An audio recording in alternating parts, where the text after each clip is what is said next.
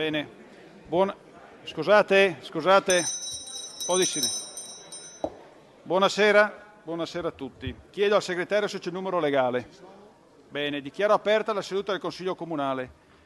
Nomino scrutatori consiglieri Francesco.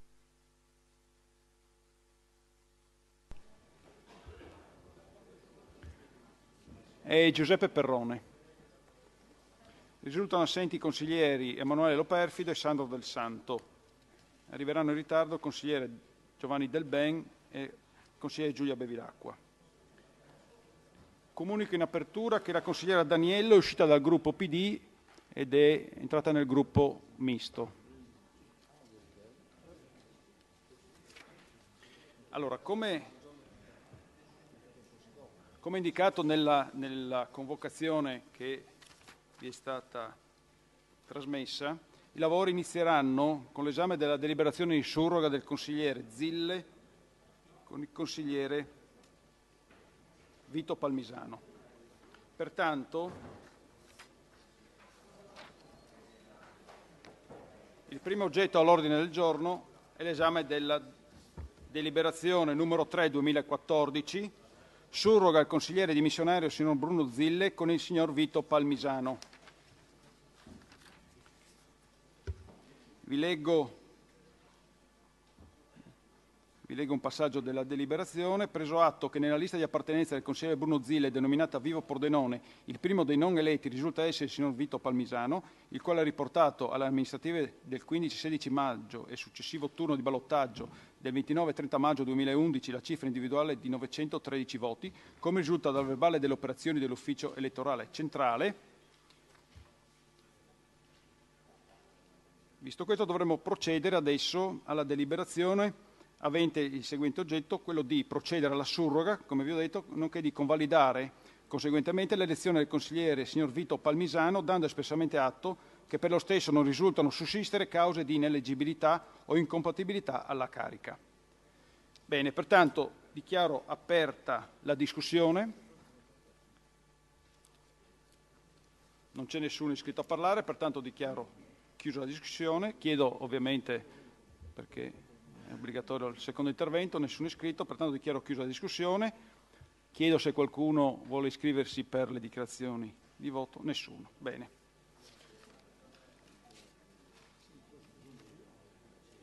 Bene, allora pongo in votazione la deliberazione avente il seguente oggetto. Proposta numero 3 del 2014, surroga del consigliere dimissionario signor Bruno Zille con il signor Vito Palmisano. Dichiaro aperte le operazioni di voto.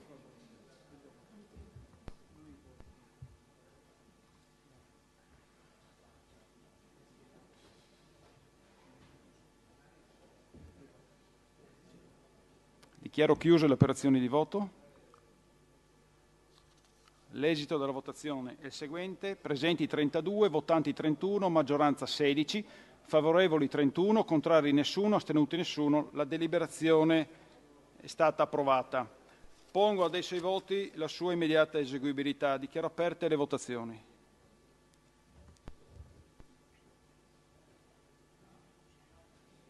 Dichiaro chiuse le votazioni. Esito della votazione seguente. Presenti 32, votanti 29, maggioranza 21, favorevoli 29, contrari nessuno, astenuti nessuno. Comunico che l'atto è stato dichiarato immediatamente eseguibile. Invito il consigliere Palmisano ad entrare.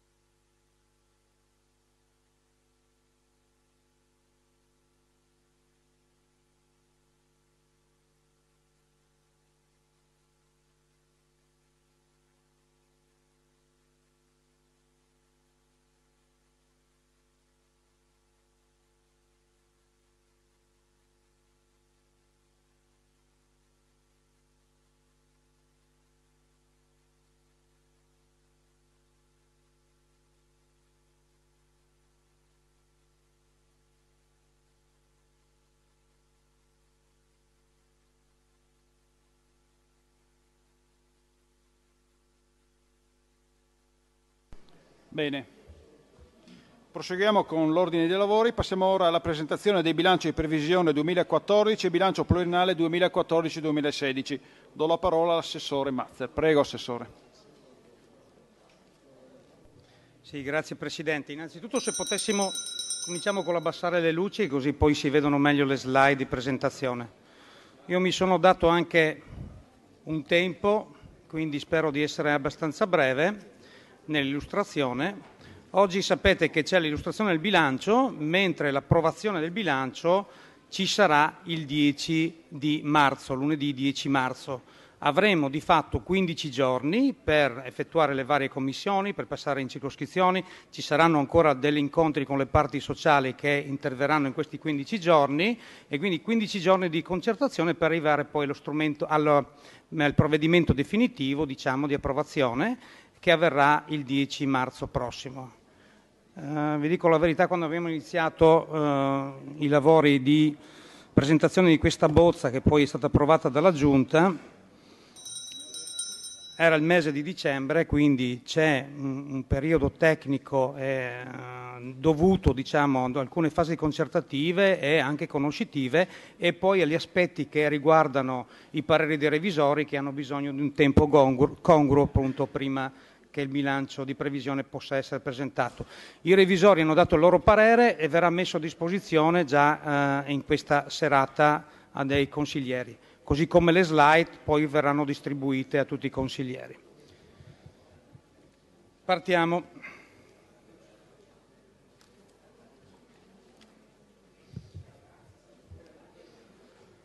Quando siamo partiti eh, avevamo alcuni obiettivi e cerchiamo di riassumerli in maniera molto breve. Il primo, obiettivo credo che sia abbastanza normale, diciamo, non gravare sui cittadini ulteriormente. Quindi, per non gravare sui cittadini ulteriormente, bisogna ridurre le spese.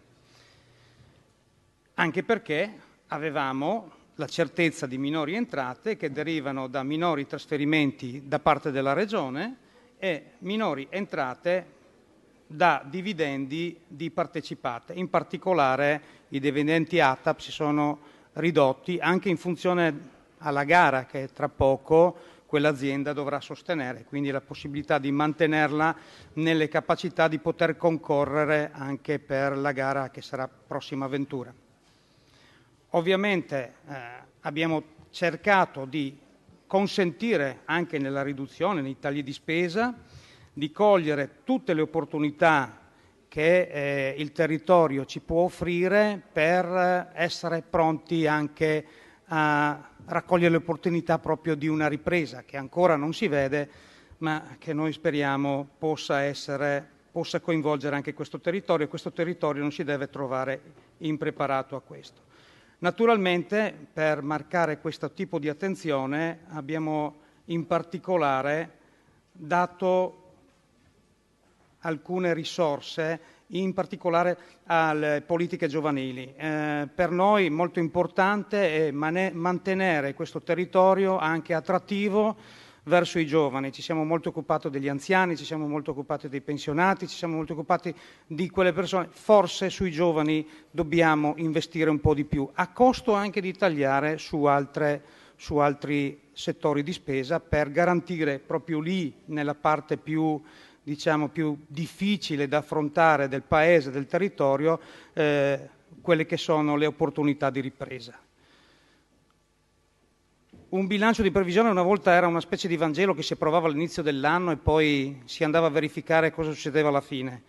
Oggi lo consideriamo uno strumento flessibile di programmazione, flessibile perché in tempi dobbiamo essere pronti ad accogliere appunto le opportunità che ci vengono anche eh, durante l'anno in corso, le opportunità che ci determinano anche alcune razionalizzazioni di spesa che magari non sono contenute in questo bilancio ma si possono fare ulteriormente, eh, semplificazioni dal punto di vista burocratico eh, e anche eh, sinergie di servizi con gli altri comuni, ne abbiamo parlato, ne abbiamo sentito parlare molto sulla stampa, eh, pur non essendo contenuti, sono quelli che sono gli obiettivi che ci diamo strategici come amministrazione comunale, quindi la semplificazione e le sinergie e risparmi, risparmi di scala.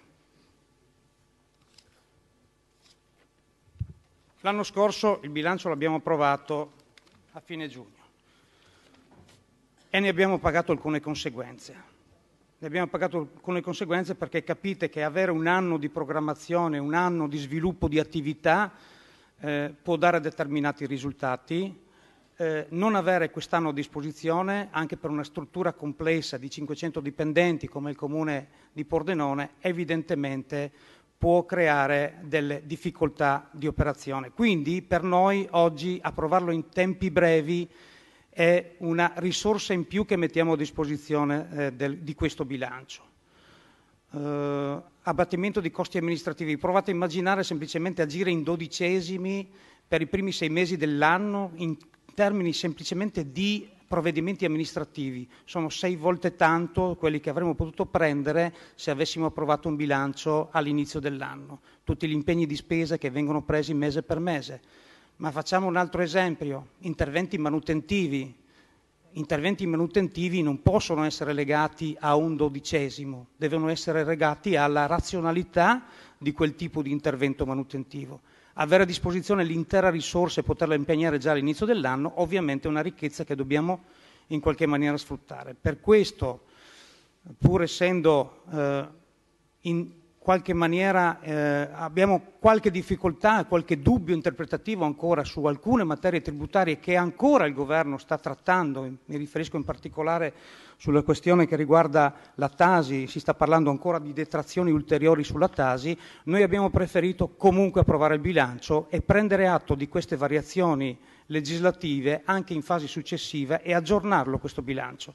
Vi ricordo che avremo già la rendicontazione sul 2013 nel mese di aprile, avremo una prima eh, verifica sugli obiettivi di bilancio a settembre e l'ultima verifica a novembre. Quindi abbiamo altre tre occasioni ordinarie, diciamo, di variazione di bilancio, senza contare quelle straordinarie che ovviamente, se fossero necessarie, le utilizzeremo.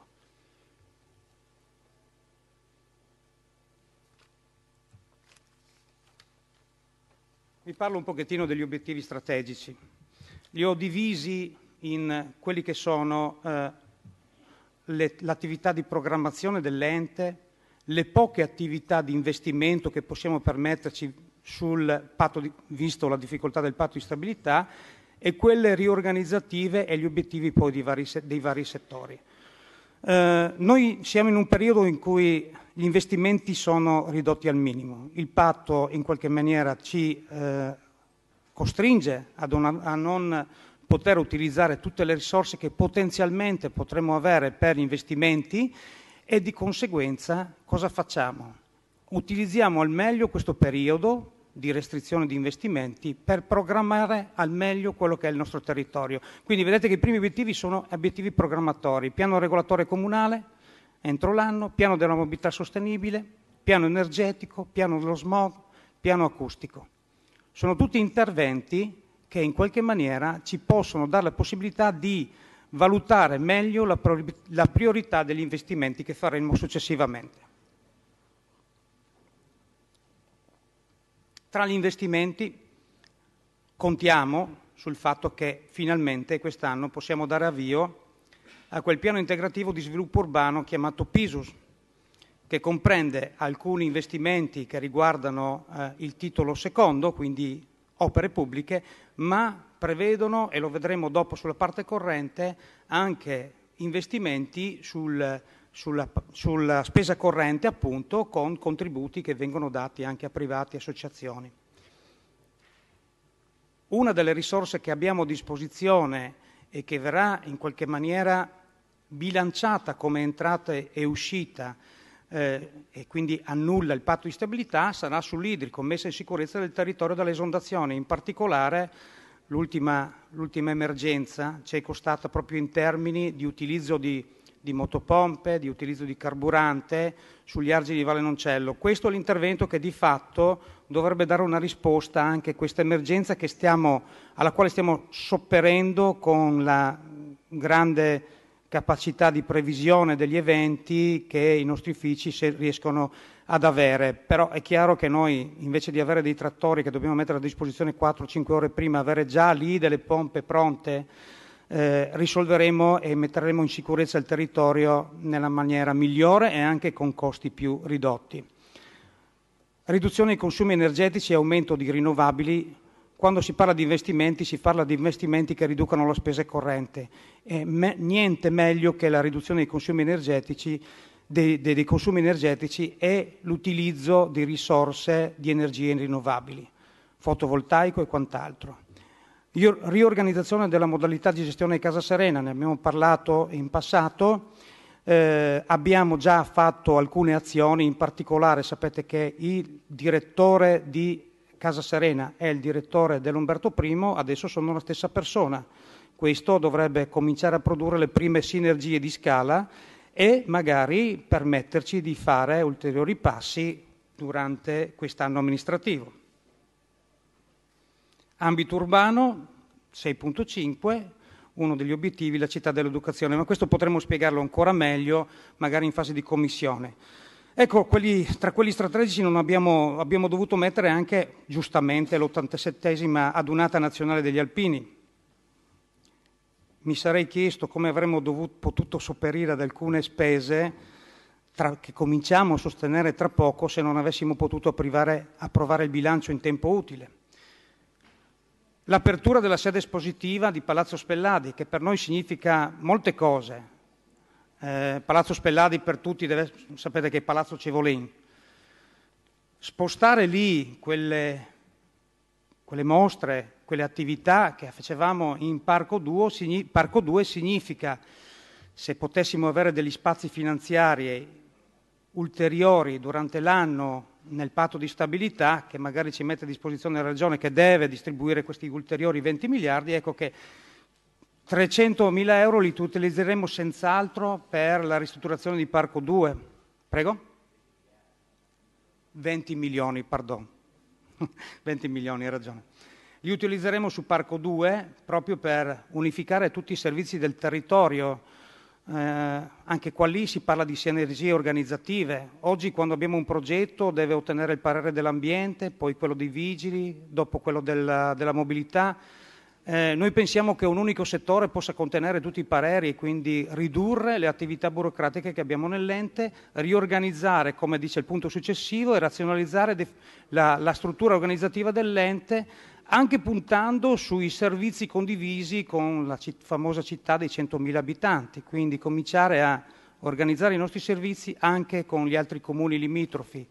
Tutto questo con lo scopo esclusivo di produrre dei risparmi, produrre delle risorse in risparmio che possano essere reinvestite sul territorio.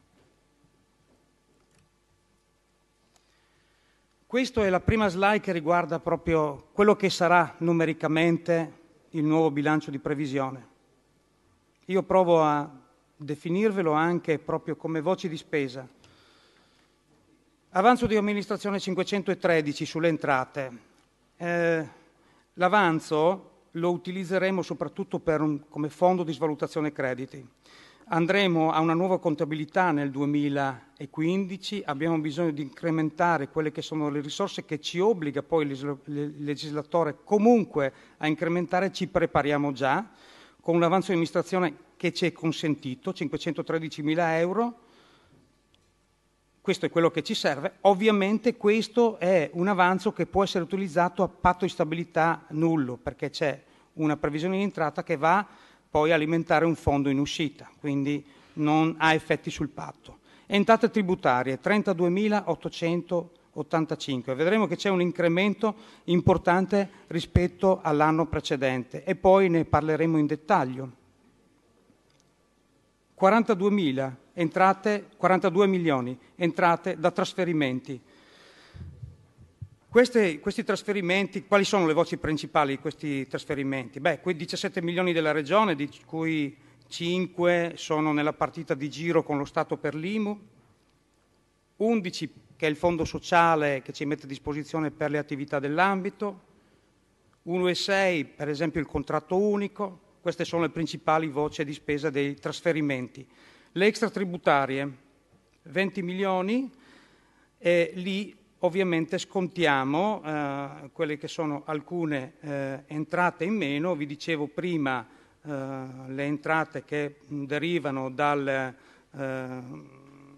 i dividendi di ATAP e di GEA, in particolare l'anno scorso avevamo anche quel dividendo straordinario di GEA determinato da rimborso canone fognatura.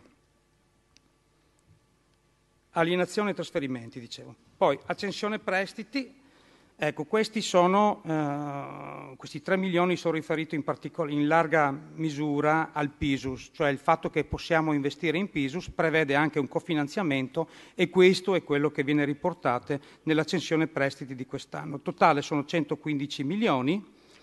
Poi ci sono i servizi conto terzi. Cosa sono i servizi conto terzi? I servizi conto terzi sono per esempio le elezioni europee. Noi abbiamo una spesa che ha un'entrata perché eh, ci, una, un'uscita perché spendiamo dei soldi, delle risorse per fare le elezioni, ma abbiamo anche un'entrata, una specie di partita di giro.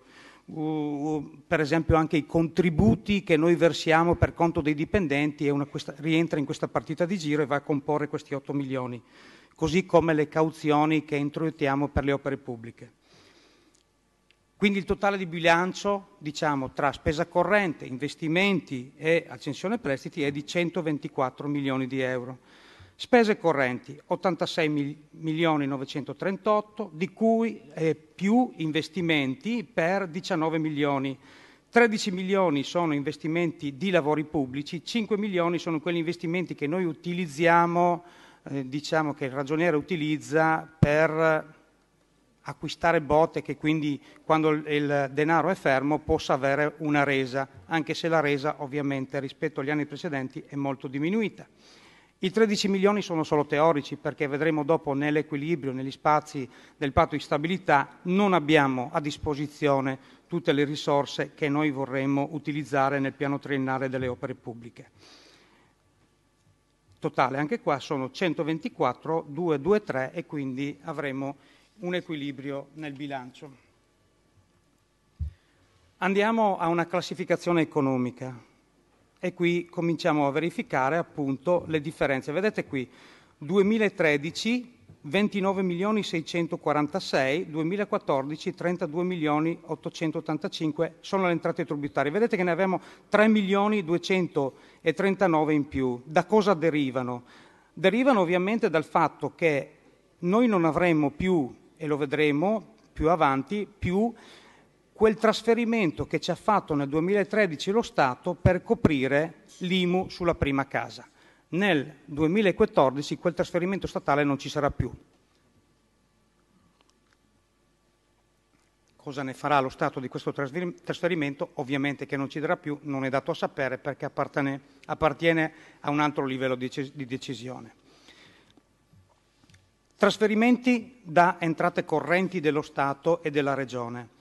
Apparentemente vedete che c'è una, una, un aumento di 521 mila euro. Però dobbiamo tenere presente che in questi 521, ah, lo faccio con la successiva slide che forse si vede, ecco, vedete?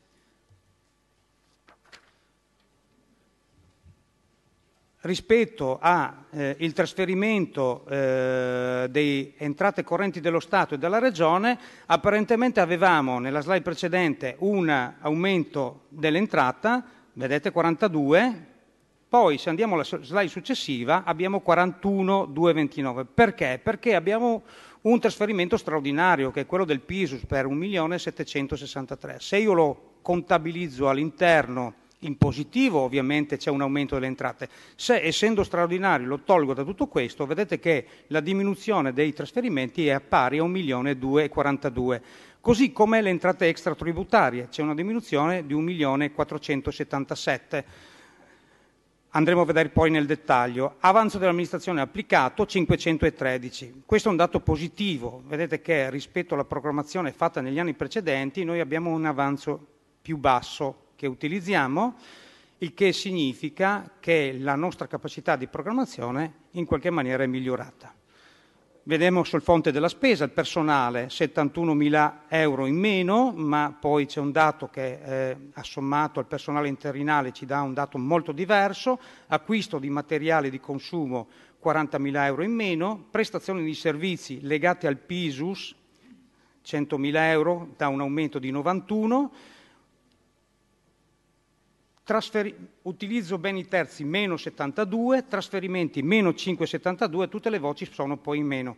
Ci sono anche voci più importanti in meno, per esempio interessi passivi su finanziamenti, eh, meno 355, significa che noi stiamo eh, pagando meno interessi, quindi è un dato positivo.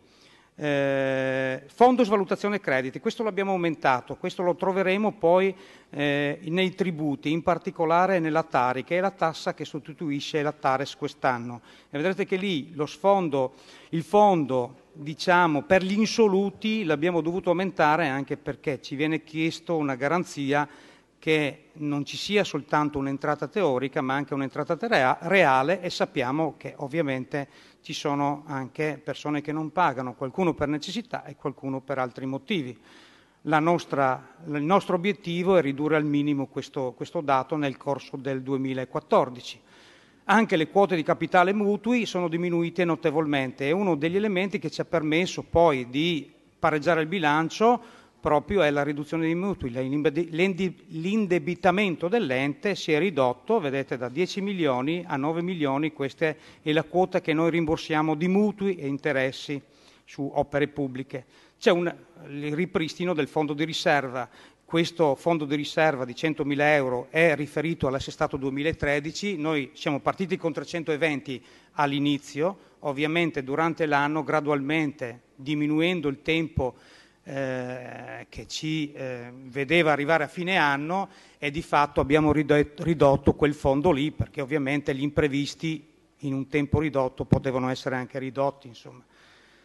In totale quindi noi abbiamo una entrata economica depurata dei finanziamenti PISUS, dell'imposta Tasi, quindi dei minori trasferimenti dello Stato, sia nella parte entrata abbiamo una diminuzione di entrate di 1,699 in meno, sia nelle parte delle uscite, quindi delle spese, quindi abbiamo pareggiato il bilancio spendendo in meno 1.699.000 euro. E qui lo vediamo in una in un grafico che determina proprio com'è l'andamento della spesa del 2004 al 2014. Vedete che gli ultimi incrementi di spesa sono legati soprattutto perché nella quota spese noi abbiamo anche la quota di rimborso allo Stato delle quote di tributo che introitavamo per conto dello Stato stesso. Se non avessimo queste, noi avremo un andamento della spesa, lo vediamo sulle slide successive, vedete che abbiamo tolto lo straordinario della PISUS e eh, l'extragettito IMU che abbiamo restituito allo Stato e che continuiamo a restituire tutti gli anni allo Stato e vedete come l'andamento della spesa si è riportata nel 2014 a livelli che erano paragonabili al 2004, deflazionato, un po' di più naturalmente quello non deflazionato. La stessa cosa la vediamo qua. Qua abbiamo escluso quello che è l'importo dell'ambito urbano degli altri comuni, cioè la quota dell'ambito che diciamo, è contenuta nel nostro bilancio, se escludessimo anche questo, vedete che la quota della spesa è diminuita ulteriormente, quindi noi abbiamo avuto un incremento di risorse che sono andate all'ambito in questi anni e sono contenute nel nostro bilancio, ma la spesa esclusi questi, questi fondi, diciamo, è diminuita per quel che riguarda le altre attività del Comune stesso. Questi sono i budget di settore, budget di settore che si possono riepilogare in aumenti, tutte diminuzioni per quel che riguarda la vigilanza, gli affari istituzionali, i servizi di direzione, i saperi e servizi alla persona, le attività culturali, ricreative e sportive, l'ambiente e mobilità. Avremo, registriamo due più, uno nell'assetto territoriale e uno nelle finanze, bilancio e programmazione. Se andiamo a vedere però, qui ci sono il fondo di svalutazione che avrete contenuti poi nei tributi, in particolare nella Tari, il fondo di riserva che abbiamo ripristinato e soprattutto il maggior trasferimento allo Stato di extragettito IMU. Se non avessimo questa voce, come non avessimo la voce del PISUS nella parte investimenti, nell'assetto territoriale, ecco che di fatto avremo una diminuzione anche in queste voci eh, in misura abbastanza importante, quindi di fatto diminuendo anche lì la percentuale rispetto all'anno precedente, oltre che il valore assoluto. Vi dicevo prima, abbiamo fatto di tutto e ci siamo riusciti per ridurre quelli che sono i tributi che conoscevamo. E sto parlando della tassa rifiuti, sto parlando dell'IMU sulla seconda abitazione e sugli altri fabbricati, dell'addizionale IRPEF, oltre che sugli... Però vedete che le entrate tributarie sono aumentate, sono aumentate di 3 milioni 239 proprio per l'effetto Tasi, 6 milioni e 6, ex IMU, trasferimento che non ci arriva più, noi dobbiamo imporre la Tasi e di conseguenza abbiamo un aumento delle entrate tributarie. Se non avessimo avuto questo, ovviamente, lo vedremo dopo, avremo una diminuzione delle entrate tributarie. maggiori trasferimenti PISUS. Anche sugli, sulle, sui trasferimenti, sulle entrate trasferimenti regioni e altri enti Stato, abbiamo una riduzione del 3% se togliamo i maggiori trasferimenti del PISUS, che sono straordinari, lo faremo solo un anno. Queste invece sono l'extratributario, vi dicevo prima, 797 mila euro eh, in meno da GEA che abbiamo utilizzato l'anno scorso per rimborsi fognatura, 968 mila euro di dividendi ATAP in meno che registriamo nelle entrate extratributarie, quindi con una diminuzione del 6,84%. Entrate in dettaglio, vediamo tutti i tributi che abbiamo nel nostro comune. Cosa abbiamo? ICI che avevamo prima, IMU, perché l'ICI nel 2010 c'era ancora l'ICI. 2013 entrate IMU 17 milioni 540, 2014 15 milioni 150. Eh, c'è un dato però che va verificato rispetto all'assestamento 2013 perché ancora presente nell'assestamento 2013 avevamo la seconda rata dell'IMU che, che non l'abbiamo potuta togliere neanche nell'ultimo assestamento perché di fatto non ci è arrivata dallo Stato e neanche la norma avevamo a disposizione allora e quindi l'abbiamo dovuta registrare. Al netto di questa noi avremo 15 milioni contro 15 milioni 150, quindi di fatto noi l'IMU mantenendo anche l'aliquota allo 0,76 non abbiamo un aumento, abbiamo un aumento zero. Addizionale IRPEF, non l'aumentiamo, aumento zero. Imposta pubblicità, qua graficamente preve- sembrerebbe che ci fossero due aumenti, sia sull'imposta pubblicità sui, sia sui diritti sulle pubbliche affissioni. Noi non abbiamo aumentato neanche qua le aliquote. Vedete l'andamento del 2012? Andamento imposta pubblicità 2012 1.105.000, 2013 assestato a 980, un calo, cerchiamo di provvedere nel 2014, anche con un messaggio forse di, di speranza, un aumento che sia tra il 2012 e il 2013, 1,050. Quindi l'aumento non è dovuto ad aumenti tarifari, ma all'auspicio che ci sia un fatturato maggiore. Anche sulle pubbliche affissioni lo stesso ragionamento, 141 2012, 120 2013, Scusate che torno indietro, che mi è scappato. Sì, con questo. Aspetta, aspetta, torno indietro. Eccolo qua. Eh, dicevo 130 nel 2014 a metà fra questi due dati con un aumento di fatturato ma non con un aumento di tariffe le tariffe sono rimaste uguali la stessa cosa su Tosa è rimasta uguale l'addizionale ormai non c'è più la Tarsu, registra una diminuzione anche dovuta onestamente al fatto che lo Stato non chiede più i 30 centesimi, di 999 mila euro pari all'11%. Poi nel dettaglio vedremo quali sono le diminuzioni che riguardano la Tarsu. Ovviamente qui c'è il dato Tasi. Tasi non c'era negli anni precedenti, minor trasferimento dello Stato per eh, IMU prima casa 6 milioni e mezzo, entrata Tasi 6 milioni e 6. Com'è? Uguale. Trovo, andiamo avanti. Eh, queste sono le slide invece che fanno vedere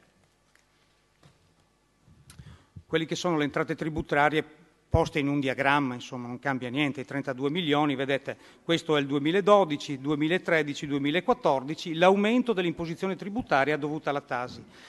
Eh, anche qui leggiamo gli entrati dei trasferimenti, eh, li leggiamo però depurati, ovviamente questa è la Tasi, per quel che riguarda i trasferimenti vediamo l'incremento che è dovuto solo a Pisus, altrimenti avremo una riduzione di trasferimenti, per quel che riguarda le entrate extratributarie, vediamo la diminuzione dovuta ai dividendi ATAP, in particolare quelli GEA. Con il prossimo bilancio noi approveremo un regolamento che di fatto si chiama Regolamento dell'imposta unica comunale, IUC. Conterrà tutti i tributi del comune, li riassume tutti in un unico regolamento, anche se sono tributi diversi.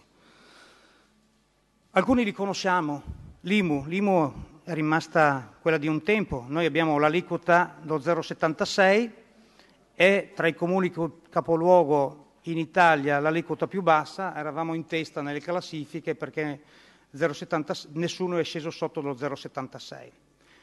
Cos'è la novità di quest'anno? La novità di quest'anno è che intendiamo applicare all'IMU un'ulteriore detrazione che riguarda i comodati.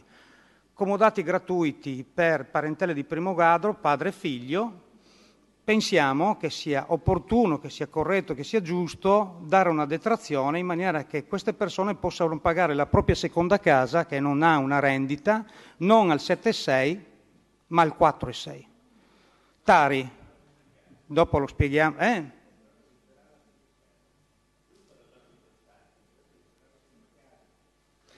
Sì, sì, sì. Una, possiamo anche considerare sì, lei, lei dice potremmo metterla a zero perché la prima casa è a zero adesso e quindi noi dovremmo portarla a zero. Ne tratteremo in commissione. No, in quel caso non si pagherebbe. Tari. La Tari è figlia della Tares. La Tares l'anno scorso è stato il tributo che in qualche maniera più ha inciso sulla comunità pordenonese, in particolare su alcune categorie di commercianti.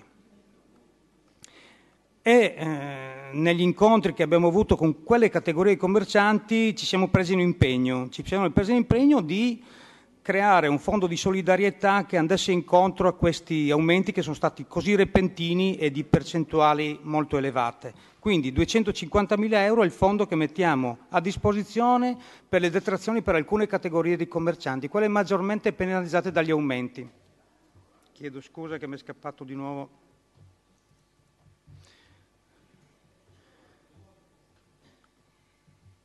«120.000 euro invece è una riduzione che ci consente il piano finanziario. Il piano finanziario di quest'anno che pur avendo un incremento dei costi per quel che riguarda il fondo sugli insoluti, diciamo, chiamiamolo così, eh, ci, eh, eh, ci, ha perme- ci ha costretto in qualche maniera a razionalizzare un attimino vari aspetti che riguardavano i costi di questo piano finanziario, ci siamo riusciti, abbiamo, eh, pur in presenza di quel fondo straordinario, avuto una riduzione di 120.000 euro. Qua, devo dire la verità, il lavoro importante che ha fatto l'assessore Conficoni insieme con l'AGEA oggi ci permette di dire che c'è una riduzione anche generalizzata, oltre che una riduzione specifica per alcune categorie.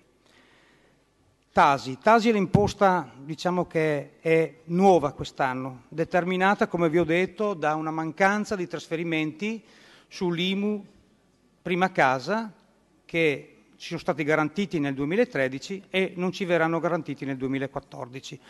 Su questa e dopo la vedremo nel dettaglio con alcuni esempi, alcuni ragionamenti abbiamo fatto come amministrazione in particolare per alcune categorie e vorremmo lì almeno dare un segnale. Diamo un segnale soprattutto a quelli che abitano in affitto e quindi che sono categorie da considerarsi un po' più in difficoltà rispetto a chi ha una casa di proprietà. Non sempre è così, però lo facciamo con detrazioni che sembrano basse in questa, in questa, slide, ma vedrete che ottengono un risultato importante quando si, sa, si applicherà il 10% che si voleva applicare agli inquilini. E lo facciamo su appartamenti, su residenze che hanno eh, rendite inferiori a 800 euro, in maniera che le ville le escludiamo da tutto questo. Insomma. Detrazione di 25 euro che facciamo anche al proprietario per la prima casa. Ci sembra giusto che se noi sulla prima casa all'inquilino gli diamo la possibilità di avere 25 euro, lo, lo, alla, alla, stessa stregua trattiamo anche il proprietario. E in più un altro segnale lo diamo sulle attività produttive, non tassando le aree produttive, perché credo che soprattutto in questo, in questo territorio dove ci sono queste difficoltà delle nostre imprese, almeno questo segnale lo dovevamo dare e lo diamo sul tributo nuovo che prima non c'era. Facciamo alcuni esempi. Abitazione concessa in comodato gratuito. IMU, la rendita 750 euro annuali. 2013 col 7,6 per mille questa abitazione al proprietario eh, costava 957 euro di IMU con la riduzione, se la dà al figlio o il figlio la dà al padre e c'è una convenzione quindi viene data in comodato gratuito, con il 4,6 per mille che noi gli applichiamo, il risparmio che questo proprietario ottiene è di 378 euro, pari al 39% rispetto all'anno precedente. Questo è il risultato di questo tipo di riduzione. Noi non potevamo andare più sotto del 4,6 perché eh, l'IMU sulla prima casa prevede che si possono fare in aumento o in riduzione, si può andare in aumento o in riduzione di tre punti, quindi si può andare dal 7,6 al meno tre punti, 4,6. L'aliquota minima l'abbiamo applicato. Sulla Tasi invece, la Tasi è, dicevo, questa tassa nuova. Vediamo che effetto ha sul, sul proprietario e sul, poi sull'inquilino, su chi ha il conduttore che paga l'affitto. Abitazione principale, rendita 750 euro, abbiamo cercato di farle alla stessa stregua, insomma, in maniera che si vedesse anche le differenze. 157 l'importo dell'1,25 per mille, che è la tariffa che noi intendiamo proporre. Detrazione 25 euro, il proprietario di questa prima casa, della sua prima paga 132 euro. Se questa fosse la seconda casa che ha dato in affitto, la rendita è 750, l'importo non è 157 ma il 90%, quindi 141, e questo è a carico del proprietario. L'inquilino dovrebbe pagarne il 10%, 15 euro, gli abbiamo fatto una detrazione di 25 e non paga niente. Quindi vedete che abbiamo messo in salvaguardia un certo numero di abitazioni fino a una rendita, diciamo, normale, la definisco così io, insomma, non per le superabitazioni. Vediamo la Tari invece. La Tari è quella che... Queste sono le categorie la 22, la 23, la 24, la 27, che l'anno scorso hanno avuto gli aumenti percentuali più elevati. Guardate che aumenti hanno avuto. 2,65, 2,19, 161. E questo no, perché noi abbiamo applicato il decreto ministeriale e perché ovviamente invece che l'85% abbiamo introitato il 100% per la prima volta. Perché prima queste, queste attività forse riuscivano a pagare un po' meno di quanto avrebbero prodotto. Vabbè, io sai che sono molto un po' meno, dico io, questo dico in maniera bonaria.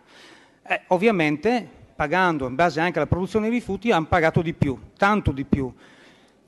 E lo hanno pagato in maniera repentina questo aumento.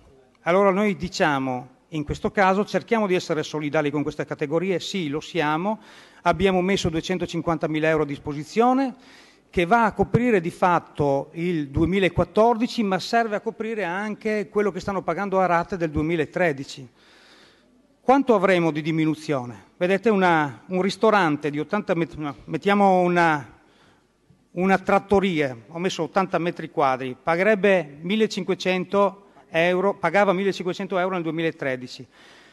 La differenza in percentuale rispetto alla Tarsia era un più 265. L'importo del 2014 senza la sovvenzione sarebbe di 1296. Con la sovvenzione paga 840 rispetto a uno da, a 1500, quindi una diminuzione di 465 rispetto a questo dato qua, ma rispetto al 2013 questo dato qua che è 35, per, 35% va letto quasi come il 50%, è il 44% in sostanza.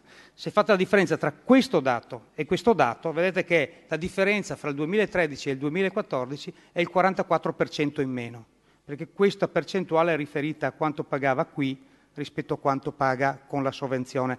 È poco significativo. Mi scuso io per questa slide che magari mette...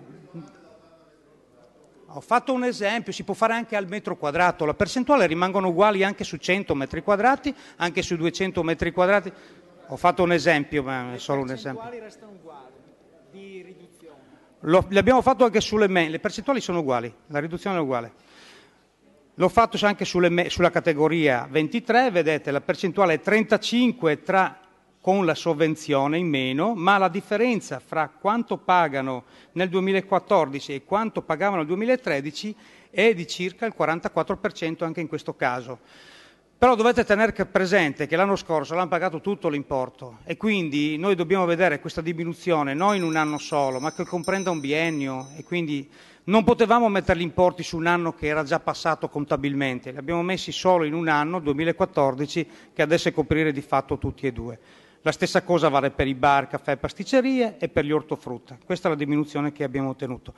Ma riducendo di fatto, anche se di poco, un pochettino gli importi del piano finanziario, aumentando i metri quadri perché abbiamo inserito ulteriori metri quadri di, di un ulteriore ruolo, ecco che vedete che anche le non Diciamo che le categorie domestiche, un appartamento di tre persone di 80 metri quadri che pagava nel 2013 211, pagherà nel 2014 180 e quindi con una differenza di 31 euro in meno, quindi in meno 14%.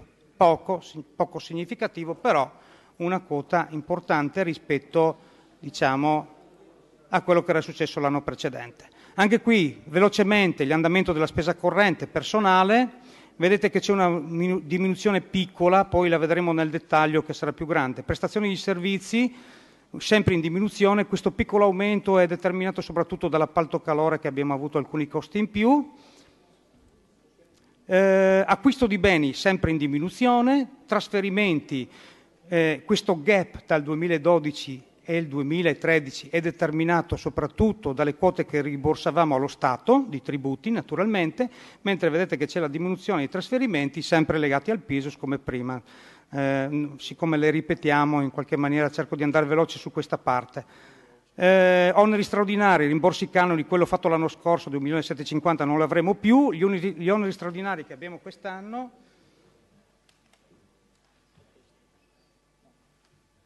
sono legati soprattutto agli alpini e una quota parte dei rimborsi che non avevamo contabilizzato l'anno scorso e che contabilizzeremo quest'anno. Ecco qua che c'era anche la didascalia che lo mostrava. Personale.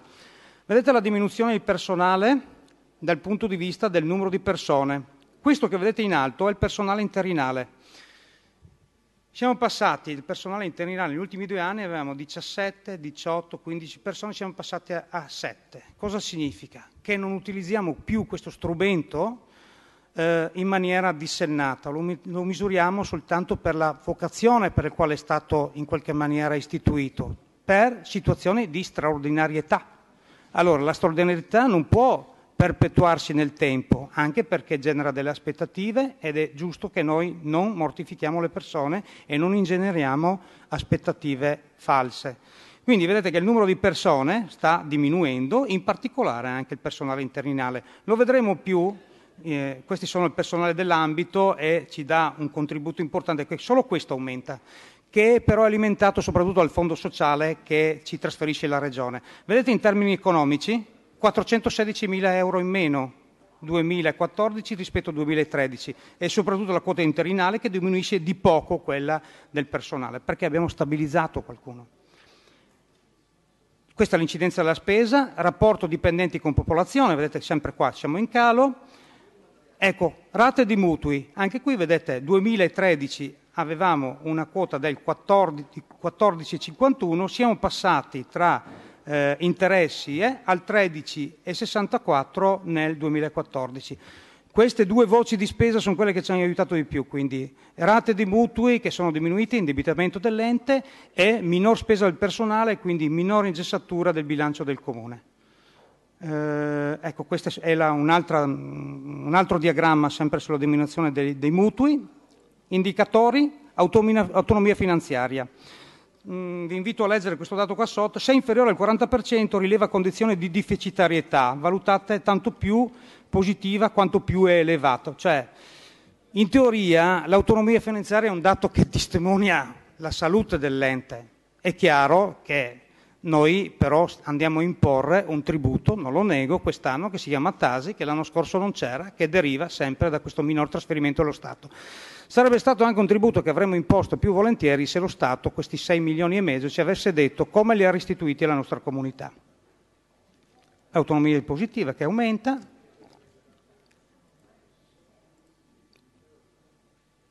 pressione tributaria pro capite, vedete che aumenta, se non avessimo la Tasi 507, andremo in diminuzione. La Tasi ci porta a 633. Proviamoci, siamo sempre in tempo. Anche qui, trasferimenti regionali, se non avessimo Pisus saremmo a 702 rispetto a 729, con Pisus siamo un poco di più, 736.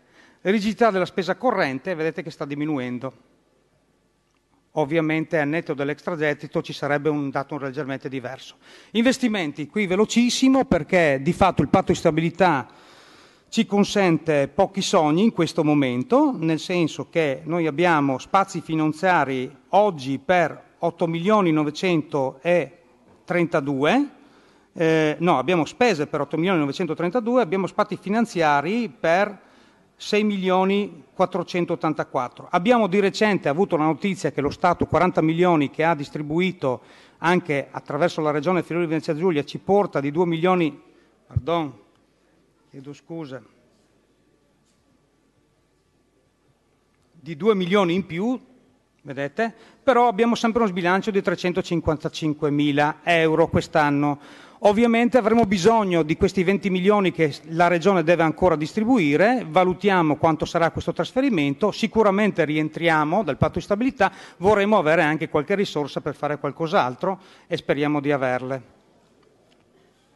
Questi sarebbero i finanziamenti diviso per eh, entrate corrispondenti, trasferimenti, tipologia di finanziamento delle opere pubbliche, alienazioni di beni, vedete l'Oculi 600.000, altri immobili 740.000, devoluzione dei mutui, questi sarebbero parcheggi di fatto, poi ve lo spieghiamo sul, sul piano delle alienazioni, sono la vendita di parcheggi eh, e ci sono quattro punti in particolare noi dove, dove, noi intendiamo allineare parcheggi, due sono in via Damiani e sono parcheggi pubblici di fatto in qualche maniera nascosti a pagamento e gratuiti, eh, di fatto li usano già adesso i privati, è giusto che in qualche maniera se li comprino, e eh, mentre abbiamo in Largo San Giovanni dei parcheggi che, di cui pochi conoscono l'esistenza come parcheggi pubblici, intendiamo allinearli e anche sotto eh, il condominio Le Torri vorremmo allineare alcune parcheggi. Il totale delle entrate sarebbe 745.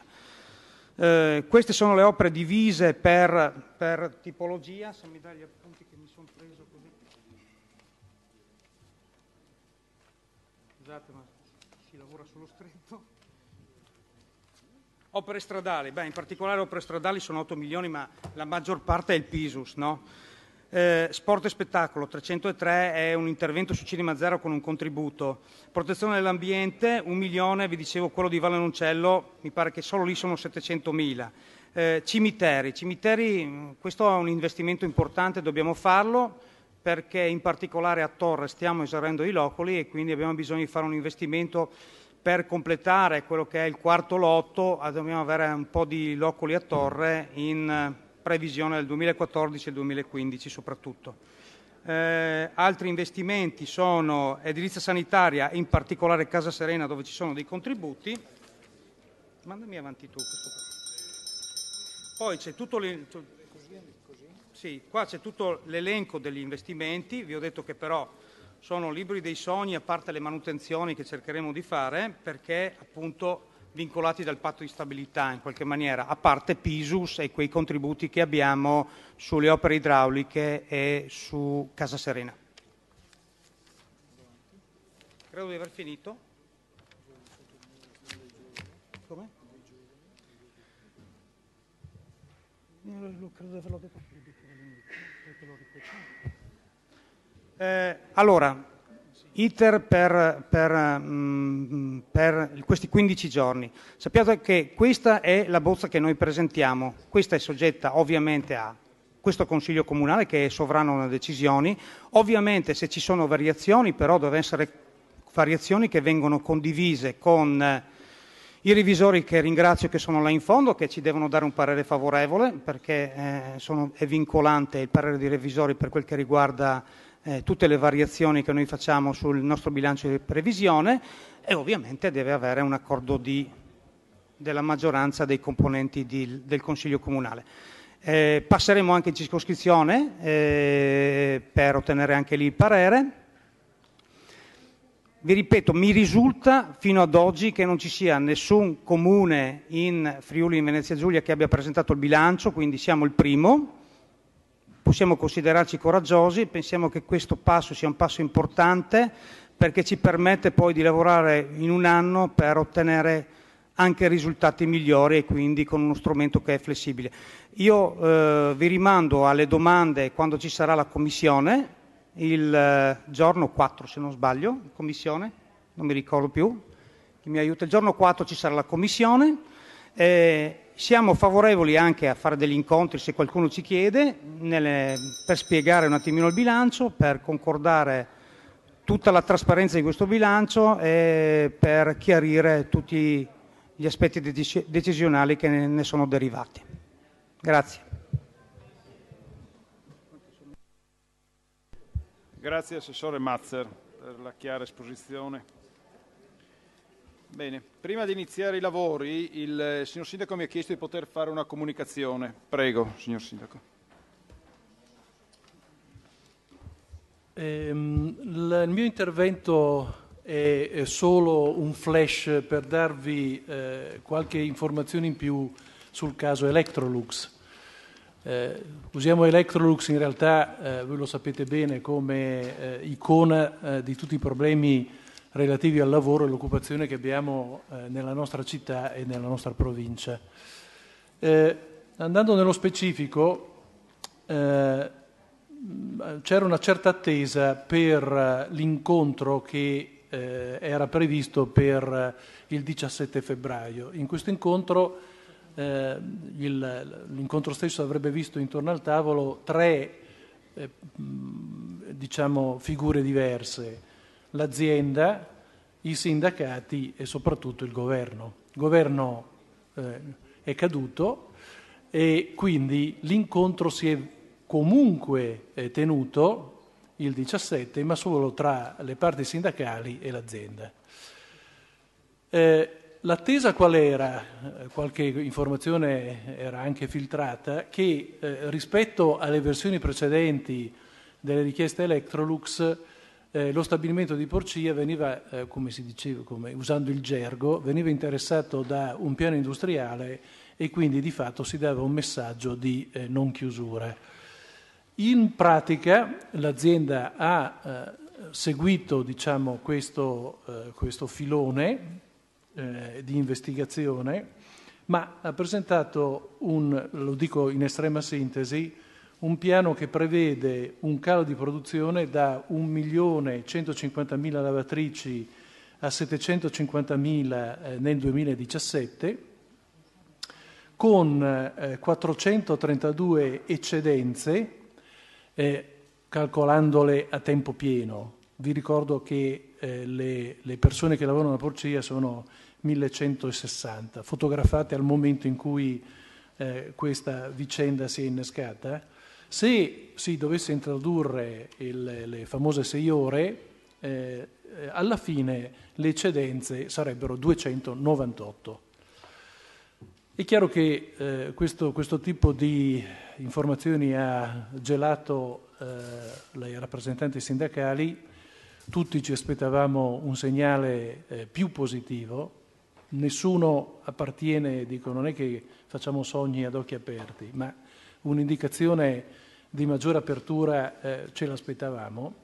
Eh, questo non significa però che la partita sia finita, perché di fatto eh, ora comunque eh, il terzo che non era presente a quell'incontro eh, dovrà esserci, quindi nei successivi incontri che sono già pianificati eh, il governo e nuova, il nuovo ministro Federica Guidi sarà presente.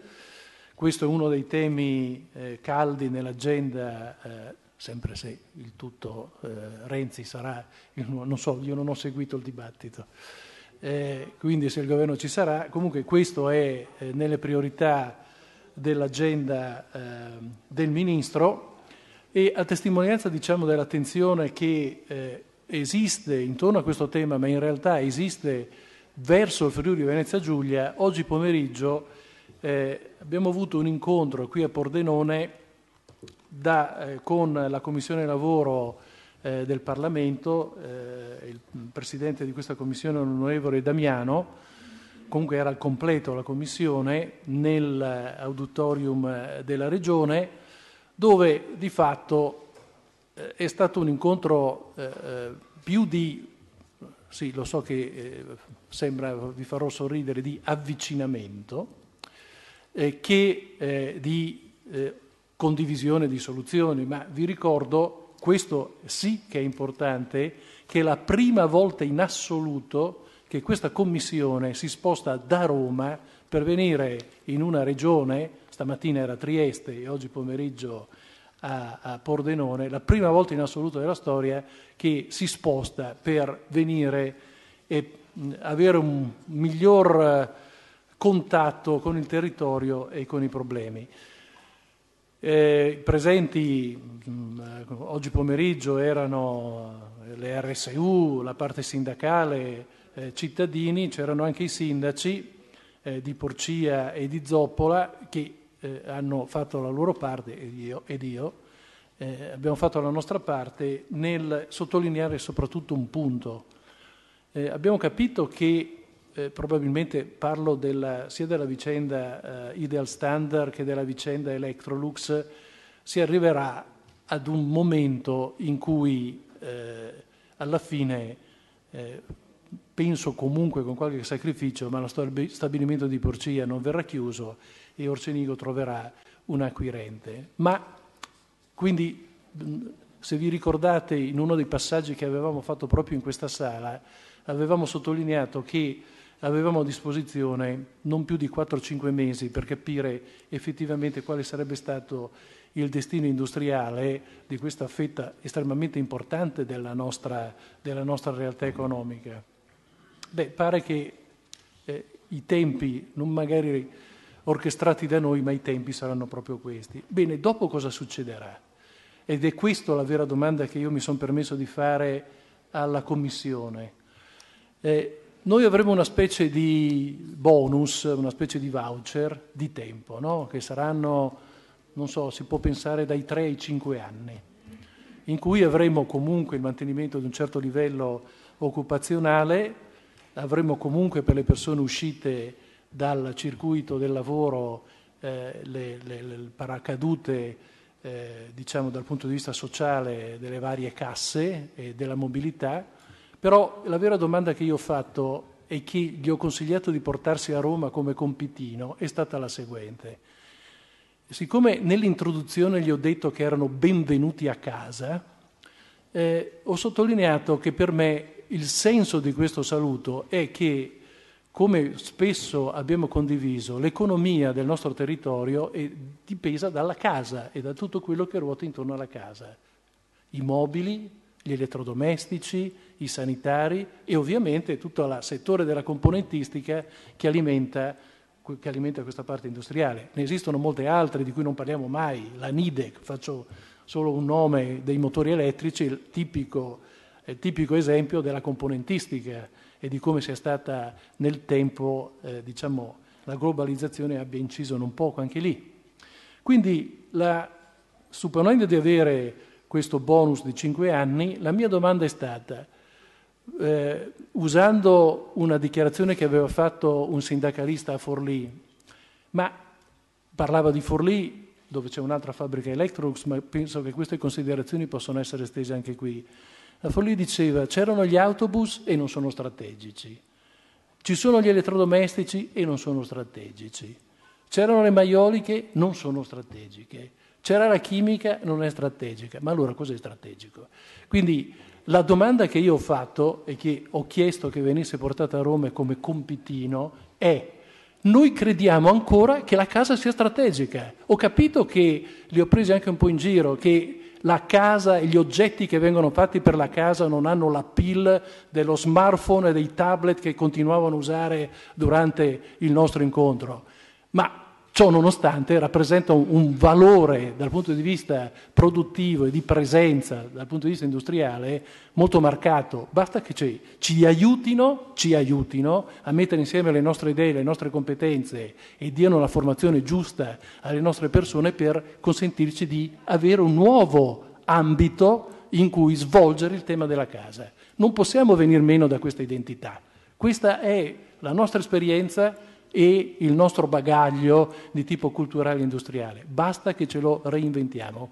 Gli ho chiesto di dirci in modo chiaro, andando avanti, se effettivamente la casa rappresenterà una delle strategie a livello eh, governativo e italiano, quindi non parlo solo di elettrodomestici, ma di tutto quello che riguarda la nostra, la nostra occupazione qui, perché su quello dovremmo registrarci. Eh, nelle prossime puntate vi terrò costantemente informati su questo fronte perché credo che sia quello più importante per noi in questo momento e verso la città, non solo la città di Pordenone ma anche le città che ci sono vicini, uno dei, degli argomenti più caldi e sentiti da tutti noi. Grazie signor Sindaco. Vedo che è iscritta a parlare la consigliera Piccin. Prego. Sì, grazie Presidente. Solo per eh, così, eh, una riflessione, per riconoscere al Sindaco che eh, evidentemente eh, su questa partita, fin dall'inizio, il suo l'ha sempre eh, fatto e ha sempre cercato di tenere alta l'attenzione. Nonostante questo, credo che però debbano essere evidenziati alcuni aspetti sul caso Electrolux che riguardano eh, sì il comune, sì gli altri sindaci giustamente, ma eh, soprattutto la regione. Ora, io credo che eh, comprensibile il fatto che eh, seduti a quel tavolo ci fossero due eh, su tre eh, per le questioni che si sono avvicendate eh, dal punto di vista del governo. Ricordo però che su questa partita fu chiamato in causa direttamente dalla governatrice Serracchiani il Presidente del Consiglio Letta, così come furono chieste le dimissioni del Ministro del Lavoro. Allora, detto questo, io credo e sono fiduciosa che, visto che il nuovo Presidente del Consiglio, e sono convinta che il eh, governo ci sarà, il nuovo Presidente del Consiglio è Renzi e non è eh, eh, ness- in nessun modo lontano dai pensieri di ciascuno di noi il fatto che la nostra governatrice, già componente di questa segreteria eh, nazionale del partito, stia per assumere un ruolo ancora più importante a livello nazionale, quello di segretario vicario, credo che non mancheranno le occasioni per portare alla diretta attenzione del Presidente del Consiglio questa situazione di questo territorio, così come altri territori lo faranno certamente. Quindi concludo dicendo che va benissimo tutto questo, va benissimo anche che la Commissione Lavoro sia arrivata qui da noi, però vedete eh, colleghi, vede signor Sindaco, noi abbiamo incominciato a parlare di questa questione dal Consiglio regionale al Consiglio comunale, al Consiglio aperto, agli ordini del giorno, a tutto quello che abbiamo fatto, sicuramente sempre comunque convinti che sarebbe servito. Io credo, così come ho detto altre volte, che chi invece può darci una mano a risolvere questa questione stia da un'altra parte. Prima si chiamava Letta, ora si chiama Renzi, quindi noi a questo dovremo fare riferimento. Grazie. Grazie consigliere Piccini. Bene, possiamo passare all'ordine dei lavori. Allora, comunico al Consiglio che nel corso dell'ultima riunione tenuta il 18 febbraio del, della Commissione Presidenti dei Gruppi è stato deliberato il seguente ordine dei lavori. E residuo, mezz'ora di interrogazioni, dopodiché affronteremo le mozioni. Ricordo anche ai consiglieri che in quella sede eh, si è trovato l'accordo quasi all'unanimità di contenere gli interventi per quanto riguarda le mozioni a 10 minuti per il proponente per la presentazione e per l'eventuale intervento e 5 minuti per i consiglieri. Bene, passiamo pertanto alle interrogazioni, in mezz'ora sono le 19.51 ed esaminiamo la... Dunque, la prima interrogazione numero 57, il consigliere proponente mi ha chiesto di sospenderla e di... di... Va bene. Sì, prego, date la parola al consigliere Ribetti per cortesia. Grazie Presidente.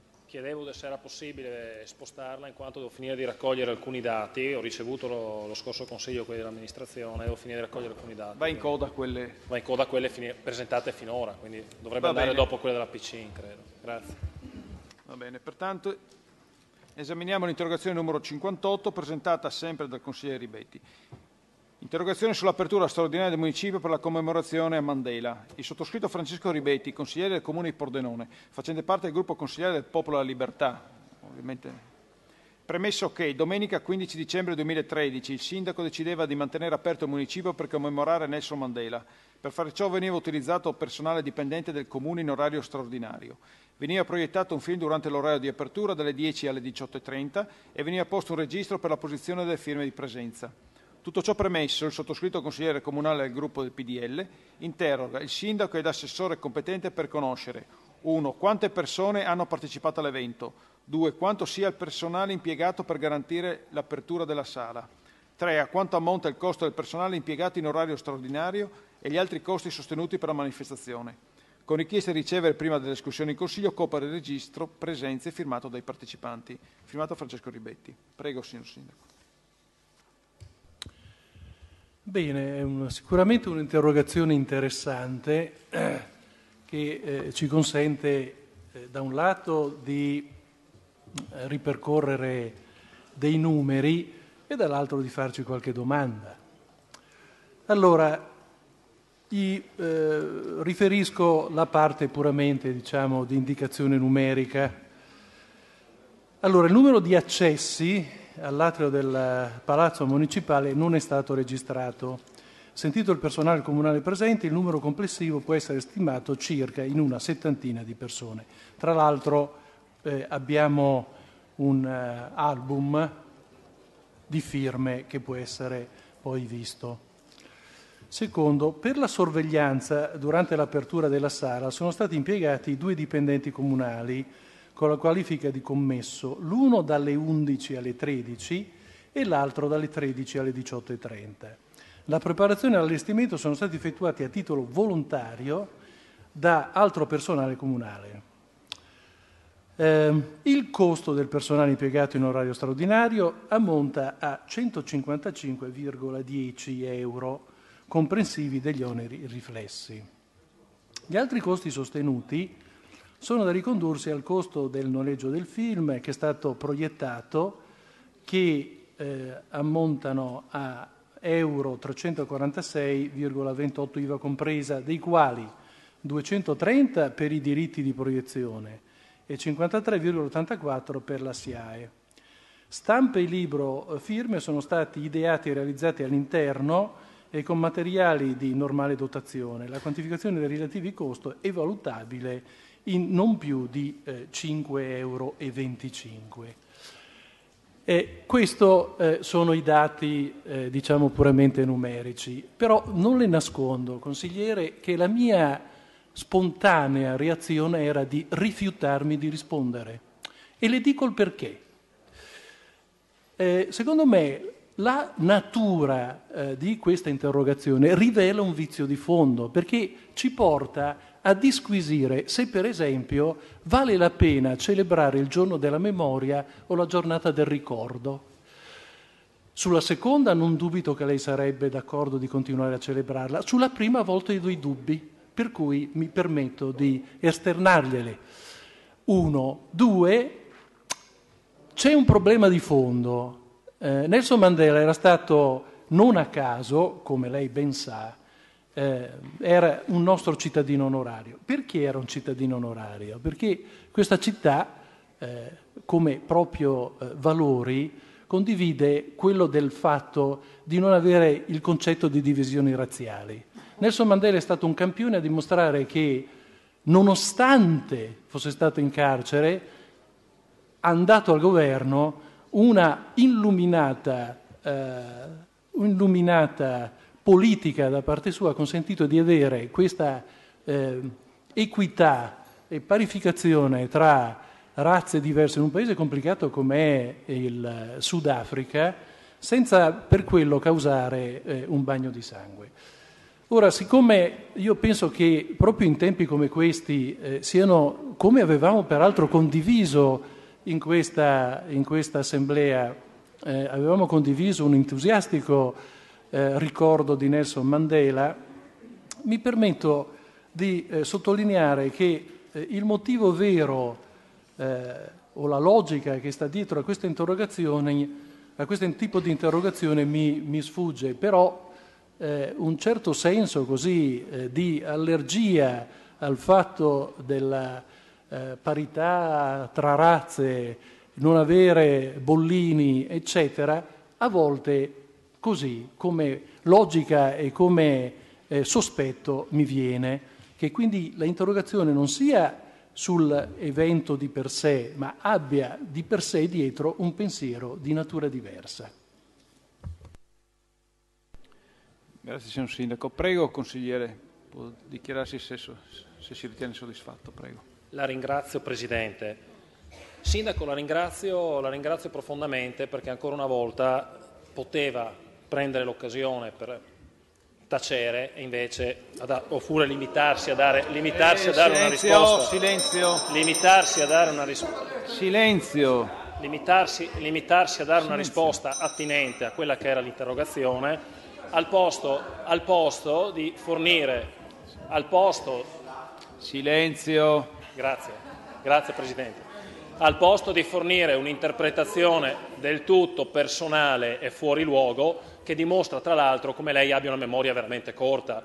Basta che lei vada a vedersi eh, le deregistrazioni, a sentirsi, dovrebbe ricordare che io in quel Consiglio Comunale ho esordito ringraziando l'amministrazione per il cambio di passo rispetto all'amministrazione precedente.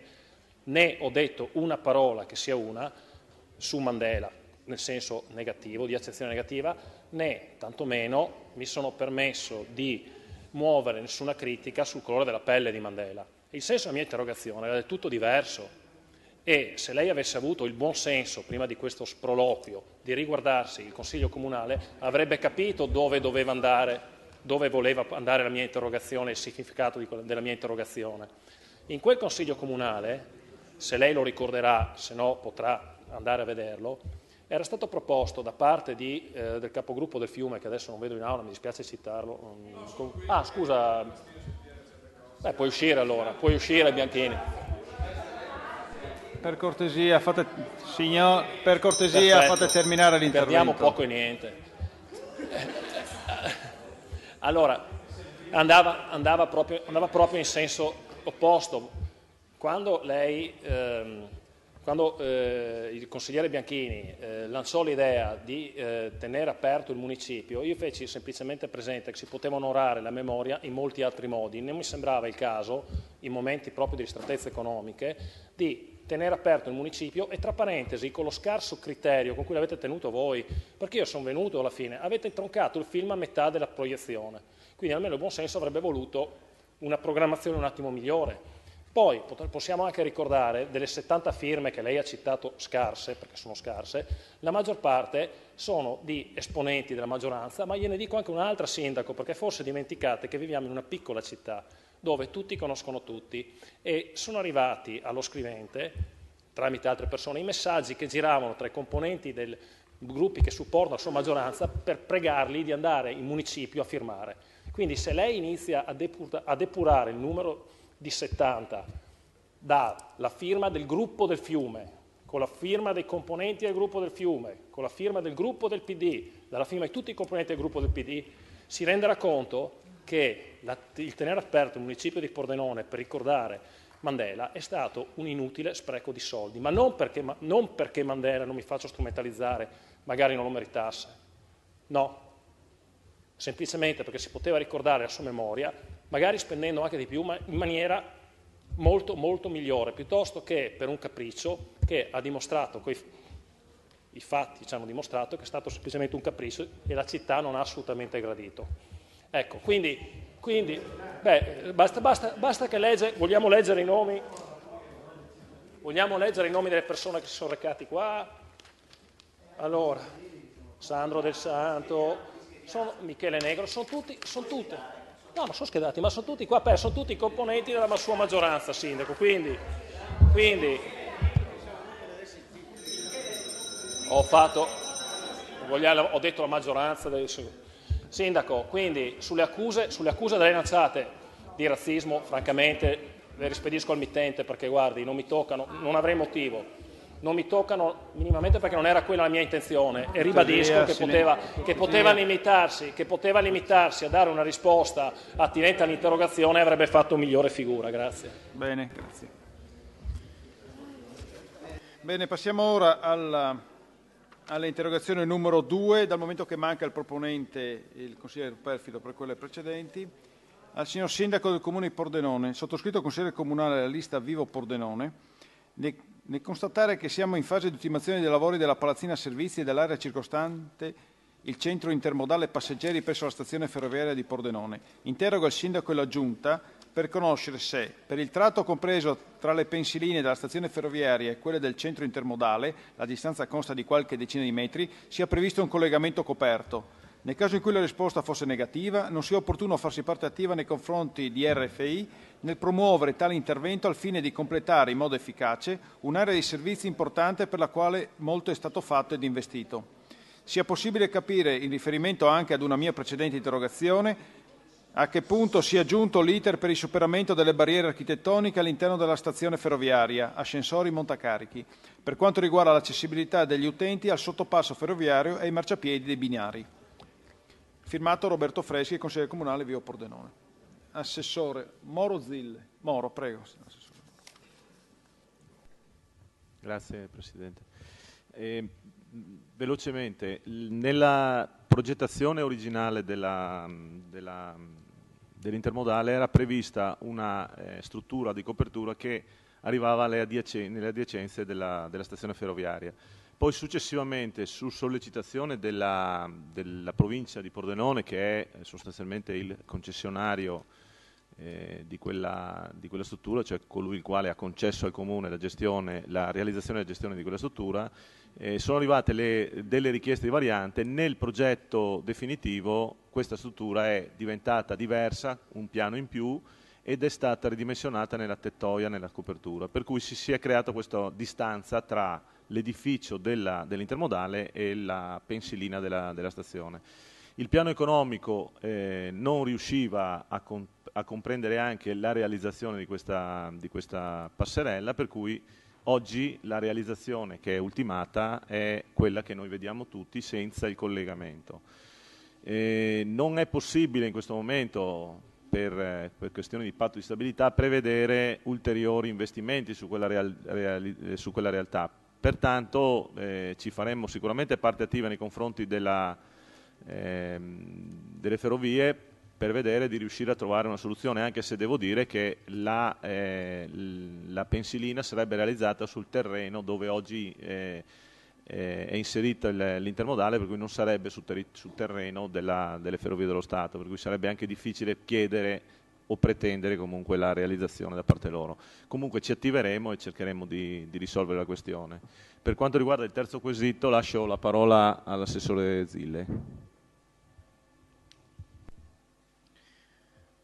Sì, per quanto riguarda la precedente interrogazione, ci siamo mossi eh, con la rete ferroviaria italiana e riguardo alla nostra richiesta abbiamo avuto la risposta da parte dell'ingegner Maurizio Gentile della eh, sede di Roma il quale ha dato riscontro alla nostra richiesta ancora in data 7 eh, ottobre 2013, il quale intende ribadire l'impegno prioritario assunto da Rete Ferroviaria Italiana nell'ambito oh, del progetto denominato 500 stazioni per la realizzazione degli interventi di adeguamento complessivo dell'accessibilità nella stazione di Pordenone. Tra l'altro eh, sono previsti, eh, in attesa appunto dell'espletamento delle, delle procedure connesse all'affidamento dei lavori, eh, i tempi di realizzazione delle opere programmate è prevista la conclusione del 2000, nel 2015 e viene anche indicato che eh, verrà scelto, mh, al di là delle opzioni che a suo tempo furono fatte, se montascale o altri strumenti, verrà eh, fa, fatta la scelta in particolare di, di realizzare degli ascensori. Ecco, questo viene detto. Eh, nel frattempo ribadisce che nelle emergenze eh, c'è l'attività gratuita delle cosiddette sale blu eh, che mh, mm, viene, vengono messe a disposizione per tutti quegli utenti che hanno bisogno. Questo soprattutto avendo fatto una richiesta e una certa urgenza anche in previsione della donata degli alpini. Eh, mi è stato ribadito che comunque questo servizio sarà a disposizione per l'evento. Eh, successivamente da una telefonata diretta che ho avuto anche con lo stesso ingegner Gentile per vedere di eh, di accelerare all'interno di questo piano affinché eh, possano i lavori iniziare già a fine 2014. Eh, sono in contatto, eh, sempre l'indirizzo del, dell'ingegner Gentile, con l'ingegner De Giuseppe e l'ingegner Kerr eh, della, della, della stazione di Trieste eh, con la quale mi hanno detto che in qualche modo cercheranno all'interno dell'appalto di far partire prima possibile i lavori qua sulla città di Porde, presso la ferrovia di Pordenone. Ecco. Questa è la situazione del momento che peraltro stiamo seguendo e siamo, ripeto, in contatto con la direzione di Trieste. Grazie Assessore. Prego consigliere, può dichiarare se si ritiene soddisfatto.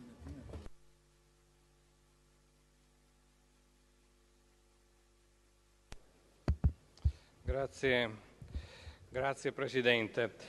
Eh, io ringrazio entrambi gli assessori, l'assessore Moro e l'assessore Zille per le risposte che hanno dato a questa interrogazione, perché denotano eh, il, loro, il loro interessamento e la loro attenzione per un problema che è un problema di tutta la cittadinanza, di tutti gli utenti che in qualche modo usufruiscono del servizio ferroviario e del servizio dell'autotrasporto su gomma.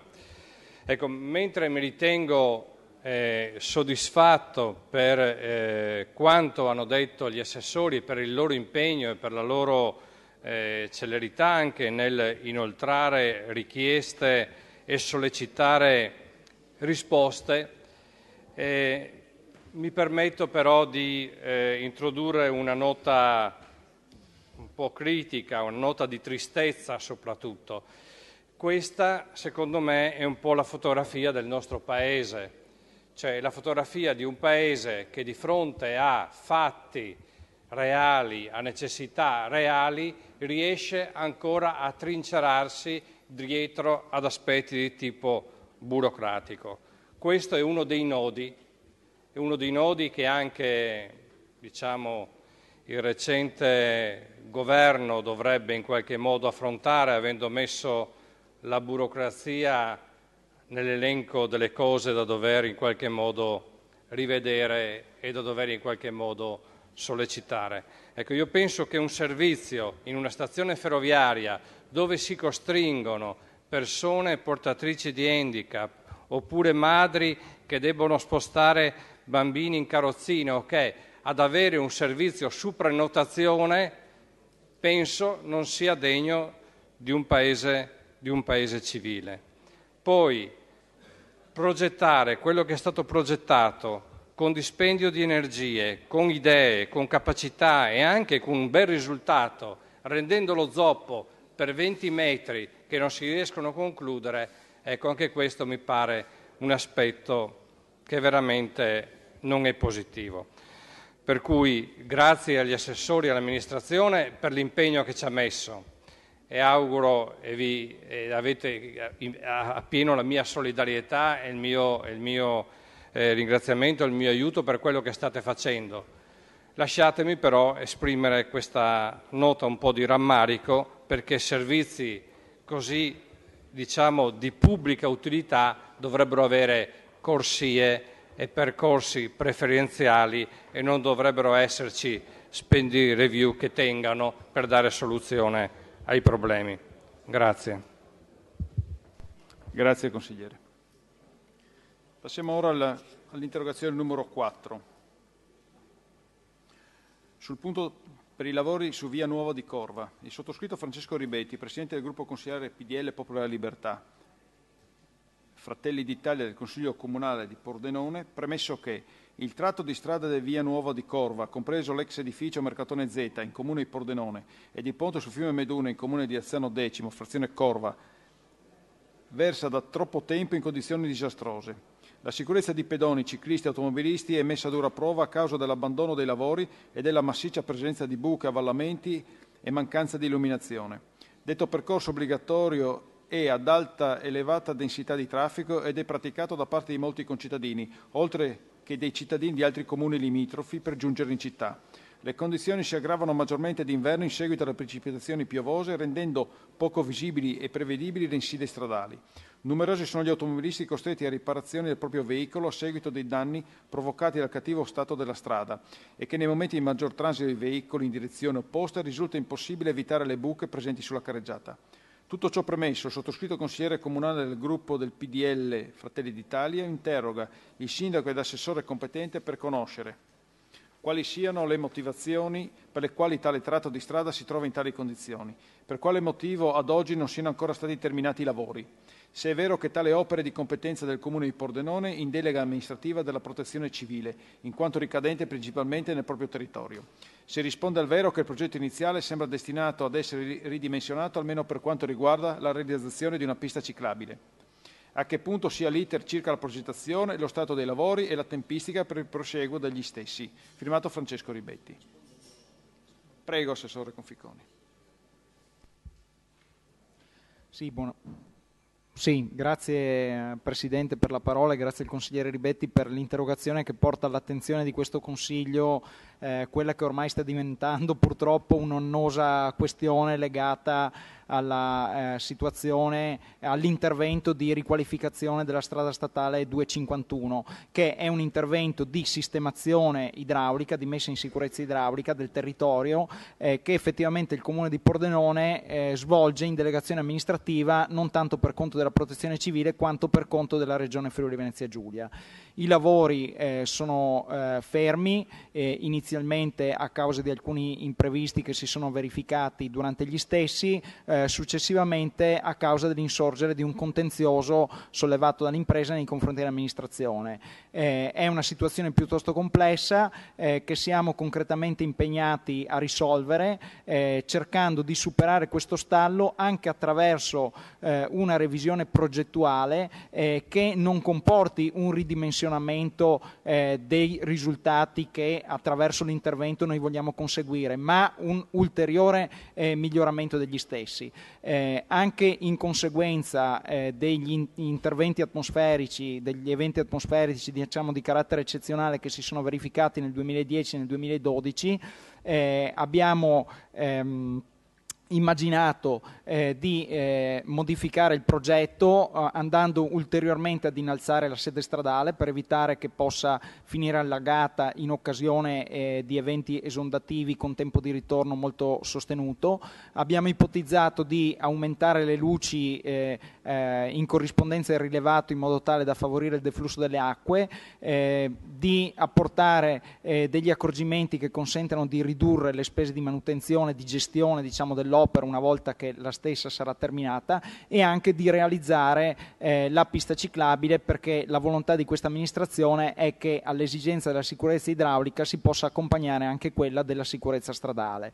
Eh, abbiamo elaborato uno studio di fattibilità eh, supportando queste eh, scelte progettuali con adeguate motivazioni e lo abbiamo presentato eh, nei, nelle scorse settimane all'assessore regionale Panontin. Eh, questo studio è stato eh, sostanzialmente accolto anche dai tecnici della regione, compresi quelli della protezione civile, tant'è che l'assessore Panontin eh, ha inviato nei giorni scorsi una lettera al comune di Pordenone in cui ha con una promessa di finanziamento, di un finanziamento aggiuntivo di 1.600.000 euro eh, per il quale la giunta regionale ha già fatto uno stanziamento il 31 di gennaio, quindi manca solo la firma del decreto, diciamo, eh, che eh, consentono di, diciamo, di ehm, effettuare questi interventi migliorativi. Quindi eh, proprio venerdì scorso con una delibera di giunta siamo andati a modificare il quadro economico dell'opera per poter riprendere capacità di spesa. Andremo eh, adesso in questo momento a lavorare su un doppio binario. Da un lato a trasformare lo studio di fattibilità in progetto vero e proprio, cosa per la, per il, diciamo, operazione per la quale ci vorrà qualche settimana, si, ipotizziamo due o tre mesi.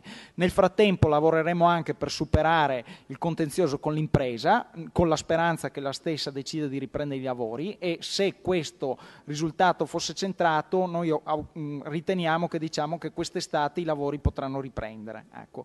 Eh, diversamente, se il contenzioso con l'impresa non potrà essere risolto, dovremo riappaltare l'opera e allora i tempi si allungherebbero. Questo è lo stato dell'arte. Grazie Assessore. Prego consigliere Ribetti.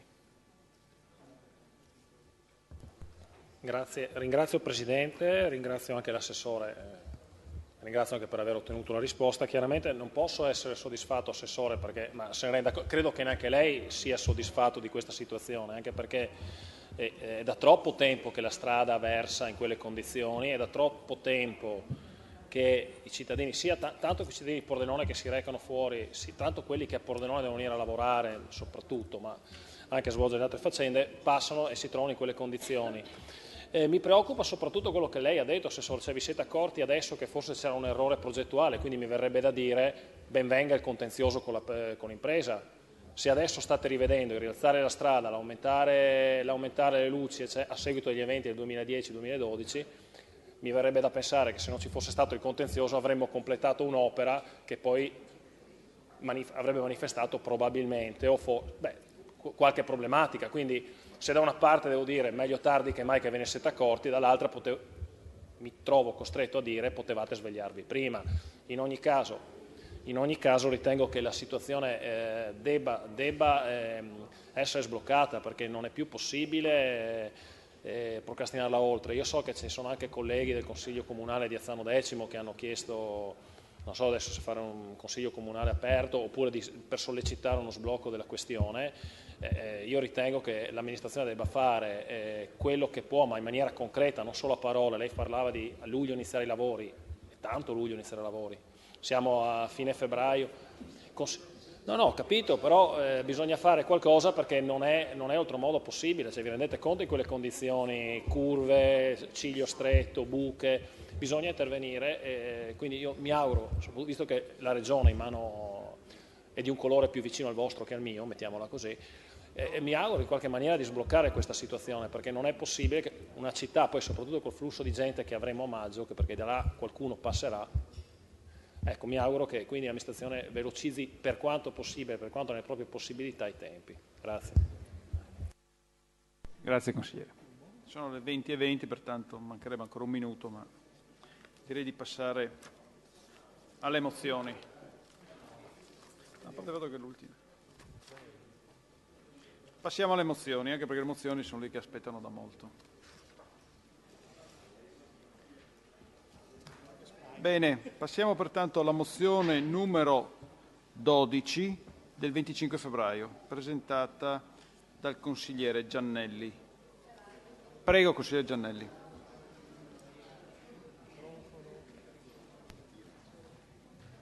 Sì, ho schiacciato. Sì, scusi consigliere, ricordo ancora l'accordo che è intervenuto in sede di commissione presidenti per il quale l'intervento, l'esposizione della mozione dovrebbe durare 10 minuti e gli interventi non più di 5. È un accordo, pertanto, come ho già ripetuto, io non potrò togliere la parola se non se verrà superato il tempo previsto dal regolamento, che sarebbero 15 e 10. Prego. Uh, volevo dire, Presidente, mi scusi, per motivi politici chiedo se possiamo vederla questa mozione la, al prossimo Consiglio Comunale. Non è, eh, io faccio una richiesta. No, non ho capito. Se possiamo vederla al prossimo Consiglio? Sì, vederla, no, scusi, discuterla. È... Discut... No, no, no. Salvo che lei non la ritira e non la mette in coda. No, no, non la ritiro. Se, no, siccome... se vuole metterla in coda la sospende e la mette in coda però. eh se no, no. Vabbè, prego. Ah, non sto molto bene, dovrei uscire. Bravo, per fortuna, cazzo. Allora, visto che siamo stati intempestivi, devo dire che uh, Frank va bene. Cosa succede? Cioè, devo illustrarla io o la illustra lei? Non mi ricordo. Allora, e, fuori. No. Vabbè, ma insomma, cioè, faccia, facciamo così, facciamo così. Siccome siamo tra amici, giusto? E i cittadini ci guardano, i cittadini ci guardano. È evidente che così come il PD non era orientato con tutti i componenti nello stesso modo, così come altri gruppi politici, non voi, il fiume, però entrerò nel merito dell'emendamento, anche a casa nostra chiedo la sospensione di un secondo. Abbiamo due argomenti che sono collegati, quindi o illustra due mozioni o altrimenti, o altrimenti la rimettiamo alla prossima settimana. Scusate, scusate, scusate, scusate ma dico no, no, no, no, no. Scusi, eh, consigliere Dalmas, come il consigliere Giannelli le, av- le, avrà riferito, abbiamo già discusso di tutto questo in sede di commissione capigruppo, pertanto o procediamo così oppure non, non, non, c'è, non c'è alternativa, abbiamo già discusso di questo. Prego. Bebe, insomma, bebe. che la dobbiamo discutere. Ma... Sì, sì. Beh, sa, noi siamo un partito democratico del quale c'è una grande dialettica e anche stasera l'amico Dalmas vedrà che riusciremo a comporre la questione. Allora, io dico questo, è evidente, lo, lo sanno i giornalisti, lo sa anche il Consiglio Comunale, che su questo argomento, cioè la soppressione, soppressione delle, delle circoncisioni, cioè delle delle circoscrizioni, scusate, lapsus calami dicevano i latini, lapsus calami. Consigliere. Allora, allora mi continuano a disturbare il signor giudice, il tempo, cioè signor il Presidente. tempo scorre, perciò... Allora, anche all'interno del mio gruppo non c'è omogeneità di... Sì, ma hai fretta? No, fa... vuoi parlare tu?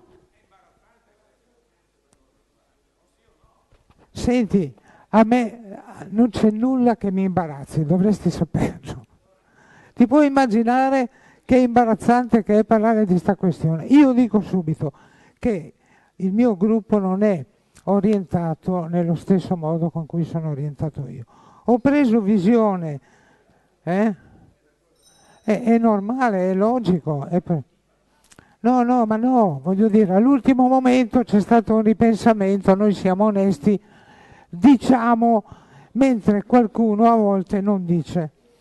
Io devo dire che l'emendamento, che non l'avete ancora? Ah, non è presentato. Quindi, bene. Non l'avete neanche presentato. Per fortuna, perché, perché è un emendamento che bisognerebbe no? stracciarlo. Allora io dico, i cittadini ci guardano, non ci sono soldi, ma insomma mi fate parlare, non ho più la voce di una volta, sono un povero vecchietto, sono costretto ogni tanto a dire qualche parolaccia per ottenere, ottenere l'attenzione ammettete che, che non so, io bevendo rovesci, rovesci il bicchiere d'acqua addosso ad Almas. Allora, vedete che sto portando avanti? Mi fate parlare o no? Signor Presidente. Scusa, fate parlare il consigliere. Così tutte queste interruzioni? Scusi, eh, consigliere, parli. Mi, mi, darà un po' di recupero Prego. almeno. No, recupero no. Eh. Allora, la gente ci guarda, la gente aspetta, si aspetta la diminuzione dell'apparato pubblico. Per apparato pubblico intende tutto. La gente si aspetta che eliminino le province, la gente si aspetta che il Senato non esista più. Gente, perché non basta cazzo? La gente si aspetta che i parlamentari della regione siano di meno, la gente vorrebbe che anche i consiglieri comunali fossero di meno. Perché non è giusto che l'apparato dello Stato sia... Ma non funziona. Sentite? Ecco. A questo proposito io credo che si aspetti l'eliminazione dei quartieri. E spero che durante il dibattito, spero per chi invece li vuole mantenere, emergano delle reali motivazioni, dei motivi reali, consistenti, per i quali dovrebbe rimanere in piedi una struttura che non serve a niente, che viene brutalmente castigata dal Consiglio Comunale e dalla maggioranza, io mi rendo conto che sono in qualche modo un bacino di voti. Credo che sia anche giusto, giusto tenerle in piedi fino alla fine del mandato, cioè a scadenza naturale, però vi rendete conto che sono paragonate all'assemblea di condominio, cioè non servono a nulla, costano. Va bene. Probabilmente non costano la cifra che ho indicato io. Anzi, alla fine poi, se noi pensiamo anche all'assessorato di riferimento, il costo c'è, perché l'assessorato del decentramento è direttamente legato alle circoscrizioni, se no non ci sarebbe. Quindi, non tanto il, il costo, che per quanto non sia un costo esorbitante, comunque ha una sua importanza. Mi ricordo che insomma,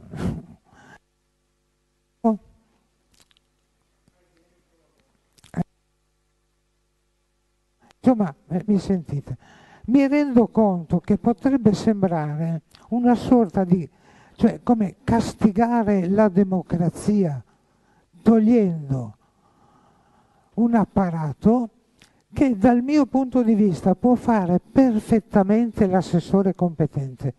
Cioè se c'è un buco davanti a casa vostra, così come andate in quartiere e dite guarda che lì bisogna mettere a posto questo, potete andare dall'assessore competente, il cittadino fa più bella figura andare dall'assessore competente e chiedere che sistemi quello che è.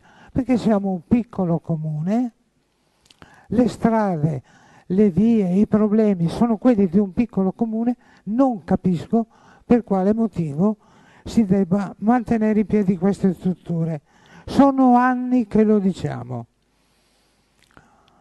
Eh, il fatto poi di dire che il quartiere potrebbe avere importanza se fosse più ascoltato dal comune, se fosse, avesse poteri deliberanti oppure avesse poteri di spesa. È una cosa ridicola, perché in un comune come Pordenone il quartiere può essere tranquillamente le funzioni del quartiere esercitate dall'assessore competente. Se, dico se, le, i punti di vista, le aspettative, le problematiche proprio della, del, del, quartiere, cioè degli abitanti che vivono quella zona, non so, faccio per dire, l'assessore ai lavori pubblici non abita in centro, quindi le problematiche del centro devono essere riportate. Vabbè, vorrà dire che l'assessore nominerà una piccola commissione fatta di due elementi che vivono in quella zona per avere un ascolto più vicino ai problemi. Però non nascondetevi dietro al dito della rappresentatività. Signori, tutte cazzate. La gente è stufa di vedere apparati che costano, certo non costano come la Camera dei Deputati, però insomma che costano. La gente non ha più soldi, la gente non ha più speranza, in Italia non c'è, voi avete sentito prima il sindaco sull'Electrolux, io continuo a dire che purtroppo sindaco, lei è bravissimo, ma è finita e l'Italia sta finendo. Sono i corsi e i ricorsi del Vidico, continuo a dirlo, è la caduta dell'impero romano. Stavamo benissimo, adesso è un disastro. Quindi anche questo dà l'indicazione precisa di una volontà politica che è quella di sfrondare, eliminare, rendere le cose più semplici. Ma ditemi voi perché io devo andare a parlare di un problema che ho nel mio quartiere ad un'assemblea quando potrei andare dall'assessore, busso alla porta, assessore, ci sono le buche in viale Grigoletti. Sono un bacino di voti, sono un bacino di voti, questo lo capisco, lo sappiamo tutti, a me non interessa e non credo che sia questo il momento di ritornare su una vecchia questione politica, che è quella che i quartieri servivano un po' per distribuire chi non era passato, chi aveva voti all'interno o le teste all'interno dei partiti. Voi sapete che io per fortuna partito non ho mai preso nulla e quindi parlo liberamente. È vero che all'interno del mio partito ci sono posizioni diverse, io le rispetto, mi avevano chiesto un po' di tempo, lo volevo dare così come l'ho dato al PD, che aspetta da tempo, mi dispiace, non l'ho avuto, ma credo che se anche all'interno di Forza Italia due componenti del gruppo la vedono diversamente, benissimo, è una cosa logica, anzi nel dibattito spero di sentire qualcosa che mi convinca. Vi dico solo un'ultima cosa e ho finito. Il grande architetto Norman Foster, al grande architetto Norman Foster fu dato l'incarico di rimettere a posto, sistemare Trafalgar Square, che è un bellissimo posto a Londra. Norman Foster, abituato a fare grandi opere, uno dei top five, i cinque architetti più bravi, più ricchi e più famosi del mondo, cominciò a lavorare su questa piazza e arrivò il quartiere che portò addirittura tra i mille problemi per rimettere un po' a posto Trafalgar Square, addirittura le associazioni e le associazioni portarono le associazioni delle associazioni quartiere fu l'elemento disastroso in base al quale eh, Trafalgar Square non è ancora sistemato. Questo è sintomatico per dirvi che ormai non esiste funzione pubblica che non sia un rallentamento all'economia, perché siamo ammalati di troppa democrazia. Io spero che voi lo capiate, siate del mio punto di vista eliminiate i quartieri a far data dalla scadenza naturale. Questa, eh, questa, dice, questo emendamento che farà il PD e il fiume lo trovo intelligente e giusto sul fatto di vedere il quartiere alla sua eh, scadenza naturale. Non trovo, anticipo quello che vi diranno, non trovo elegante quello di dire aprire a un'altra forma di che se non è il quartiere si, chiama, si chiamerà aggregazione di cittadini oppure se non si chiamerà aggregazione di cittadini si chiamerà qualcos'altro.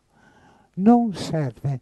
Siamo una piccola città, abbiamo dei gentleman e delle signore come assessori pronti, sempre aperti, qualsiasi tipo di nostra abbiamo delle strutture pubbliche che funzionano benissimo.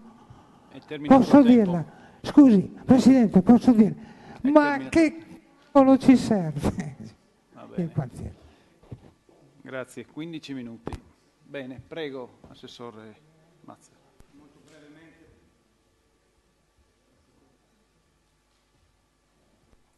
Ecco, grazie Presidente, molto brevemente. Eh, proviamo ad affrontarla come un ragionamento su noi stessi. Proviamo a capire, ma serve un altro livello istituzionale tra la comunità e l'assemblea e questa assemblea? O non ce n'è bisogno? Perché la domanda che dobbiamo farci è questa. Di cosa abbiamo bisogno? Eh, proprio su quello che diceva il consigliere Giannelli prima. Abbiamo anche nuovi mezzi di comunicazione che ci permettono di stare a contatto col cittadino in maniera diversa da un tempo. Io vi ricordo soltanto le segnalazioni online che abbiamo, il sito, no? ci permette di fare una segnalazione via mail, di avere la risposta immediata, ti dicono chi ha preso in carico la pratica, quando intervengono, cioè, forse noi dobbiamo ripensare a un livello che si occupi di qualcosa di diverso rispetto alle pro- pro- problematicità di un tempo. Eh, perché probabilmente le esigenze della comunità sono anche cambiate. Adesso si sta trattando a livello nazionale del titolo quinto della Costituzione, cioè della, della concorrenza delle competenze fra lo Stato e la Regione, perché cercare di non avere sovrapposizioni di competenze. E volete che noi livelli, facciamo, abbiamo, avessimo dei livelli istituzionali che hanno le medesime competenze, andremo un po' in contraddizione con quello che si sta facendo un po' a livello nazionale. Però se io vi devo dire la verità,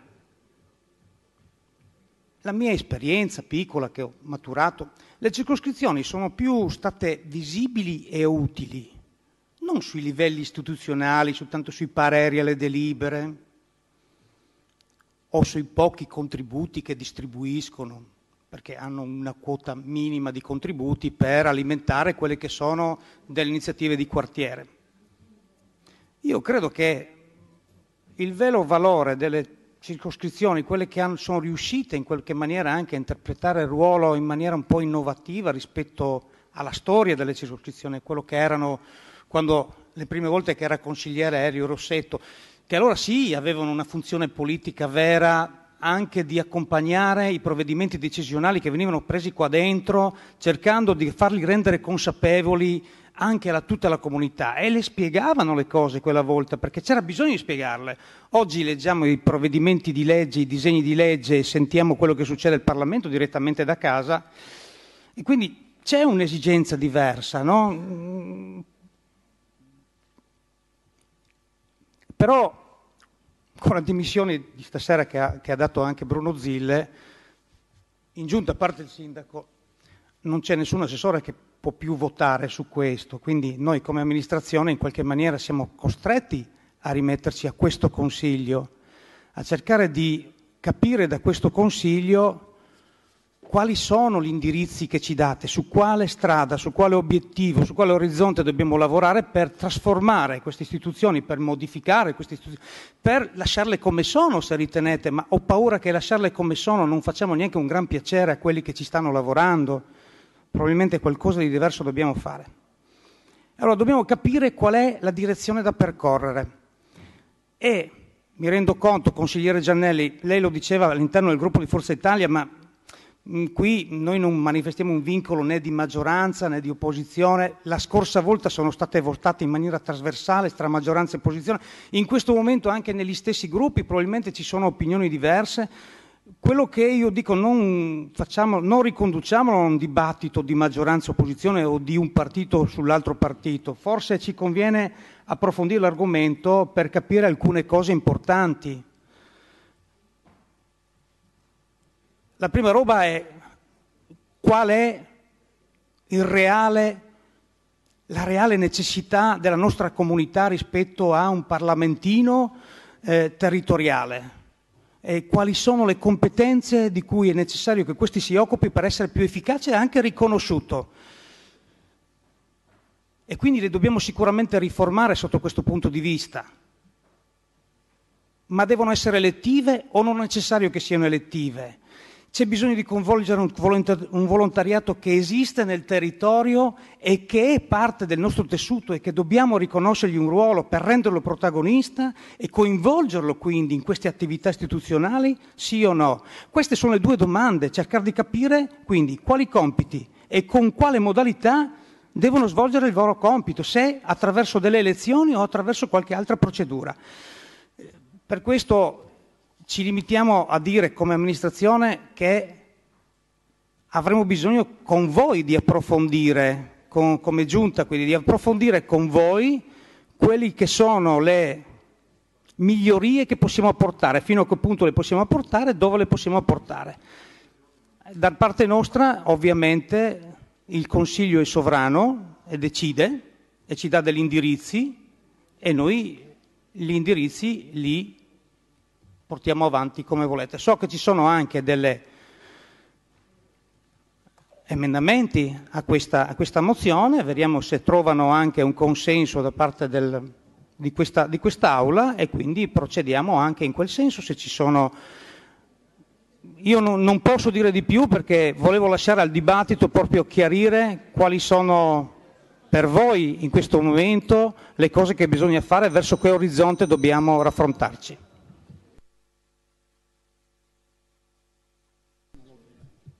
Grazie Assessore. Bene, iniziamo la discussione. Do la parola al consigliere Passoni. Prego, consigliere.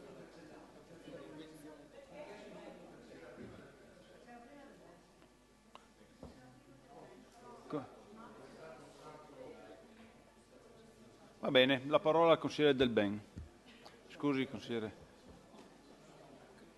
Eh, io uso solo la prima parte dei cinque minuti che abbiamo concordato a disposizione per fare una questione di metodo. Intanto mi meraviglia che l'assessore Master dice non sappiamo dove andare. In realtà, se guardate il vostro programma elettorale, dove volete andare è già scritto. E c'è un emendamento che sta girando, che abbiamo visto, che è perfettamente in linea con quegli indirizzi. Allora, la maggioranza ha un emendamento in serbo e che avrà più voti della maggioranza. È perfettamente in linea con il programma elettorale, le circoscrizioni sono nello statuto del, eh, del Comune di Pordenone, io sono dell'idea che sono non solo un costo ma anche un valore, semplifichiamo tutto, presentate l'emendamento che avete e state tranquilli che la risposta giusta a questo problema potremo darla. Ho fatto il primo minuto ovviamente gli altri quattro minuti se serve dopo, ma penso che da come stanno le cose si possa semplificare molto.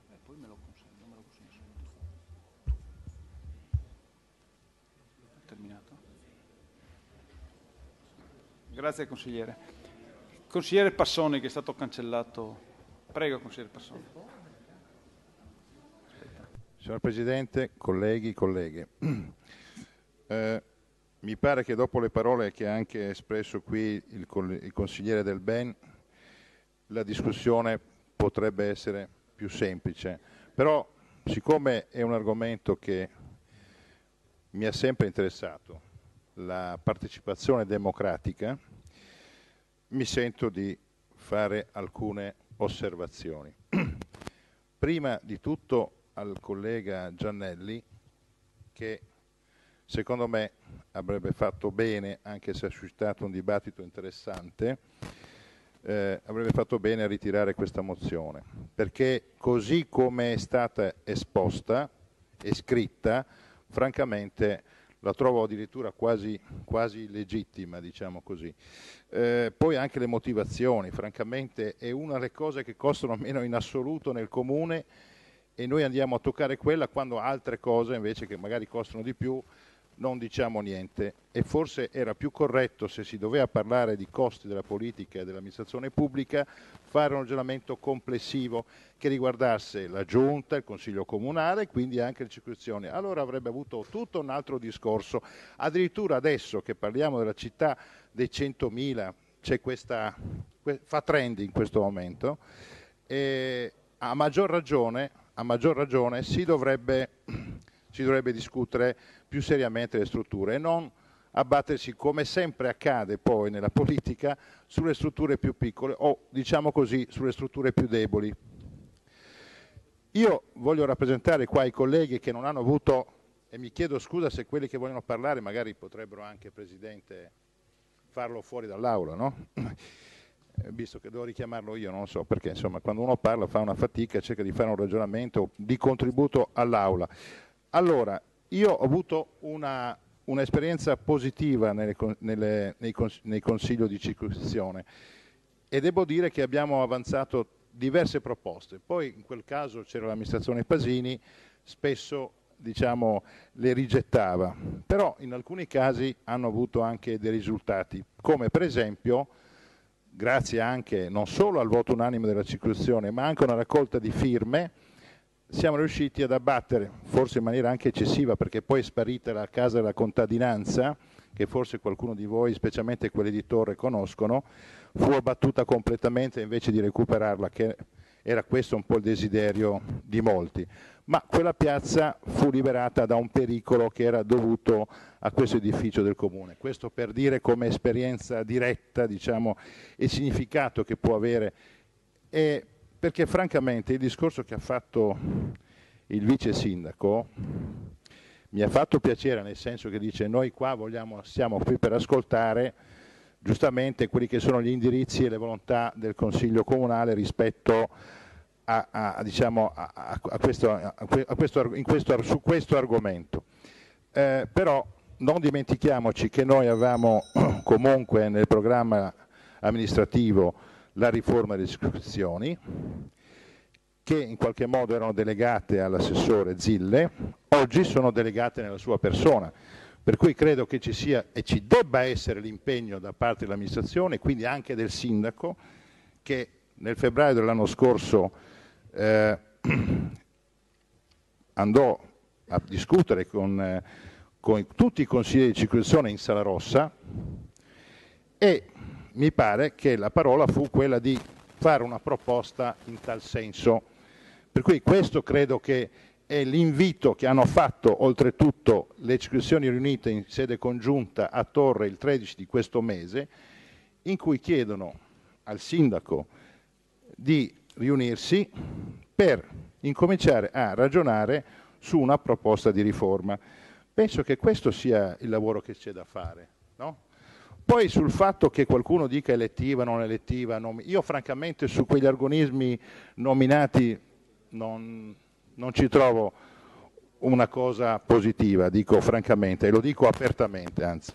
Io penso che il fatto che qualcuno venga eletto è un fatto di democrazia, per cui io penso che per quanto mi riguarda almeno questo sia un aspetto importante sono convinto anche che queste istituzioni, nonostante che non siano definite, che gli stessi di cui fanno parte oggi con onore perché svolgono una funzione di raccolta di problematiche e anche a volte risolvono dei problemi insieme all'amministrazione, non può essere sottovalutato questo aspetto, questo aspetto di filtro che fanno anche per l'amministrazione pubblica. Eh, per cui ritengo che questa discussione vada affrontata tenendo conto che a maggior ragione oggi dove il disagio è aumentato e la crisi avanza, molte situazioni vengono affrontate in primis dal Presidente della, della circoscrizione o da alcuni consiglieri più sensibili sempre delle circoscrizioni. Io credo che quindi in questo senso svolgono nel territorio una funzione in qualche modo rappresentativa e che dia aiuto all'amministrazione, non al contrario come qualcuno e come dice nelle premesse l'amico Giannelli, per cui prima lo invitavo a ritirarla, perché secondo me il fatto di doverle, come lui chiede, di cancellarle, trovo che sia una proposta assolutamente sbagliata. Per cui, visto che il mio gruppo ha preparato un emendamento che va in questa direzione, quindi della riforma delle circoscrizioni, perché non, non, dimentico, non dimentico, che, che tra l'altro, eh, scusate, eh, penso che eh, su questo dobbiamo ragionare, tenendo però presente l'invito, e io questo ve lo consegnerò al sindaco, all'assessore competente e al Presidente del Consiglio, quello che è stato il documento approvato all'unanimità di tutte le iscrizioni il, il 13 di febbraio, giovedì 13 febbraio di questo mese, perché questi giustamente chiedono una risposta al Comune, all'assessore competente, alla Commissione Statuto, per cominciare un lavoro da qui alla fine del nostro mandato, proprio per dare come dire, una risposta corretta al territorio e quindi alla nostra amministrazione comunale.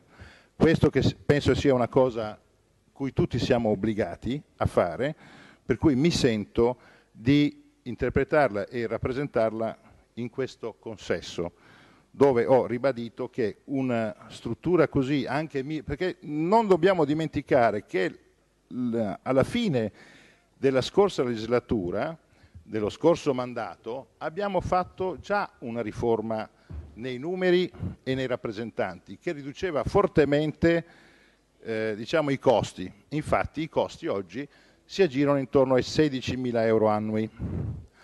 Allora, rispetto a questo costo e rispetto al lavoro che fanno quotidianamente questi consiglieri, io penso che sia un errore cancellarle e quindi il nostro impegno a cominciare dal sindaco e dall'assessore competente insieme ai presidenti dei consigli istituzionali e insieme alla commissione statuto di questo comune sia nostro dovere riformarle cercando di individuare i compiti che penso siano anche semplici, perché il loro compito principale è quello di rappresentare le situazioni territoriali che loro rappresentano, le situazioni territoriali. Per cui questo è l'invito e penso che la, l'emendamento che verrà presentato dal mio capogruppo, penso, eh, vada in questa direzione. Grazie. Tu rappresenti te stesso. Grazie consigliere. Consigliere De Bortoli, prego. Ma, Presidente, Sindaco, Giunta e colleghi consiglieri, ho l'impressione che qui questa sera pochi consiglieri, pochi, vadano nelle sedi circoscrizionali quando sono le, le, le associazioni, perché non sanno molto bene quello che fanno le circoscrizioni.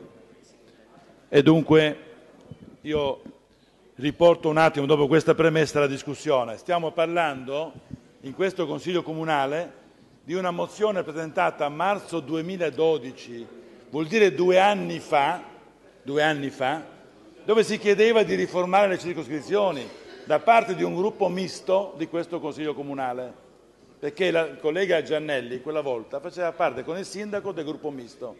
Dunque portiamo le cose nella discussione come vanno portate. Questa è la mozione che stiamo discutendo stasera. Dunque non si devono sentire in difficoltà i consiglieri che hanno fatto qualcosa due anni fa e oggi pensano che sono nell'errore, perché così non è. Allora, è vero che stiamo vivendo un momento dove si fanno i governi senza mai andare a votare, infatti già tre, alla faccia della democrazia di questo Paese, alla faccia della democrazia di questo Paese. È vero che cerchiamo di riformare un Senato creando un senatuncolo di compositi personaggi che costeranno anche quelli e vedremo cosa faranno. È vero che vogliamo la provincia, però poi faremo i consorsi dei comuni, anche quelli con dei costi evidentemente. È vero anche che abbiamo assessori che non prendevano il gettone del Consiglio Comunale perché erano assessori, ma poi si dimettono per dare un gettone del consigliere comunale giustamente a un altro consigliere che entra alla faccia del risparmio su questo. Assessori eletti dal popolo si dimettono prendendo una prebenda come assessori, facendo entrare un consigliere comunale nuovo, il, il primo dei non eletti, che prenderà invece un gettone del Consiglio Comunale che se questo Consiglio Comunale venisse considerato come veniva stato una volta, ha anche un suo costo annuale, il gettone del Consiglio Comunale, ma adesso i Consigli Comunali facciamo a lunga gittata, uno ogni mese, due mesi, non, sono, non si lavora più come una volta. E non vorrei che questa scusa che il collega Gianelli tira, che si va dall'assessore, ora vado a immaginarmi se tutti i cittadini di Pordenone che il buco e il semaforo e la luce vanno agli assessori, forse questa giunta aumenterà due assessori nuovi, che hanno un costo triplicato delle circoscrizioni su questo. Allora cerchiamo di capire bene, lasciatemi parlare poi parlate voi, cerchiamo di capire bene cosa fanno le circoscrizioni, anche il consigliere comunale che è entrato questa sera proviene dalle circoscrizioni. Allora si potrebbe così praticamente dire che le circoscrizioni formavano la classe politica di Pordenone, perché tutti i cittadini che volevano iniziare a fare per la propria cittadinanza qualcosa impegnandosi nel territorio si candidavano e andavano alle circoscrizioni. Anche sottoscritto, anche Rossetto nominato, nell'83 entrammo nelle circoscrizioni. E penso che se siamo qua dopo vent'anni in Consiglio Comunale, forse lo dobbiamo anche a questo. 30, sì, 30 anni, in questo, può darsi ci siamo formati abbastanza bene, visto che otteniamo il consenso in modo continuativo. Allora, non è vero che poi questi fanno soltanto il buco, le circoscrizioni sono l'organo più vicino al cittadino, l'organo che organizza anche il territorio circoscrizionale. Non dimenticatevi che tempo addietro dovevamo assegnare il, il vigile di quartiere, dovevamo assegnare una struttura molto importante. Forse oggi, cari colleghi, avremo anche qualche meno furto, meno furti nel territorio, perché questa città non è scevra dal fatto che qui si scorazza continuamente e, se, e mai impuniti si, si, ruba nelle case ogni fine settimana. Forse qualcuno non lo... L'isola pordenonese felice non c'è e se avessimo forse un, un vigile di quartiere con consiglieri come abbiamo si, succederebbe meno questo. Allora questo per dirvi cosa, che in fin di conti si parla non di 170.000 euro di costo, ma di 18.700 euro. Riportiamo le cose dove devono stare. State già riformate le circoscrizioni anni fa, hanno ridotto i consiglieri. Le sedi circoscrizionali, signori, non sono soltanto dei volumi vuoti, magari come i nostri musei, no? che abbiamo a Pordenone, ne abbiamo tanti a Pordenone, siamo una delle città più culturate sul fatto museale d'Italia ormai, ma abbiamo delle strutture dove sono biblioteche, dove si ricevono i cittadini, dove si fa qualcosa Ecco perché dico qualcuno forse non va nelle circoscrizioni a vedere cosa si fa, evidentemente. Non sono dei volumi vuoti dove uno arriva la sera, apre un libro e comincia a parlare con altri cittadini. No, si fanno delle, si fanno delle cose in, quelle, in quei volumi lì, importanti per il cittadino. E soprattutto è importante anche perché ormai è uno dei pochi organi che viene eletto e votato dai cittadini con nome e cognome alcune volte. Dunque non dimentichiamolo questo, che non è è, è un esercizio della democrazia importantissimo il consiglio, il consiglio di circoscrizione, che noi vogliamo così dire va bene, cancelliamo e, e mandiamo tutti quanti a casa. No, invece noi abbiamo dei progetti presentati anche nel 2005 come Forza Italia che mi pare approvati anche dai consiglieri, molti consiglieri di circoscrizione attuali, che dice che, son, che, è un bel progetto quello del 2005. Dunque perché non cominciamo a discutere una, come dice la mozione, nella riforma delle circoscrizioni, dove il cittadino esprime il suo desiderio, il suo voto per dire io eh, si è candidato un mio, mio, concittadino, io lo mando in circoscrizione perché mi fido di lui e che lavora. Non, le associazioni hanno altri compiti, perché qua si vuole poi so, sopperire alle, alle circoscrizioni con la, la, la, consulta delle associazioni del, del quartiere non vorrei che con questo passo domani potrebbe diventare che sopprimiamo il Consiglio Comunale perché si potrebbe fare tranquillamente una consulta dell'associazione della città. Perché se questo è il metodo, non capisco perché per le circoscrizioni debba valere e per il Consiglio Comunale no. Anche per il Consiglio Comunale, caro collega, un cittadino può andare dall'assessore e dire quali sono le sue aspettative senza passare dal consigliere senza aspettare che il consigliere parli per lui in questo, eh, parli per lui in questo Consiglio Comunale.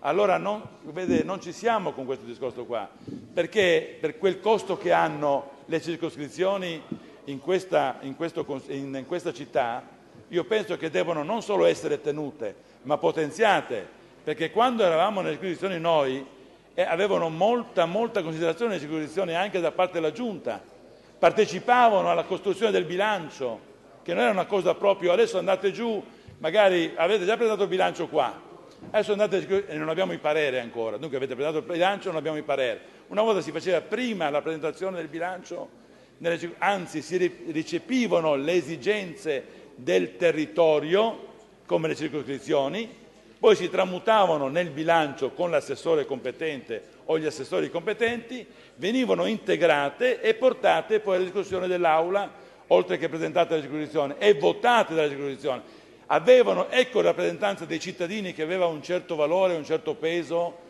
nella, nella, nella partecipazione democratica della gestione della propria città, non l'inverso come si fa adesso.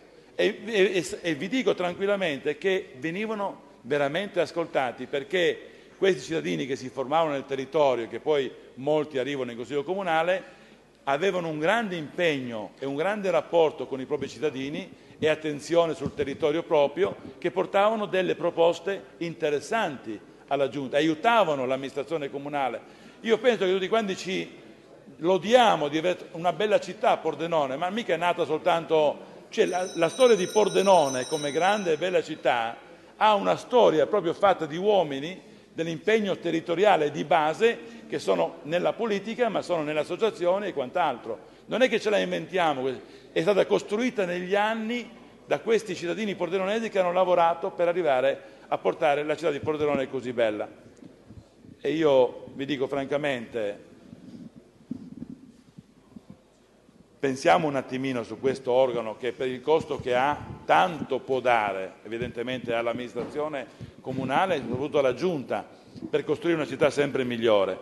Pertanto ci penserei un attimo prima di eh, cassarlo così un momento in cui la gente, come qualcuno ha detto, non è vero, caro collega Giannelli, la gente vorrebbe e deve avere il, il, il risultato che quando vota un proprio cittadino a coprire le cariche a cui viene destinato, questo qua si impegna a lavorare per la gente in modo compiuto e, e, e puntuale, e puntuale. Non, è, non sono risparmi di 18.000 euro che risolve i problemi di Pordenone, e il problema è che quando si va ad occupare alcuni posti bisognerebbe essere impegnati a lavorare per quello a cui si, ci, si, ci, si, pone su questo. E, ma perché noi sì e loro no? Perché noi sì e loro no? Facciamo la consulta delle associazioni e cancelliamo il Consiglio Comunale, che costa molto più della circoscrizione. Questo è il problema, invece no, perché qua siamo noi e dobbiamo esercitare le, come dice, come lei ogni tanto cita i grandi architetti, allora è bene che lei possa qua esercitare queste, queste citazioni. Non è vero. È Diamo scaduto, fiducia a questi nostri tempo, cittadini e manteniamo le circoscrizioni come sono, riformiamole se serve, ma sono sicuramente molto importanti per la crescita della città di Pordenone. Grazie. Grazie consigliere. Consigliere Pedicini, prego. Grazie Presidente. Io sinceramente ho avuto già modo di dirlo e lo ripeto, questa mozione, che a mio avviso non doveva essere presentata come mozione e quindi lo dico al Presidente anche del Consiglio, ma doveva essere al massimo un ordine del giorno, una, un atto di indirizzo, volendo, perché una mozione, anche arrivando a un voto di questa mozione, deve essere chiaro a tutto questo Consiglio che questa mozione non sposta assolutamente nulla perché primo non si può modificare il nostro statuto attraverso una mozione, secondo le, le circoscrizioni che sono organi elettivi di questo Comune rimangono in carica fino alla fine della tornata amministrativa e dovrà essere l'amministrazione comunale eventualmente a modificare il proprio statuto, il proprio regolamento, perché una decisione questo Consiglio comunale l'ha già assunta. La discussione che oggi si ripropone in modo, a mio avviso, protestuoso, ma non voglio usare aggettivi ulteriori, abbiamo già discusso se avere o non avere le circoscrizioni in questa amministrazione. Potevamo tranquillamente decidere di non averle. Ci sono dei comuni tipo Udine che ha deciso di non averne. Oggi, alla luce dei fatti, Udine si rende conto che ha commesso un errore, tant'è vero che stanno pensando, stanno rivedendo questa situazione perché avevano indicato dei consiglieri come punto di riferimento delle circoscrizioni stanno vedendo e stanno organizzando nuove forme di rappresentanza territoriale del comune di Udine. Allora, nella nostra regione, Friuli Venezia Giulia, le altre capoluoghi di provincia le hanno mantenute. Voi sapete che la legge regionale è stata modificata ad hoc, dando facoltà alle amministrazioni comunali di decidere se averle o non averle. Pordenone ha fatto una scelta di averle. Questa maggioranza, lo voglio ricordare a tutta la maggioranza, lo ha inserito nel proprio programma elettorale, perché c'era, perché abbiamo discusso prima, quindi potevate tranquillamente scrivere tutti insieme che non le volevate e quindi una volta, anche se l'aveva deciso la passata tornata amministrativa, potevate scrivere che il vostro sarebbe stato un lavoro per eliminarle. In realtà nei vostri programmi elettorali, vi prego di andarli a vedere, come negli indirizzi programmatici di questa amministrazione, per tenere unita la maggioranza, avete scritto che avevate la massima attenzione verso gli organi di decentramento e li avreste riformati, giusto? Ma riformati perché? Perché questa è una riforma a metà, ma a metà non per colpa delle circoscrizioni o per colpa della minoranza, perché avendo deciso di riformarle nel numero e nella consistenza, da 6 sono passati a 4, da 16 consiglieri sono passati a 10, ed è questo stato approvato come riforma dal nostro sistema, L'impegno era che immediatamente, appena iniziata la tornata amministrativa, bisognava convocare la commissione regolamento e rivedere il regolamento. Invece voi avete lasciato le nuove circoscrizioni col vecchio regolamento, con le vecchie funzioni. Questo è l'errore. Quindi siete venuti meno a un impegno che avevate assunto in campagna elettorale, che era quello di riformarle. Certo che le dovete riformare, non abolirle perché l'avete già deciso. Fermo restando che il Consiglio Comunale è padrone anche di farlo questo, alla fine di questa tornata amministrativa. Ma parliamoci in modo molto chiaro, lo dico a quelli che sono favorevoli o contrari.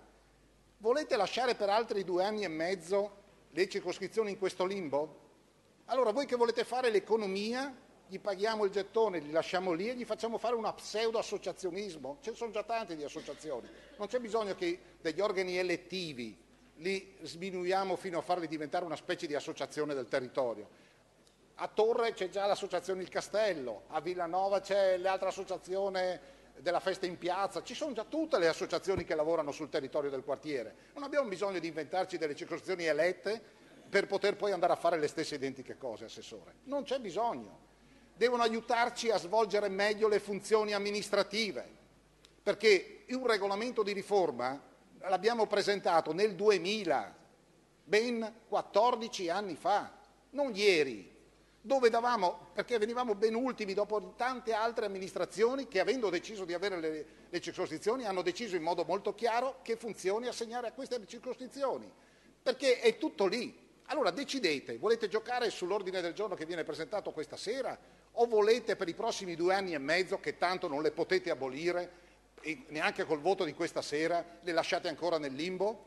Allora non è forse meglio che quell'ordine del giorno che viene presentato a quella modifica dice che domani mattina impegniamo il Presidente del Consiglio a convocare la Commissione Regolamento e finalmente gli diamo una funzione seria, seria col fatto che abbiamo deciso, che questa amministrazione ha deciso che funzionano e ci sono? Allora diamogli delle competenze precise, perché se no siamo noi a sprecare il denaro pubblico, perché se le lasciamo lì per i prossimi due anni e mezzo col vecchio regolamento stiamo buttando i soldi dalla finestra e poi li facciamo giocare, gli facciamo fare pseudo-associazionismo. Non è quello che devono fare. Allora questo Consiglio Comunale che si diletta stasera con questa mozione e con gli emendamenti è in grado di affrontare la cosa una volta per tutte e dire bene, magari fra due anni e mezzo decideremo di abolirle se tutti siamo d'accordo, ma in questi due anni e mezzo vogliamo farli lavorare seriamente? Vogliamo dargli delle funzioni serie visto che ce le abbiamo? O vogliamo far finta di niente, giochiamo stasera e da domani mattina tutto torna come prima?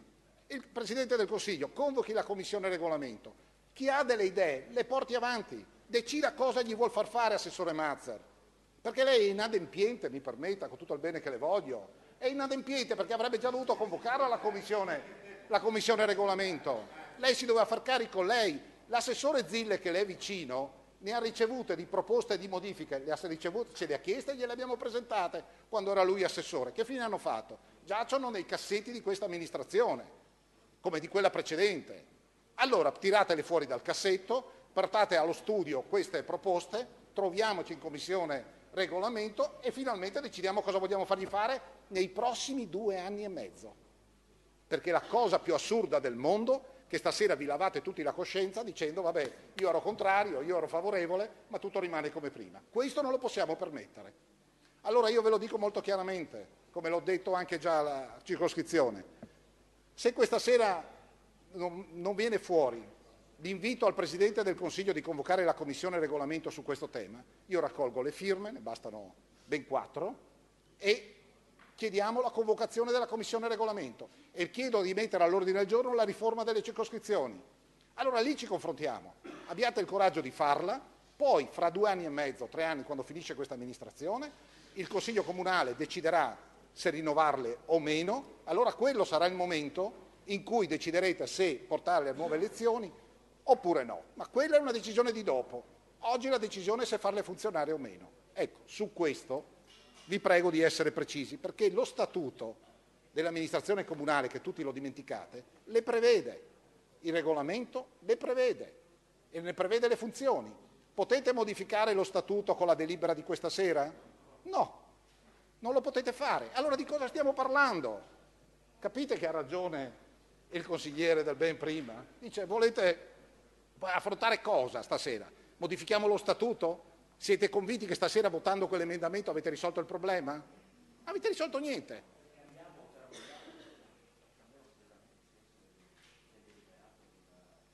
Ma sì, ma non, ma non serve a niente la mozione, la mozione è inutile, è come se un emendamento su una mozione è inutile, è inutile anche l'emendamento.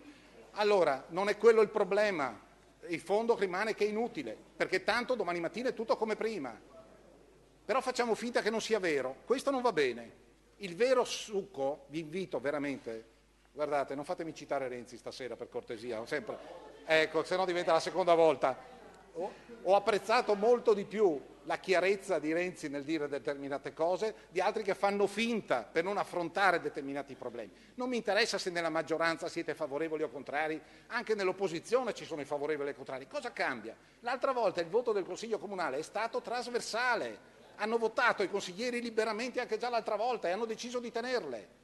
E la prossima volta vedrete che il Consiglio probabilmente deciderà ancora una volta di tenerle, perché esisterà una maggioranza che le fa tenere. Allora, però, visto che le terremo anche la prossima volta, io immagino, perché faccio così una piccola previsione, non voglio arrivare per altri due anni e mezzo, lo ripeto per l'ennesima volta, nello stesso limbo in cui stiamo vivendo oggi.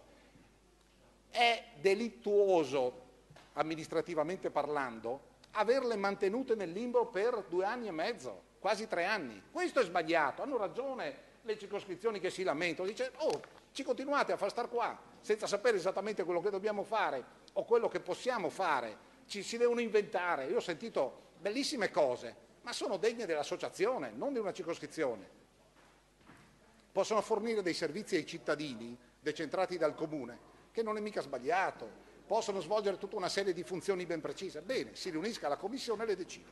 Ecco, allora, sostanzialmente invito i consiglieri di maggioranza a, se è possibile, a integrare quell'ordine del giorno che in parte è condivisibile, a integrarlo con l'impegno dato al Presidente del Consiglio perché convochi la Commissione Regolamento e si proceda in tempi brevi alla modifica del regolamento delle circoscrizioni per assegnargli funzioni e compiti che gli permettano di finire questi due anni e mezzo che tanto non li possiamo eliminare e tanto non le possiamo chiudere, tanto non le possiamo sospendere, ma gli, gli permettiamo in questi due anni e mezzo di svolgere il loro lavoro e di guadagnarsi quei, quella miseria dei 16.000 euro che oggi che valgono meno di un assessore, perché è la metà, molto meno ho finito, la metà di quello ho finito, la metà di quello che guadagna un assessore, per, e con quattro circoscrizioni presenti in quattro, in quattro raggruppamenti di quartieri che possono svolgere una funzione sicuramente utile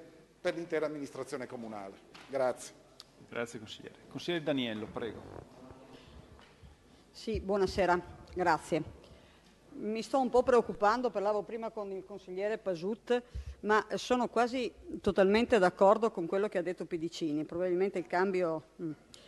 Eh, oppure la stretta di mano di prima Pedicini. Vabbè, eh, voglio partire con recitare una frase che c'è nel programma politico sottoscritto da tutte le forze politiche che governano la città. Frase di Italo Calvino voluta e sottoscritta dal sindaco. di una città non godi di 7 o 77 meraviglie, ma delle risposte che dà alla tua domanda. Oggi, come si vedrà, il Consiglio è spaccato tra chi vuole mantenere le circoscrizioni e coloro che le vogliono chiudere. Il Consiglio di Ragogna, vice direttore del Messaggero, è quello di navigare tra i social network per reperire cosa il cittadino chieda.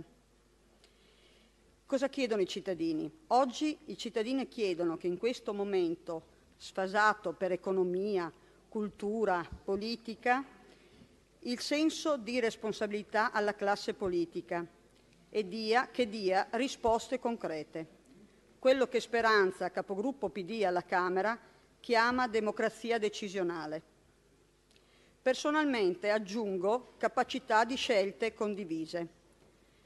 La risposta concreta deve essere politicamente valida e lo è se di largo respiro e ha capacità di guardare oltre.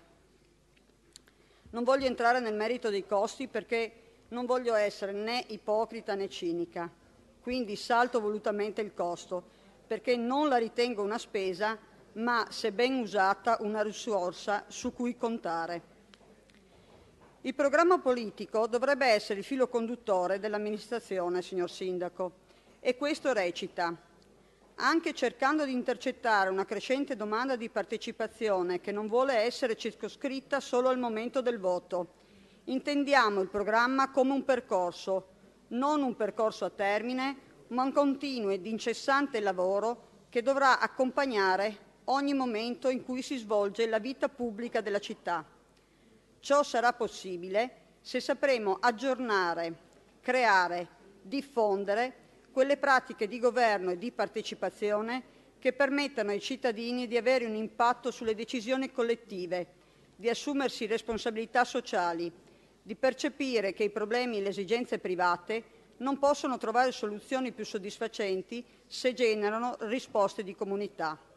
In quest'ottica si vuole reinterpretare e far, evolvere le circoscrizioni. Paolo VI in un'enciclica scrive gli uomini e le famiglie e i diversi gruppi che formano la comunità civile sono consapevoli di non essere in grado, da soli, di costruire una vita capace di rispondere pienamente alle esigenze della natura umana e avvertono la necessità di una comunità più ampia, nella quale tutti rechino quotidianamente il contributo delle proprie capacità, allo scopo di raggiungere sempre meglio il bene comune. Per questo essi devono costituire, secondo vari tipi istituzionali, una comunità politica operosa ed operante. Ma poi se leggiamo il professor Allegretti, un costituzionalista e professore di diritto costituzionale fiorentino, e oggi mi pare che Firenze vada di moda, descrive bene ciò che potremmo coniugare anche noi nel nostro contesto cittadino, sperando di intraprendere la via dell'approssimazione, non certo della precisione assoluta, con una soluzione che faccia contenti gli uni e gli altri. Io non sono per la cancellazione delle circoscrizioni e sono per la elettività delle circoscrizioni. Si potrebbe ripensare le circoscrizioni una con una nuova veste che sta nella mediazione civile tra livello istituzionale e cittadini responsabili, il che significa mettere in moto una macchina di interazione e di interfaccia tra società ed istituzione. Questa mediazione comporta e, e prevede delle procedure in cui vi sia il riconoscimento dell'apporto dei cittadini a certe decisioni e il mettersi in gioco da parte dell'amministrazione. Chiaramente con questo processo dialogico presuppone una fiducia e sulla reale partecipazione dei cittadini che responsabilmente non declinano il dover di scegliere e sull'amministrazione che promuove il coinvolgimento. La democrazia partecipativa è un concetto amplificativo del concetto di democrazia e si manifesta come interazione tra società e istituzione, senza sovrapposizioni di compiti e funzioni. Ridisegnare il ruolo e la funzione della circoscrizione, concepita come un complesso ed articolato modulo e nodulo di partecipazione territoriale, collegata a livello istituzionale con il momento elettivo, espressione di esigenze sociali portate avanti anche da associazioni di categoria, sindacati, associazioni di rappresentanza, anche quelli non titolari di formale cittadinanza, è prendersi la responsabilità di una scelta, se non originale, strategica per la città del domani. Basterebbe tener fede e credere al programma sottoscritto. Grazie.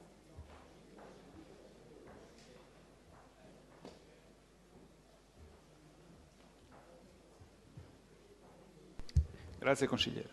Consigliere Bianchini, prego. Sì, grazie. Grazie Presidente, Sindaco, Assessori, Consiglieri. Eh, leggerò non tanto per citare qualcuno, ma perché eh, sono, sono, un po' stanco stasera, quindi... anche perché eh, citerò il fiume ormai eh, negli ultimi 13 anni. La posizione nostra di fatti è chiara ormai da 13 anni, ma eh, ci tocca ribadirla perché non si sa mai che qualcuno magari eh, la possa confondere. Noi pensiamo che noi rappresentanti dei cittadini abbiamo il compito, oltre ad amministrare, di dare input per migliorare la qualità di vita dei nostri concittadini. Di solito utilizziamo molti argomenti per riportare e spiegare la nostra idea. Nel caso della questione cancellazione o meno delle circoscrizioni, non abbiamo bisogno di cercare il modo migliore per riportare le nostre convinzioni a supporto di tale tema, perché i cittadini di Pordenone hanno già colto come la rappresentanza segua oggi canali diversi e vi sia una forte richiesta di semplificazione. Attenzione, non stiamo dicendo che i parlamentini di quartiere, così chiamati, le circoscrizioni, quindi questo organo istituzionale democratico non sia stato significativo nelle decisioni della comunità in passato, ma oggi non se ne fa più uso come in origine, perché si preferisce dialogare direttamente con i consiglieri comunali, con gli assessori e col sindaco stesso, cosa che, come diceva prima l'assessore, una volta il consigliere di circoscrizione serviva per accompagnare le decisioni, per passarle, per spiegarle. Oggi, grazie anche alla informatizzazione dell'informazione, questo viene a cadere. E i cittadini di Pordenone lo stanno già facendo. Basta collegarsi più volte, eh, basta collegarsi al sito del comune eh, sotto l'acronimo SOL eh, ed è facile comunicare con l'amministrazione e chiedere eh, specificatamente una data eh, richiesta piuttosto che eh, una domanda anche generica o prendere appuntamento con eh, sindaco e assessore e credo che come avviene per i consiglieri del fiume, credo che avvenga con tutti i consiglieri qui seduti in, in consiglio comunale, noi riceviamo spesso, se non sempre, richieste da parte del cittadino che poi riportiamo in questa assise. E quindi l'idea è che coloro che oggi fanno parte dei consigli di circoscrizione, anzi noi auspichiamo che prendano il nostro posto qui in Consiglio Comunale. Quindi, se consideriamo la richiesta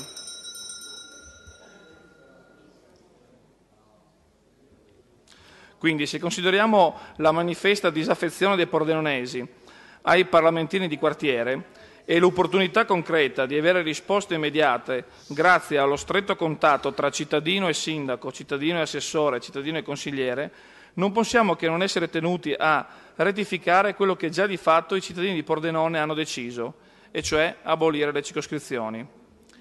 E noi come Fiume non parteciperemo ad alcun tavolo di lavoro per modificare eh, in altro modo le circoscrizioni anche in futuro. È ovvio che quello che io qui sto dicendo è scontato per tutti, però volevamo, volevo ribadirlo perché eh, molte volte si pensa che il nostro silenzio in un argomento piuttosto che in un altro, in questo caso sul tema delle circoscrizioni, poteva essere visto come, eh, beh, per questa volta lasciamo passare. No, noi l'abbiamo detto da 13 anni, questa è la nostra decisione e così andremo avanti. Grazie consigliere. Consigliere Ribetti, prego. Grazie Presidente. Beh, voglio iniziare con una battuta. Allora, eh, direi, direi, che il consigliere Bianchini e tutto, e tutto, il suo gruppo per 13 anni sono stati all'opposizione, in quanto hanno, hanno, amministrato questa città, mi sembra non abbiano fatto nulla per le circoscrizioni, sono... ma mi, mi sembra strano. Comunque, No, no, infatti mai partecipato ma non avevate neanche gli strumenti per fare nulla, eh. avete, avete, avuto dieci anni di sindaco, di sindaco Bolzonello e avete, e avete, firmato un programma elettorale in cui si prevede circoscrizioni, evidentemente, forse, forse direi, Presidente, forse ma perché non lasciatelo, lasciatelo intervenire? non capisco perché dovete fare questi commenti. Poi chi non Ma è intervenuto può intervenire no, successivamente. Io solo perso. Prego, ero, ero convinto forse di essermi perso qualcosa Prego. nelle scorse tornate amministrative. Ma eh, il, il discorso sulle circoscrizioni si presenta particolarmente complesso e al tempo stesso, a mio modo di vedere, particolarmente semplice. Perché l'ha ricordato benissimo prima il collega Giuseppe Pedicini le circoscrizioni sono un argomento di cui abbiamo già parlato. Abbiamo già parlato, sono state già valutate.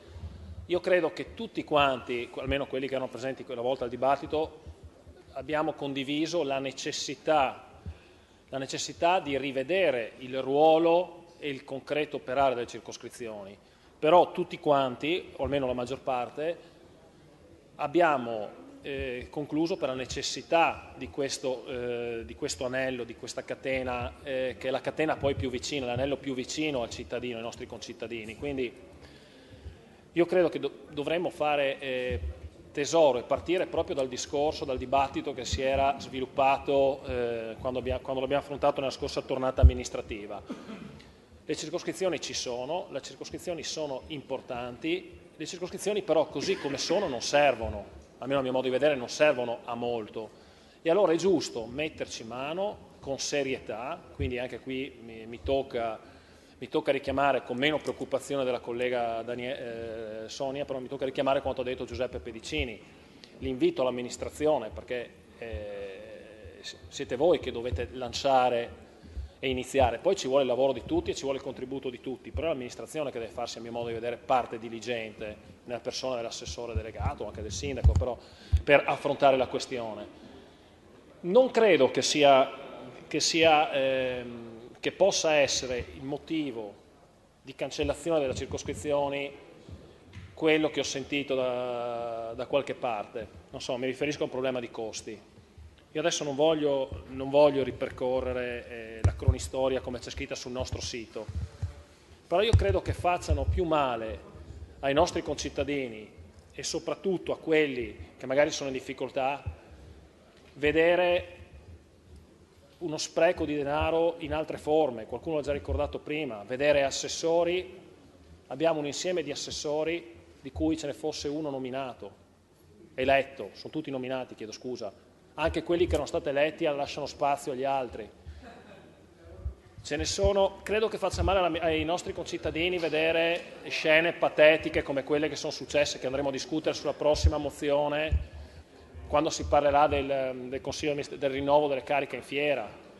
Quelli sono i costi, quelli sono i costi che forse i nostri concittadini non vorrebbero vedere. Non credo i 16.000 euro che ci costano le circoscrizioni dopo che ci abbiamo già messo in mano. Credo che ai nostri concittadini forse faccia più male l'atteggiamento ipocrita di chi eh, adesso si scaglia contro la riduzione dei consiglieri, però ha fatto le barricate per non ridurre a due il numero degli assessori. Ecco, sono tanti, sono tanti i passaggi che forse eh, un'amministrazione seria dovrebbe valutare e non nascondere eh, la questione delle circoscrizioni dietro un, un mero calcolo opportunistico di costi. Io credo e ne sono convinto che la questione delle circoscrizioni poi non possa essere devoluta a un referendum. So che c'è un'altra mozione, forse presentata sempre dal gruppo di Forza Italia, che chiede un referendum. Dei... Credo che quello, quello sarebbe forse un cedere il passo. Se da una parte potrebbe essere vista come uno strumento di democrazia, lo chiediamo ai cittadini, D'altra parte non ritengo che sia un argomento talmente importante, talmente importante, e prego di valutare bene questa parola, talmente importante da cedere, per la quale cedere la parola ai cittadini. Stiamo parlando di uno strumento di democrazia, ripeto, democrazia che deve essere garantita, garantita ai massimi livelli. Le circoscrizioni servono, lo ripeto e vado a concludere perché voglio essere, nonostante in conferenza capigruppo avessi detto che no, invece voglio chiudere i tempi, nonostante, ripeto, sono uno strumento, a mio modo di vedere, imprescindibile, sono anello più vicino alla catena, però così come sono non, eh, non servono molto. Allora diamo, diamo, veramente effettività a quello che abbiamo deciso, investiamo le circoscrizioni come ci chiedono loro, gli stessi consiglieri, diamogli eh, delle, chiamiamole materie, de, rendiamo, facciamo sì che il loro, il loro voto, il loro parere sia effettivo e possa influire perché? Perché ci vengono a dire quello che vogliono i cittadini. Ecco, io ritengo che in questo senso debba essere, l'amministrazione debba farsi parte dirigente e debba cercare di eh, mettersi tutti attorno a un tavolo per dare effettività al ruolo delle circoscrizioni. Grazie. Grazie consigliere. Consigliere Dalmas, prego. Ma devo dire che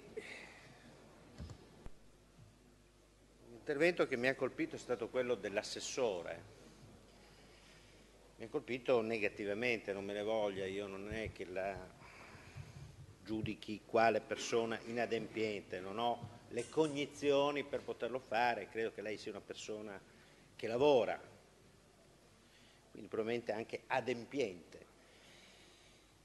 Ma mi ha sorpreso, forse per la brevità del suo intervento, il carattere un po' sommario del giudizio che è stato dato sull'andamento delle commissioni, scusate, delle circoscrizioni.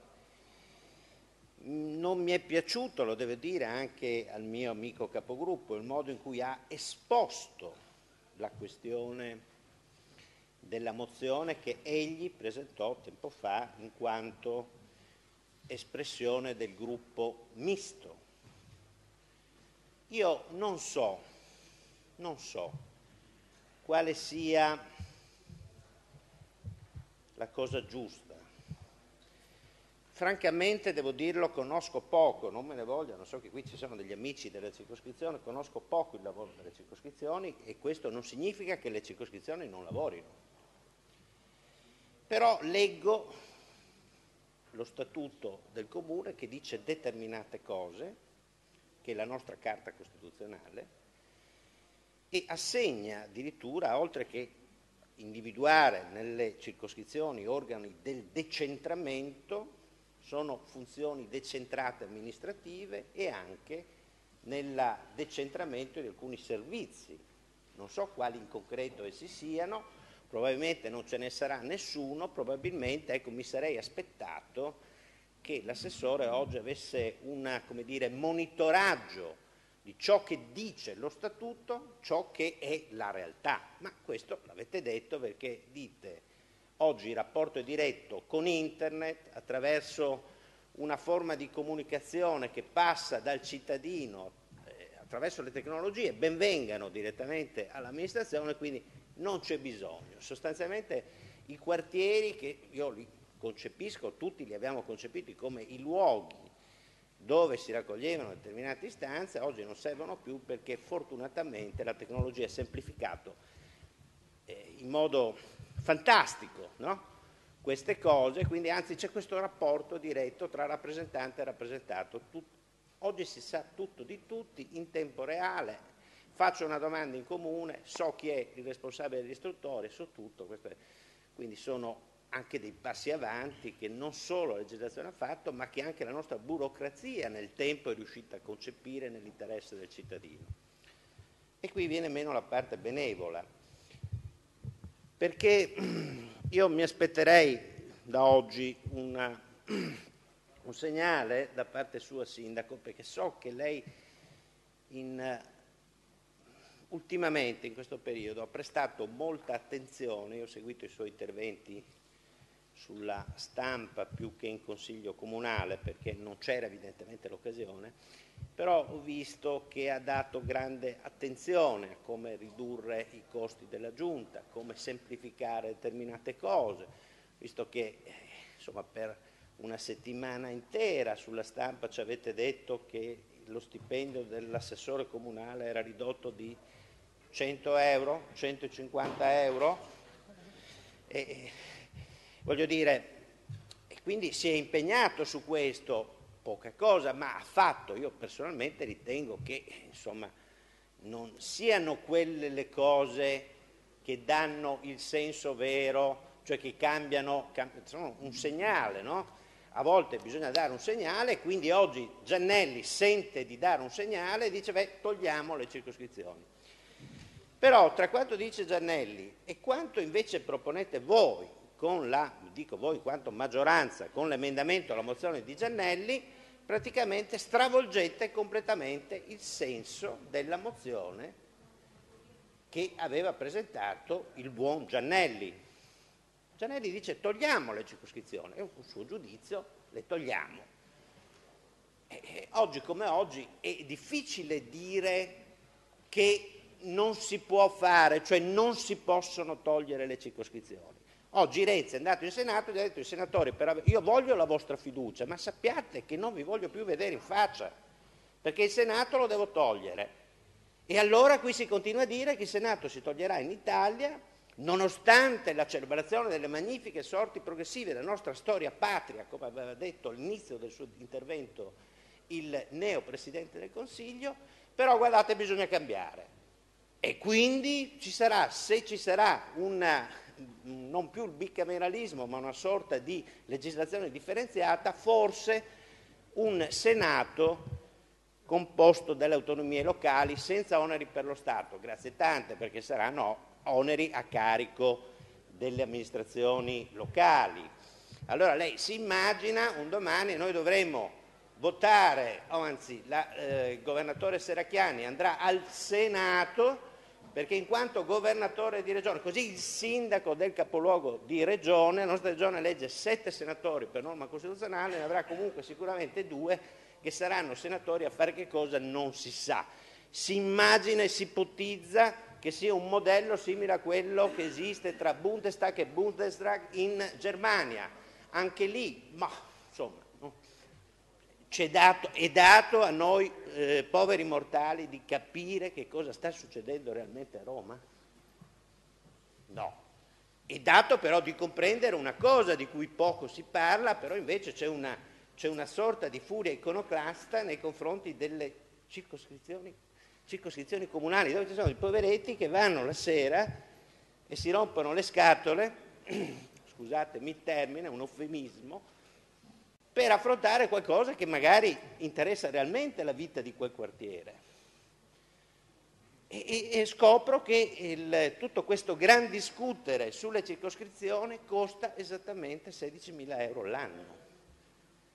Cioè noi stiamo parlando da ore, stiamo parlando da ore di 16.000 euro l'anno e così avremo risolto il problema della, dato un segnale ai cittadini, Franco, volevi dare un segnale ai cittadini, quale migliore occasione? Togliamo le circoscrizioni. Questo è il senso, no? Incominciamo dalle circoscrizioni, quindi le togliamo. Oggi passa sotto silenzio il fatto che eh, l'assessore Zille si dimetta per far entrare un consigliere comunale in più e nessuno dice niente. Non è che il consigliere comunale composti chissà quali costi, chissà quali costi, chissà quali costi. Allora, è come la riforma che si sta ipotizzando delle province, mi dicono fantastica. Sparisce la provincia di Pordenone, su questo vabbè possiamo anche discutere, no? Ma che cosa si provvede al riguardo? Mi pare che la, la costruzione del sistema ordinamentale ipotizzato, anzi mi consenta divisato, è alquanto straordinaria cioè non solo avremo altro che super sindaco, avremo un altro presidente di provincia non elettivo con altri due organi a fianco. Cioè, allora, qui è vero che l'Italia nella fantasia costituzionale, nelle leggi elettorali, ha una capacità straordinaria di inventarsi sempre qualcosa. Ma mi pare che il tema decidendum sia poco. E non è perché poco allora togliamo le circoscrizioni.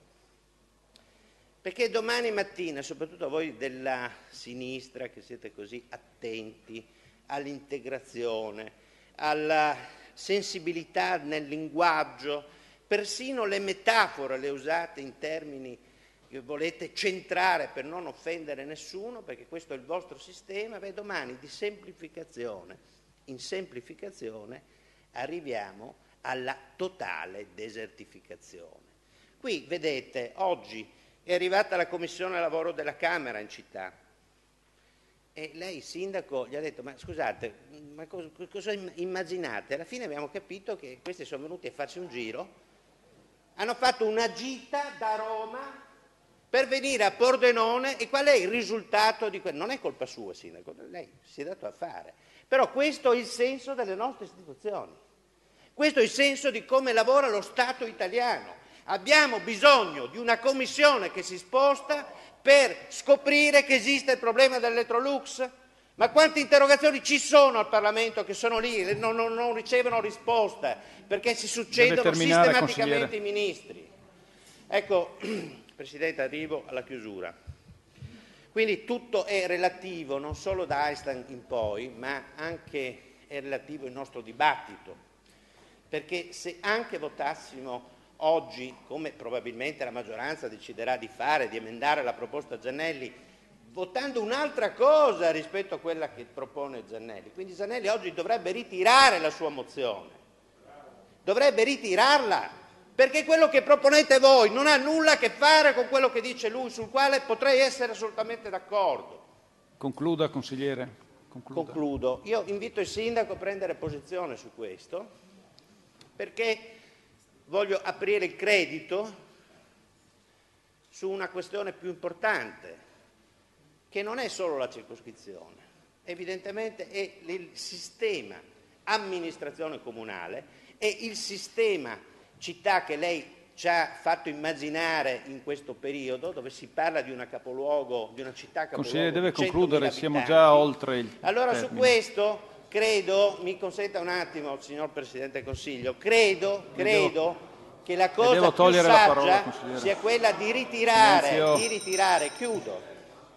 Invito il consigliere Giannelli a ritirare la mozione.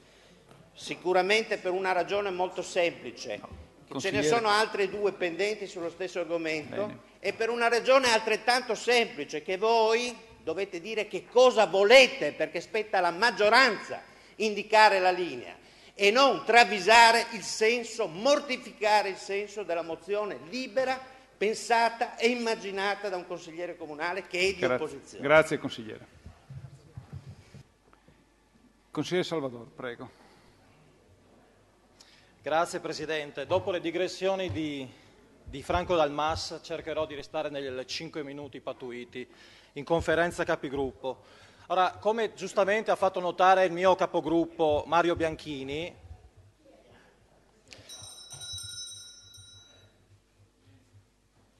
recupero come nel calcio. Eh. Come giustamente faceva notare il mio capogruppo Mario Bianchini, eh, sono da, insomma, la posizione del fiume è ormai nota da parecchi anni.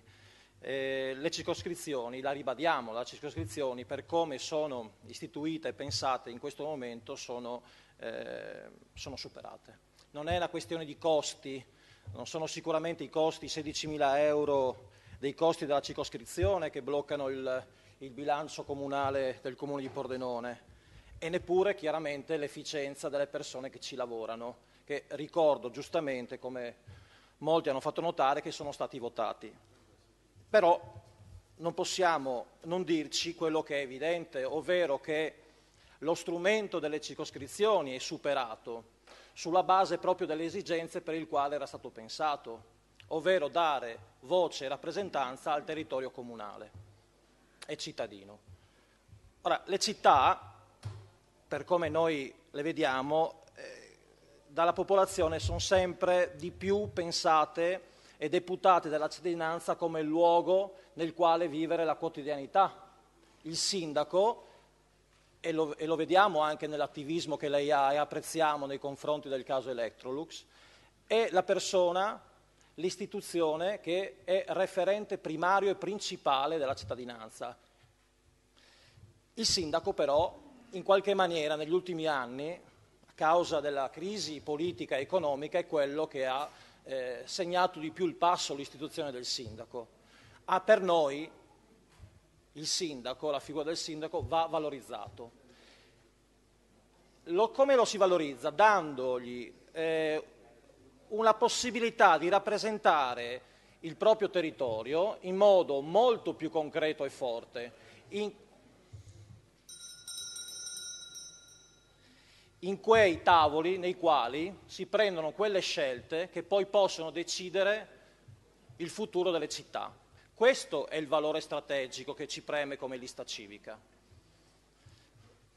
In questi giorni, Assessore Toffolo, stiamo discutendo, stiamo guardando, stiamo verificando tutti i processi che porteranno, speriamo, al piano regolatore. Tutte le analisi che sovrasiedono a questo ci hanno detto che la città, la comunità, la città, anzi non la comunità, la città è divisa. Lo si vede urbanisticamente, lo si vede invece a livello socio-economico che è molto unita. La comunità pensa a questo territorio urbano vasto come se fosse un unico organo, lo vive come un unico organo. La politica invece in questo, mi pare, porti un forte ritardo, un forte ritardo negli servizi, un forte ritardo ne, nella, nell'amministrazione. E qui torniamo appunto alle esigenze per le quali erano pensate le circoscrizioni, ovvero dare voce e rappresentanza a un territorio. È, è cambiato il territorio dobbiamo, al quale noi dobbiamo dare voce e rappresentanza. E a questo punto parlare di circoscrizioni per noi risulta quantomeno anacronistico. Per la, lista, per la lista civica, il fiume, il punto programmatico centrale di ogni ragionamento politico sulla città, qualsiasi ragionamento politico sulla città, è quello di, primo, rendere omogeneo questo territorio, secondo, è di valorizzare tutte le identità e le municipalità all'interno di questo territorio. E questo mi, mi onoro di parlare al, per la maggioranza, perché L'intento della nostra maggioranza è quello, ci siamo parlati in, questo, in questi giorni, di presentare nei prossimi consigli comunali un ordine del giorno, quindi noi come lista civica Il Fiume, la lista civica Vivo Pordenone e il Partito Democratico, un ordine del giorno nel quale si chiede al sindaco di impegnarsi a organizzare dei tavoli, un percorso nei quali con gli altri sindaci del territorio urbano pordenonese, quindi i sindaci di Porcia, Pordenons, Roveredo in Piano e San Quirino, di organizzare un percorso che ci porti sì a condividere i servizi, a migliorare i servizi, a ridurre i costi, ma di trovare anche una visione programmatica che ci consenta di organizzare la città nel prossimo futuro. È chiaro che per noi i protagonisti di questo processo sono i sindaci nessuna lista civica, nessun partito, sono i sindaci, i quali, primo, sono quelli che rappresentano le identità all'interno del territorio, secondo, rappresentano tutte le forze politiche all'interno dei consigli comunali. Ed è per questo che noi come maggioranza sì proporremo l'ordine del giorno, ma chiediamo a tutta questa assemblea di condividerlo, perché più siamo, più forte è l'indirizzo che noi daremo al nostro sindaco, che ricordiamo non è solo espressione della maggioranza, ma rappresenta la città intera. Grazie. Grazie consigliere. Consigliere Piccin, prego. Sì, grazie Presidente. Ma eh, passato poco tempo da quando abbiamo parlato in questo Consiglio comunale di questo, di questo argomento e sinceramente, eh, come ha detto già qualcuno prima di me, eh, questo Consiglio Comunale si era già espresso, non mi ricordo bene se per uno o due voti allora si arrivò alla decisione del mantenimento delle circoscrizioni che, dico subito, per coerenza e continuità rispetto a ciò che ho sempre eh, detto e, eh, per ciò che ho votato in questo Consiglio Comunale e anche in Consiglio regionale, perché ricordiamo, insomma, abbiamo eh, a seguito della nostra eh, autonomia e della nostra competenza legislativa in materia, deciso come eh, Regione di Friuli Venezia Giulia di mantenere le circoscrizioni. Eh, allora, pardon, sì, ok, va bene. Allora, fermo restando che eh, mi allineo rispetto, come dicevo, ai ragionamenti che ho già eh, fatto in passato,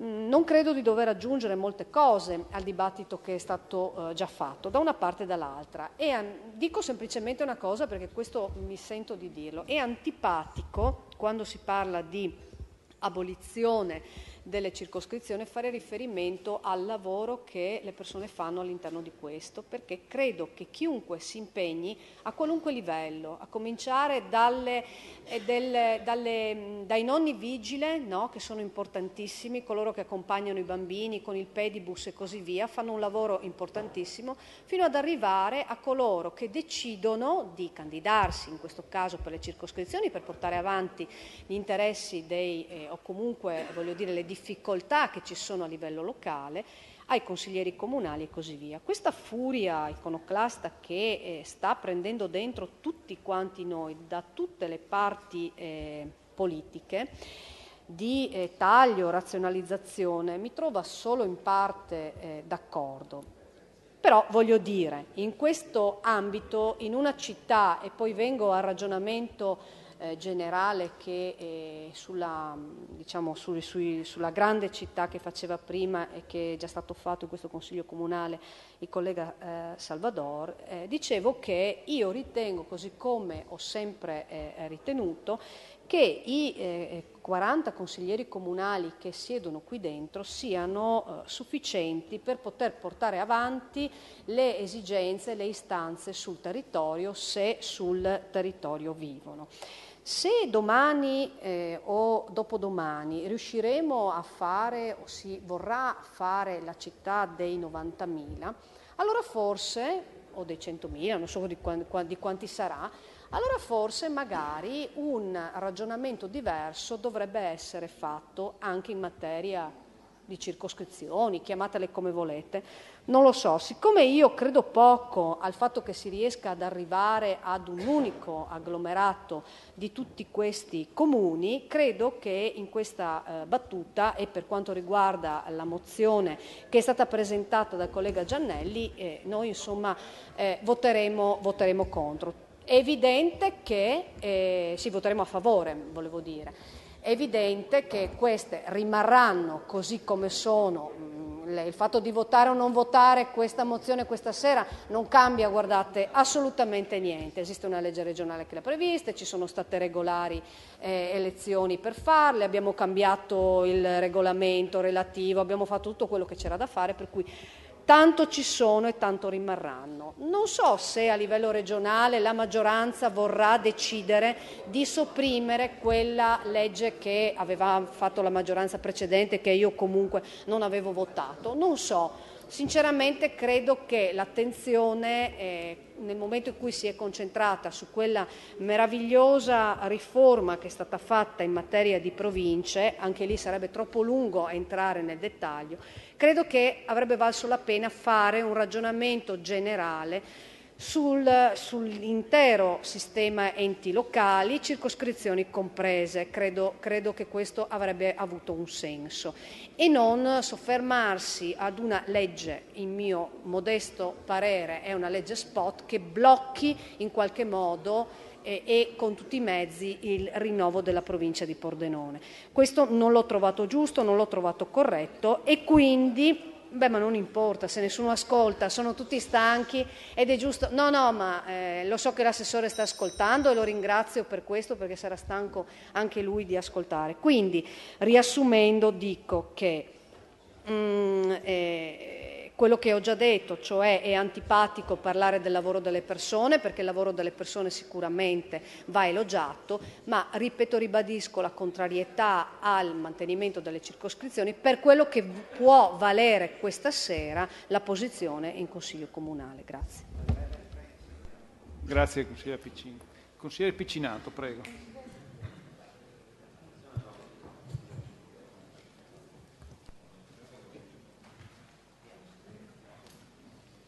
Posso parlare? No, c'è la Oh. mozione d'ordine.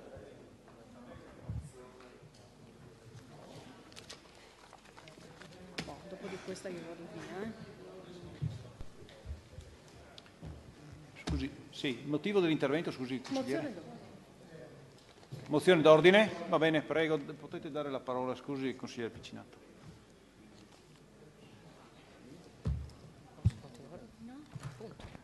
Eh, Presidente, una volta tanto il Consiglio Comunale serve per far maturare o non maturare una questione. La mia mozione, che era chiara, chiarissima e esplicita, ah, prima di continuare voglio dire che io ho un enorme rispetto di quelli che esercitano, hanno esercitato nelle, nelle circoscrizioni, enorme, brava gente, eccetera. Comunque io in questo momento ritiro la mia mozione perché l'operazione che stava per essere fatta l'avrebbe completamente stravolta. Io ho chiesto una cosa, può darsi, può darsi, io la ritiro. E voglio anche dire che non si trattava di 19.000 euro e voglio anche dire, signori cari, che fossero stati anche 1.000 euro mal spesi a chi non riesce ad arrivare a fine del mese. Tuona comunque male.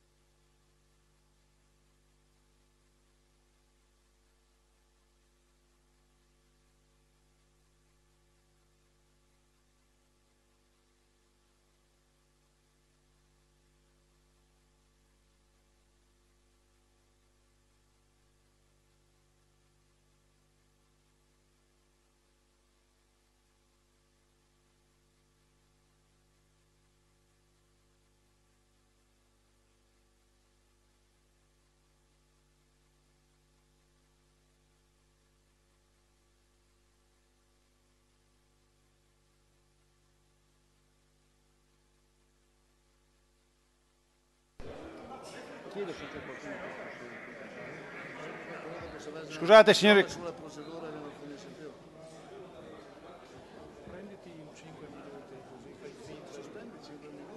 Scusate, sos- sospendiamo, sospendo un attimo, devo, devo consultarmi col segretario per vedere che cosa c'è. Il consiglio non è terminato, ovviamente.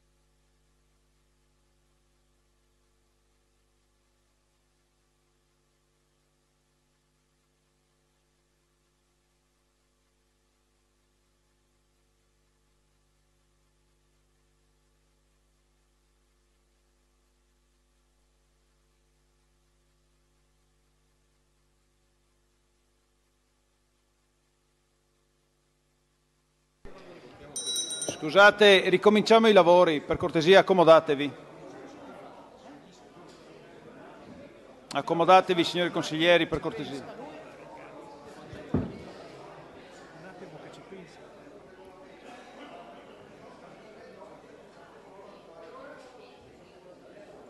Consiglieri, accomodatevi per cortesia.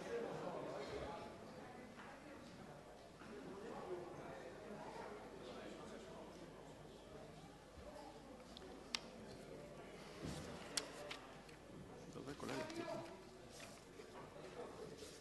No, aspetta, dov'è finita?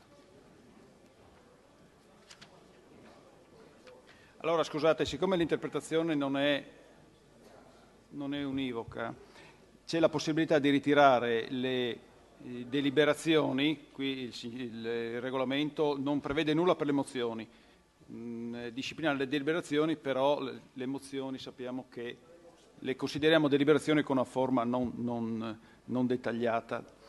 Ecco, per quanto riguarda le deliberazioni possono essere ritirate prima che inizi il passaggio in discussione, ovviamente su richiesta del sindaco, quelle presentate dal sindaco, oppure richiesta unanime dei proponenti.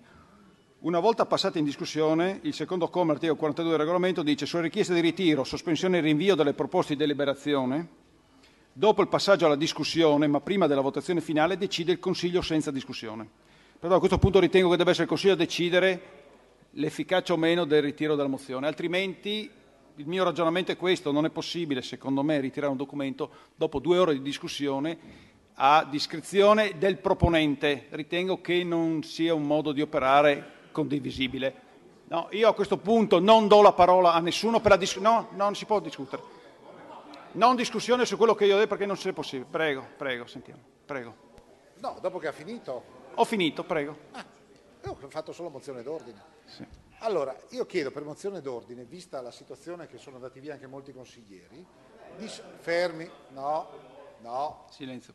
Tutto si può fare. Di sospendere il, Posso fare la mozione d'ordine? Cioè, non posso chiedere di sospendere il Consiglio. Allora è opportuno, poi la riprenderete se lei vuole continuare. Lui ha ritirato la, la mozione. Se voi volete continuare a discutere di questa mozione, non è il caso. Stasera, dopo che sono usciti molti consiglieri, visto anche l'orario, Va bene, ho capito, consigliere Pedicini. Allora, la mozione allora, è, sospendi- allora, per una questione di correttezza anche nei confronti di chi ha lasciato, sospende i lavori e li riprenderà se vuole, lei intende portare avanti quella sua opinione. Ovvio che lui ha ritirato la mozione e quindi stiamo discutendo di un'altra cosa. La, la, la maggioranza può sempre presentarsi tutte le mozioni che vuole, non è mica vietato. Il sì, problema vabbè, di accanirsi sulla Ho capito, è stato, è stato chiaro, consigliere. Capito? Consigliere Pedicini, è stato chiaro. Ritengo però allora, che... se lei vuole andare su quella strada, la mia mozione d'ordine è quella, sospende i lavori. Sì. Adesso, la ragion... prossima volta li riprenderà se vuole. Ho capito. Comunque ragionando a, a voce alta, c'è una, una, richiesta di ritiro della mozione che supera ovviamente la richiesta di sospensione. Perciò dobbiamo prima deliberare sul ritiro della mozione, poi sospendere i lavori, diciamo che rientra sempre nell'ipotesi che vi ho appena letto. Io non posso sospendere i lavori se, eh, se il Consiglio non è d'accordo su questa, su, su questa decisione. Non posso io sospendere i lavori. Posso sospendere i lavori se si arriva alle dieci e mezza perché abbiamo trovato un accordo con delle motivazioni, eh sì, ma con delle motivazioni a mia discrezione. Sì, ho capito, ma non a mia discrezione. Pertanto, signori consiglieri, vi chiedo di votare in...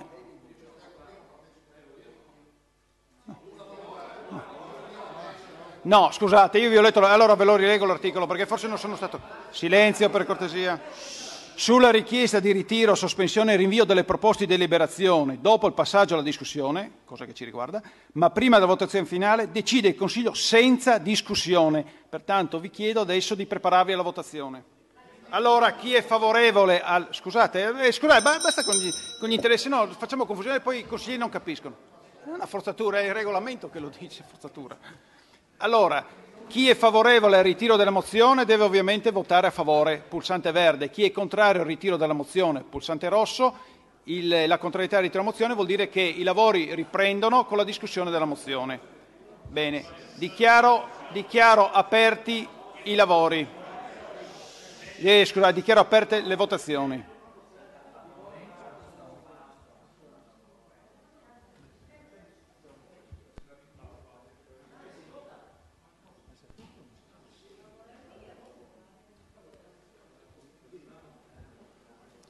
Chiaro chiuse le votazioni. Presenti 35, votanti 34, maran- maggioranza 18, favorevoli 13, contrari 20, astenuti 1. La, la richiesta di eh, ritiro della, della- della, mm, mozione è respinta. Pertanto ricominciamo la discussione.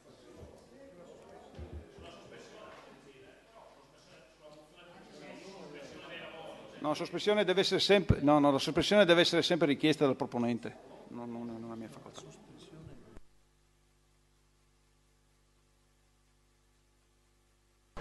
Scusate, non c'è motivo per sospendere i lavori. Prego. C'era il consi- consigliere Piccinato.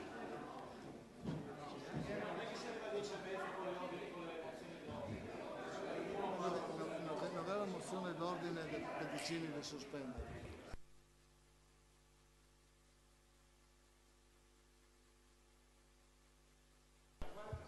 Va bene, allora dobbiamo mettere eh, ai voti anche la mozione d'ordine del consigliere Pedicini sulla sospensione dei lavori del Consiglio.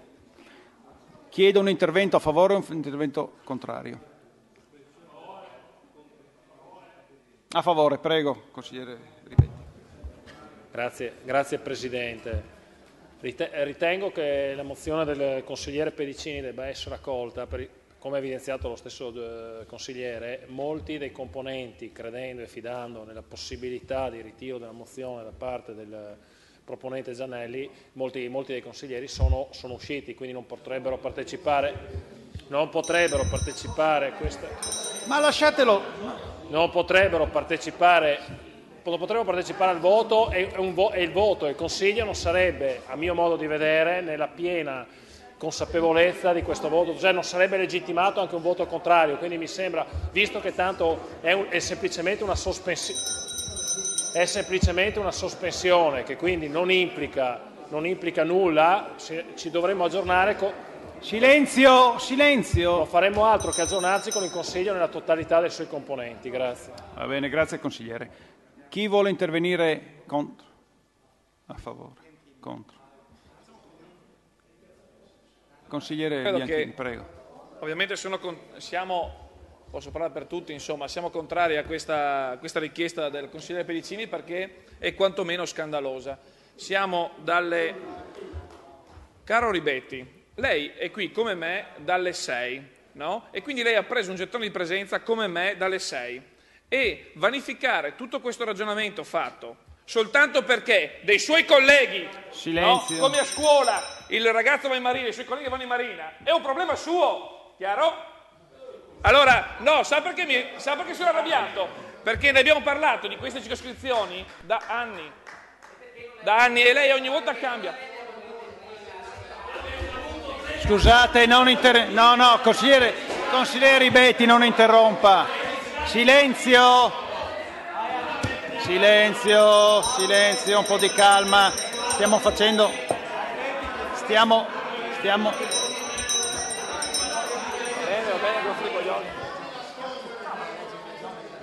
Silenzio! Silenzio! Prego, consigliere. Silenzio! Posso, Presidente? Prego. Senza ricor- Silenzio, consigliere Ribetti. Consigliere Ribetti, per cortesia.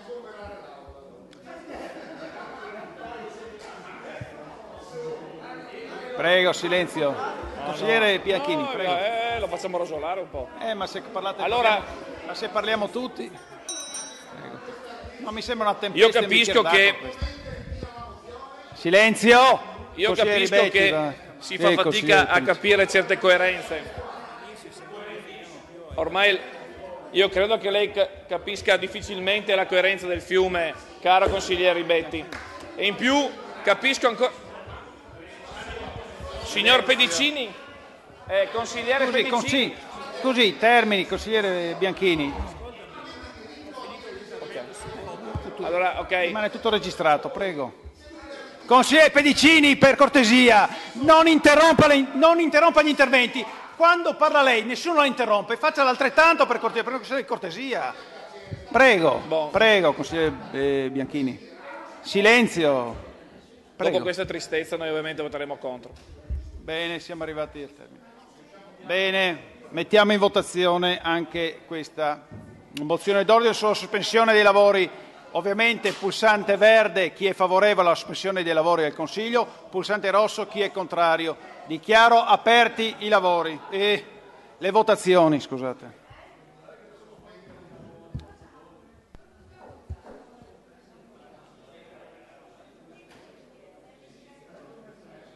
Dichiaro chiuse le operazioni di voto.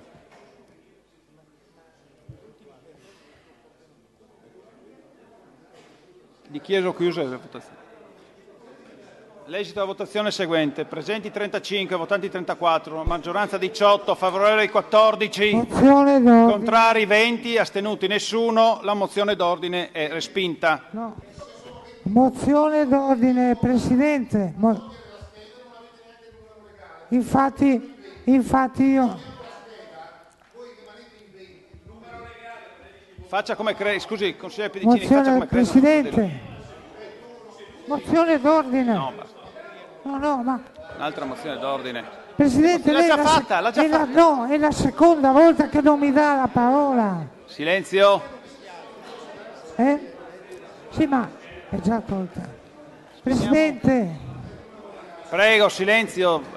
Io La parola voglio- al consigliere, consigliere io voglio, io voglio sapere cosa ne pensa il segretario comunale di quello che è successo e sta succedendo ancora. Io ho chiesto il ritiro della mozione, mi è stato impedito. Adesso, adesso vorrei sapere cosa ne pensa il segretario comunale.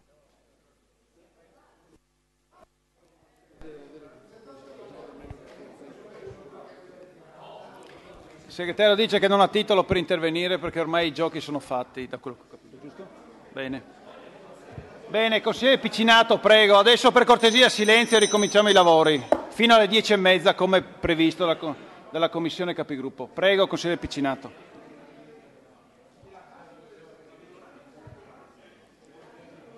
Date la parola al consigliere Piccinato. Prego. Allora, eh, premesso che non sono sicuro della legittimità di Silenzio. quello che sta avvenendo eh, e chiedo, credo sia per quello mi sono astenuto, Silenzio.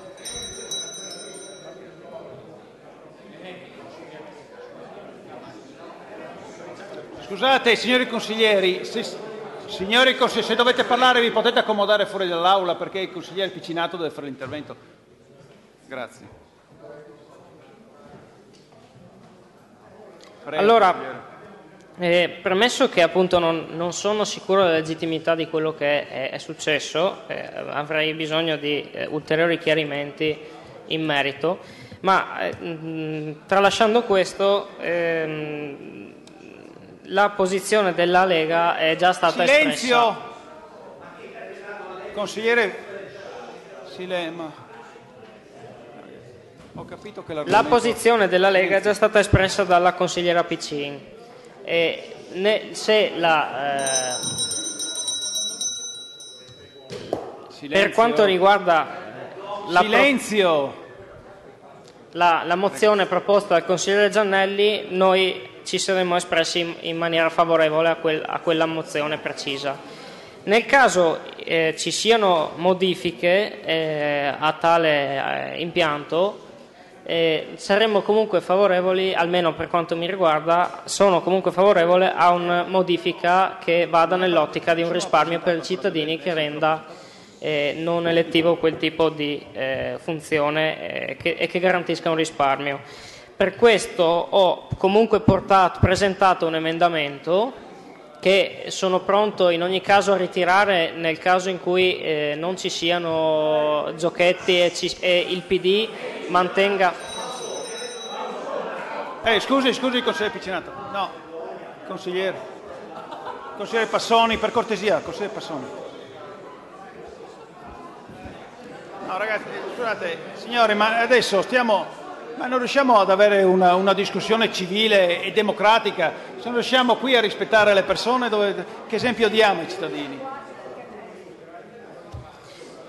Prego, consigliere Piccini. Grazie. Sì, sono comunque eh, pronto a ritirare l'emendamento che ho presentato, che adesso eh, nei minuti che mi rimangono comunque presenterò per dovere, eh, a favore di votare altri emendamenti che comunque vadano eh, nell'ottica del risparmio e della eh, non elettività della- della- delle circoscrizioni. Eh, nel caso in cui non, non dovessero esserci tali emendamenti o comunque non dovessero essere, ehm, o dovessero essere ritirati, terrò valido il mio, che eh, si compone in questa maniera. Eh, di trasformare la parte finale della mozione presentata e di eh, commutarla nella- in- nel seguente modo, cioè di trasformare eh, le circoscrizioni come non elettive composte da 10, eh, da 10 consiglieri comunali, ognuno per zona, a titolo gratuito e non più nelle sedi eh, attuali che costano, che, che costano, che non sono, il costo non è solo 16.000 che si era detto prima, e di eh, eliminare la possibilità di garantire eh, i contributi da poter eventualmente spendere sul territorio. E così da poter eh, sgravare i cittadini di Pordenone dal costo di, di- di tal tipo di eh, circoscrizioni o eh, comunque devolverlo ad altro. Eh, è, eh, questo, ripeto, questo emendamento, eh, nel caso in cui ce ne siano altri, Scusi consigliere, un. Allora, scusate consiglieri, chi, scusate, scusate consigliere Pedicini, Daniello, chi rimane qui in aula è pregato di sedersi e di accomodarsi nei suoi posti. Chi non è in aula, per cortesia, deve andare dietro le transenne. Chi ritiene di doversi allontanare, facendo ovviamente silenzio. Consigliere? Lei è fuori. Perciò questa è la posizione mia personale eh, riguardo all'emendamento. eh, chiudo dicendo che eh, ritengo in ogni caso, eh, per evitare polemiche inutili, eh, se la- l'amministrazione proponga- proponesse direttamente l'emendamento presentato dal PD, che troverebbe comunque il mio appoggio personale. Detto questo, per evitare che l'intera seduta diventi un, un semplice costo, una pagliacciata, eh, una palude romana, come si vuol dire, ehm, di, di questo tipo, eh, manterrò comunque la mia presenza. Scusi consigliere, ma lei, la- scusi mi sono un attimo perso per la mozione lei l'ha presentata? Lei l'emendamento, scusi, l'ha presentato? Bene, allora dobbiamo distribuirlo ai... No, lei l'emendamento lo presenta, giusto? Bene, allora dobbiamo distribuirlo. No, no, perché per capire. Prego, date la parola al consiglio. Mi- mi- voglio dire, non ho ancora visto l'emendamento del PD Non è stato distribuito. presentato. Allo Stato non c'è nessun emendamento per quanto mi riguarda, perché deve essere presentato. No. Le chiedo il suo, il suo- lei presenta, ha presentato Allora, se non ci sono altri emendamenti, lascio il mio. Lascio? Non ho capito. Lo, tengo- lo ritengo valido se Bene, non ce ne sono altri. distribuiamo È chiuso l'argomento. di che cosa sta parlando? Nel caso in cui ci siano altri emendamenti eh, che riteniamo validi, sono pronto a ritirare No. il mio. No, no, prima, prima della discussione. Va bene. Consigliere Manzon, prego.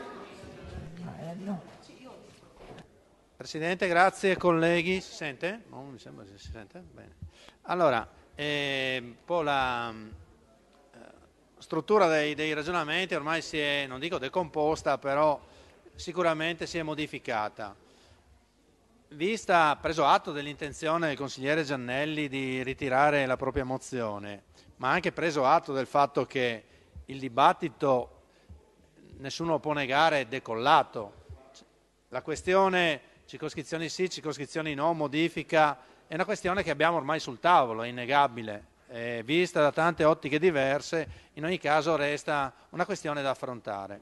Allora, ehm, la nostra proposta, il nostro emendamento, eh, il tentativo anche di condividerlo, di farlo diventare una discussione più ampia, a me sembra che avesse ottenuto il suo risultato, cioè a me sembra che la volontà di progredire con una nuova proposta eh, ci possa stare. Dunque, io ragionerei in questi termini. Sicuramente, grazie, sicuramente a me sembra poco sensato che ci sia un emendamento, una proposta che viene tolta dal tavolo, però in ogni caso io eh, chiederei a questo Consiglio di riconoscere il fatto che sia possibile, a fronte di una mozione che possiamo presentare in maniera autonoma eh, noi che proponevamo l'emendamento, la discussione possa diventare, possa godere ecco, di un, eh, un favore di urgenza nel momento in cui viene presentata, nel momento in cui si maturi una conclusione, perché il senso della presentazione del consigliere Giannelli, al di là del fatto che gli sia scappato poi di mano, ecco, che ci abbia ripensato, che sia stato illuminato sulla via di Damasco, ecco, qualcosa è successo in questi ultimi minuti. Benissimo, benissimo, perfetto. Ecco, allora, visto che ha manifestato questa eh, volontà, in ogni caso noi dobbiamo tener conto dobbiamo tener conto del fatto che il consigliere Giannelli ha in ogni caso innescato una questione che a me sembra molto chiaro, non è una questione risolta all'interno di questo Consiglio e che quindi ha bisogno di addivenire a una eh, conclusione. Quindi chiederei eh, sul, sul, fatto che noi possiamo presentare una eh, mozione che in qualche maniera riraccolga tutte le istanze dell'emendamento, chiederei eh, al Consiglio e poi anche al, ehm, al gruppo dei presidenti eh, dei gruppi consigliari di farla diventare una mozione d'urgenza in modo tale che questo tempo che abbiamo usato non vada perduto, eh, si approfondisca ecco, la discussione e si chiuda con una scelta, perché questo Consiglio Comunale ha bisogno di scegliere. Nel merito della questione, nel merito della mozione, io preferirei tornare in un momento in cui il clima è più tranquillo e dove si discuta ecco, con una certa intelligenza ecco, delle cose. Grazie.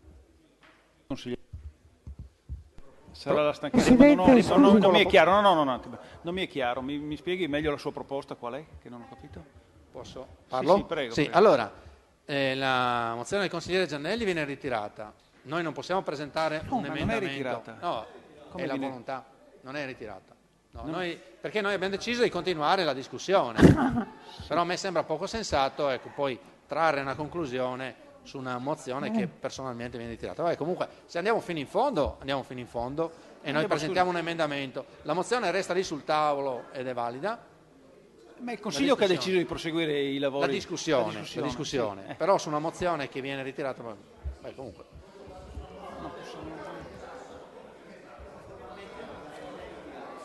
Sì, formalmente non è ritirata, ma formalmente poi votiamo su una mozione ritirata, e questo è il problema. Beh, sì, Benissimo. sì, sì, sì. Quindi noi andiamo fino in fondo. Eh sì. Benissimo. Bene. Allora, presento allora ufficialmente l'emendamento, a me sembrava un pochettino più sensato. Ecco, allora, l'emendamento sulla base di quale motivo era stato immaginato? L'emendamento era stato proprio pensato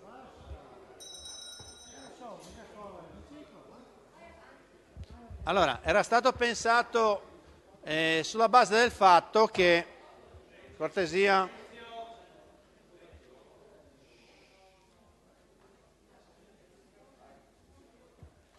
allora, era stato presentato sulla base del fatto che si considerava davvero l'esperienza delle circoscrizioni così come strutturate superata. Quindi l'idea era proprio quella di ripensare a un modo per creare forme di partecipazione eh, per il cittadino.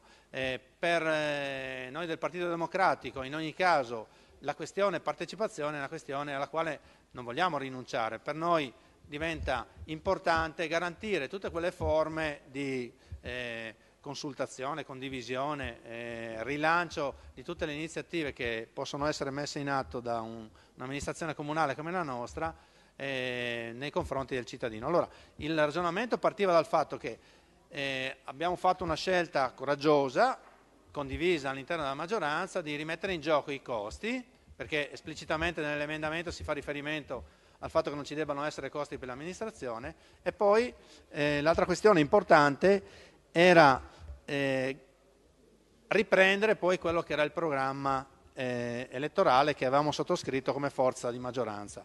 Ecco, in questo programma il tentativo era proprio quello di aprire la strada a un modo diverso di partecipare. Io cerco di riprendere un po' il ragionamento che ho sentito che però eh, non mi ha convinto per niente. Allora, eh, il consigliere Giannelli era partito sostenendo che le istanze dei cittadini potevano essere in una città non molto grande come la nostra, essere rivolte direttamente all'assessore.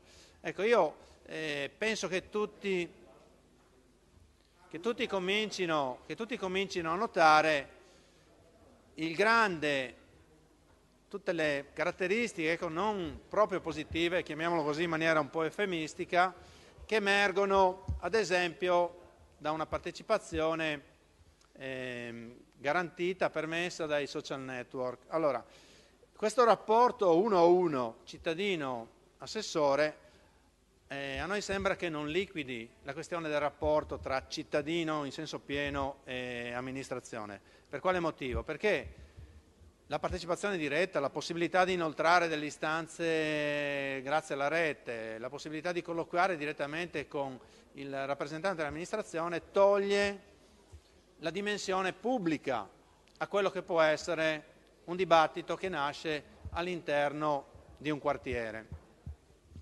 L'attenzione che noi pensiamo possa essere rivolta in un rapporto cittadino-amministrazione al, eh, al territorio nasce anche in presenza di eh, partiti politici e di liste civiche. Per quale motivo? Perché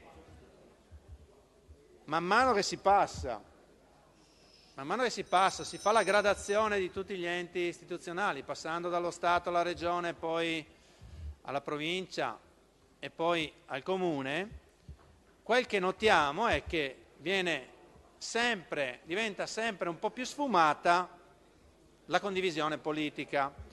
Quando arriviamo a livello di quartieri, noi pensiamo che addirittura, ecco, non dico che sia sparita la partecipazione politica perché non è vero, ma è sfumata al massimo dei termini. Allora, istanze che vengano, e qua c'è un'altra differenza rispetto a quello che ho sentito, istanze che arrivino dal cittadino e vadano verso l'amministrazione, oppure dall'amministrazione scendono e vadano verso il cittadino, in ogni caso hanno bisogno di una condivisione di livello territoriale, di livello quartieriale, se si potesse dire così. A livello di quartiere bisogna che siano discusse. E quindi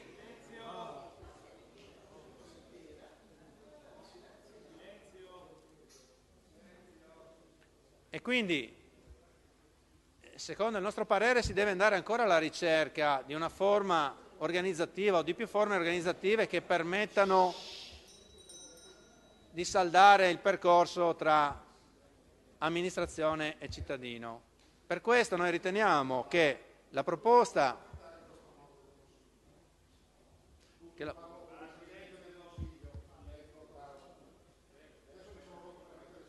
Vabbè.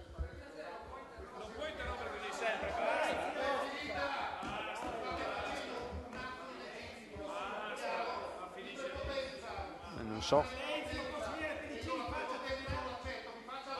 Terminare il consigliere per cortesia. Lo fa terminare, faccia almeno terminare il consigliere.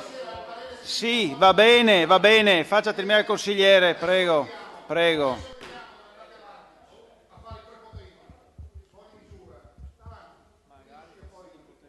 A me non sembra. Ecco. Comunque ecco, no, il nostro emendamento si conclude con la proposta di far carico all'assessorato competente di sviluppare un progetto nei prossimi due anni, quelli che mancano alla fine della legislatura, in modo tale che si possa tentare di concretizzare una struttura, una struttura, una struttura che sia leggera, elastica, il più possibile adatta alle esigenze della città per coprire lo spazio di partecipazione a favore del cittadino. Grazie. Pertanto, scusi, silenzio un attimo, dovete distribuire l'emendamento che allora, io comunico questo al Consiglio. Sono, sì, un attimo, consigliere Pedicini, mi faccia parlare una volta, in modo almeno tranquillo. Allora, adesso questo dovrebbe essere l'ultimo intervento perché adesso io devo sospendere i lavori, sono le dieci e mezza, come, avevamo, eh, come ci eravamo accordati. Pertanto, se non ci sono indicazioni diverse, cosa che non credo, a questo punto prendiamo nota di chi si è prenotato, che sono il consigliere Franchin, Freschi e Pedicini, mm, Pedicini no, perché è un intervento, mozione d'ordine, e io chiudo i lavori. Adesso mi dica il consigliere Pedicini cosa deve dirmi. Voglio un parere scritto, prima verbale, poi lo vorrò per iscritto, del segretario sulla sua decisione. Lei ha letto l'articolo 42 e ha preso le proposte di deliberazione. Allora non mi potete prendere in giro, perché quando io vi ho sempre chiesto che le mozioni siano delle delibere, chiaro? Voi mi avete sempre risposto che le mozioni sono equiparate a degli ordini del giorno, non sono delle delibere. No, fermo, fermo, c'è scritto nel regolamento. No, no, perché sennò ogni volta... No, no, non è una deliberazione. Tant'è vero che se fosse una deliberazione lei viene qui con i pareri prima di presentarla. Allora io le chiedo, se è una delibera, primo, c'ha i pareri degli organi comunali, due, ha chiesto il parere alle, alle circoscrizioni. Come no? Se una deliberazione, segue un suo iter e lei deve venire qui. No! Ma non c'entra, le delibere sono tutte uguali, che siano presentate da un consigliere o siano presentate dal sindaco dalla maggioranza, non cambia, deve avere i pareri, le deliberazioni devono avere tutti i pareri. Questa deliberazione che lei vuole assumere questa sera ha tutti i pareri? Se li ha li presenta, se no lei non la può mettere, de- non la può mettere a voto. No, no, no, no, eh no, allora sempre che... No, no, guardate, voi non prendete in giro la gente. Allora, i pareri, la delibera deve essere accompagnata da pareri, è chiaro? Sì o no? Sì. Allora, ha un suo iter la deliberazione e deve avere tutti i pareri a posto. Allora, gentilmente, se è una deliberazione, visto che l'articolo 42 si riferisce alle deliberazioni, questa delibera ha tutti i pareri? Lo voglio sapere non da lei, lei fa secondo la sua occorrenza. Lei non sta rispettando il Consiglio Comunale, Presidente. Lei non sta onorando il suo ruolo di super partes, è chiaro? E lo dico che rimanga agli atti. Secondo, l'intero Consiglio Comunale non sta rispettando un suo consigliere, perché se un consigliere presenta una mozione e la ritira, il Consiglio, per rispetto verso il consigliere che l'ha ritirata, non continua la discussione sullo stesso argomento, si presenta le sue mozioni e non ha bisogno di fare questi escamotage che non fanno onore alla maggioranza e non fanno onore Mi ai fa consiglieri rispondere? per una questione di rispetto verso l'altro Mi consigliere. fa rispondere? Allora, Però io ho chiesto il parere, al segretario. Il parere al segretario. adesso Il do- suo parere non mi interessa. Ma lo do al Consiglio, guarda. Non mi siccome mi interessa il suo beh, parere. ma potrò Lei si è già di- difendere... lei si è ma già potrò difendere la, parte. decisione, così è No, vicini. no, cari miei, Togliete, togliete non la puoi alzare al la voce, finché vuoi. Bene, adesso parlo io, adesso parlo io. Il regolamento secondo me è chiaro, perché il regolamento al capo settimo parla di presentazione dei proposti di deliberazione. Il termine deliberazione è atecnico, nel senso tutti i documenti regolamentari che devono essere poi votati e deliberati. Allora, sì, mi faccia parlare. L'articolo 40, co- no, permettete, l'articolo 42 parla di ritiro, sospensione e rinvio delle proposte di deliberazione ed è l'articolo che io ho applicato. Le deliberazioni che dice, che dice lei sono dopo la discussione e sono al capo nono, esame delle proposte di deliberazione, dopodiché ci sono le mozioni e le interrogazioni. Questo è il criterio che io ho seguito. È un criterio che secondo me è anche di buonsenso, nel senso che se il Consiglio Comunale discute per due ore un documento non può a discrezione di chi l'ha proposto ritirarlo, deve il Consiglio Comunale decidere se accettare o meno il ritiro. Questa è la mia posizione e con questo chiudo i lavori. Consigliere. Ha detto tutto quello che doveva. Lei vuole dare adesso il parere? Bene, la parola al segretario.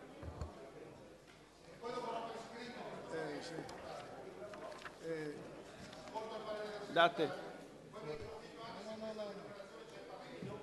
Ma scusi Presidente, posso dire una cosa? Scusate, Sarò libero di ritirare una mozione se l'emendamento la stravolge. Scusi, lasci perdere le questioni tecniche, è un fatto Non morale. approfitti che non possiamo togliere la parola. È un Spiega- fatto morale. Spiega quel marchingegno per cortesia.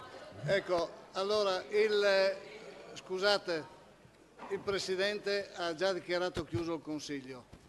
Ecco, io, voi eh, sapete che questo è il mio ultimo Consiglio perché con venerdì questo vado in quiescenza. Vo- Volevo ringraziare la città di Pordenone tramite il Consiglio Comunale di Pordenone per eh, questi quasi 12 anni di attività che ho svolto con, credo, soddisfazione, a quanto meno per mia soddisfazione professionale estremamente elevata. Vi ringrazio. Grazie a lei. Bene. Ringrazio il segretario, dichiaro chiusi i lavori, il Consiglio verrà riconvocato a domicilio. Grazie e buonasera a tutti.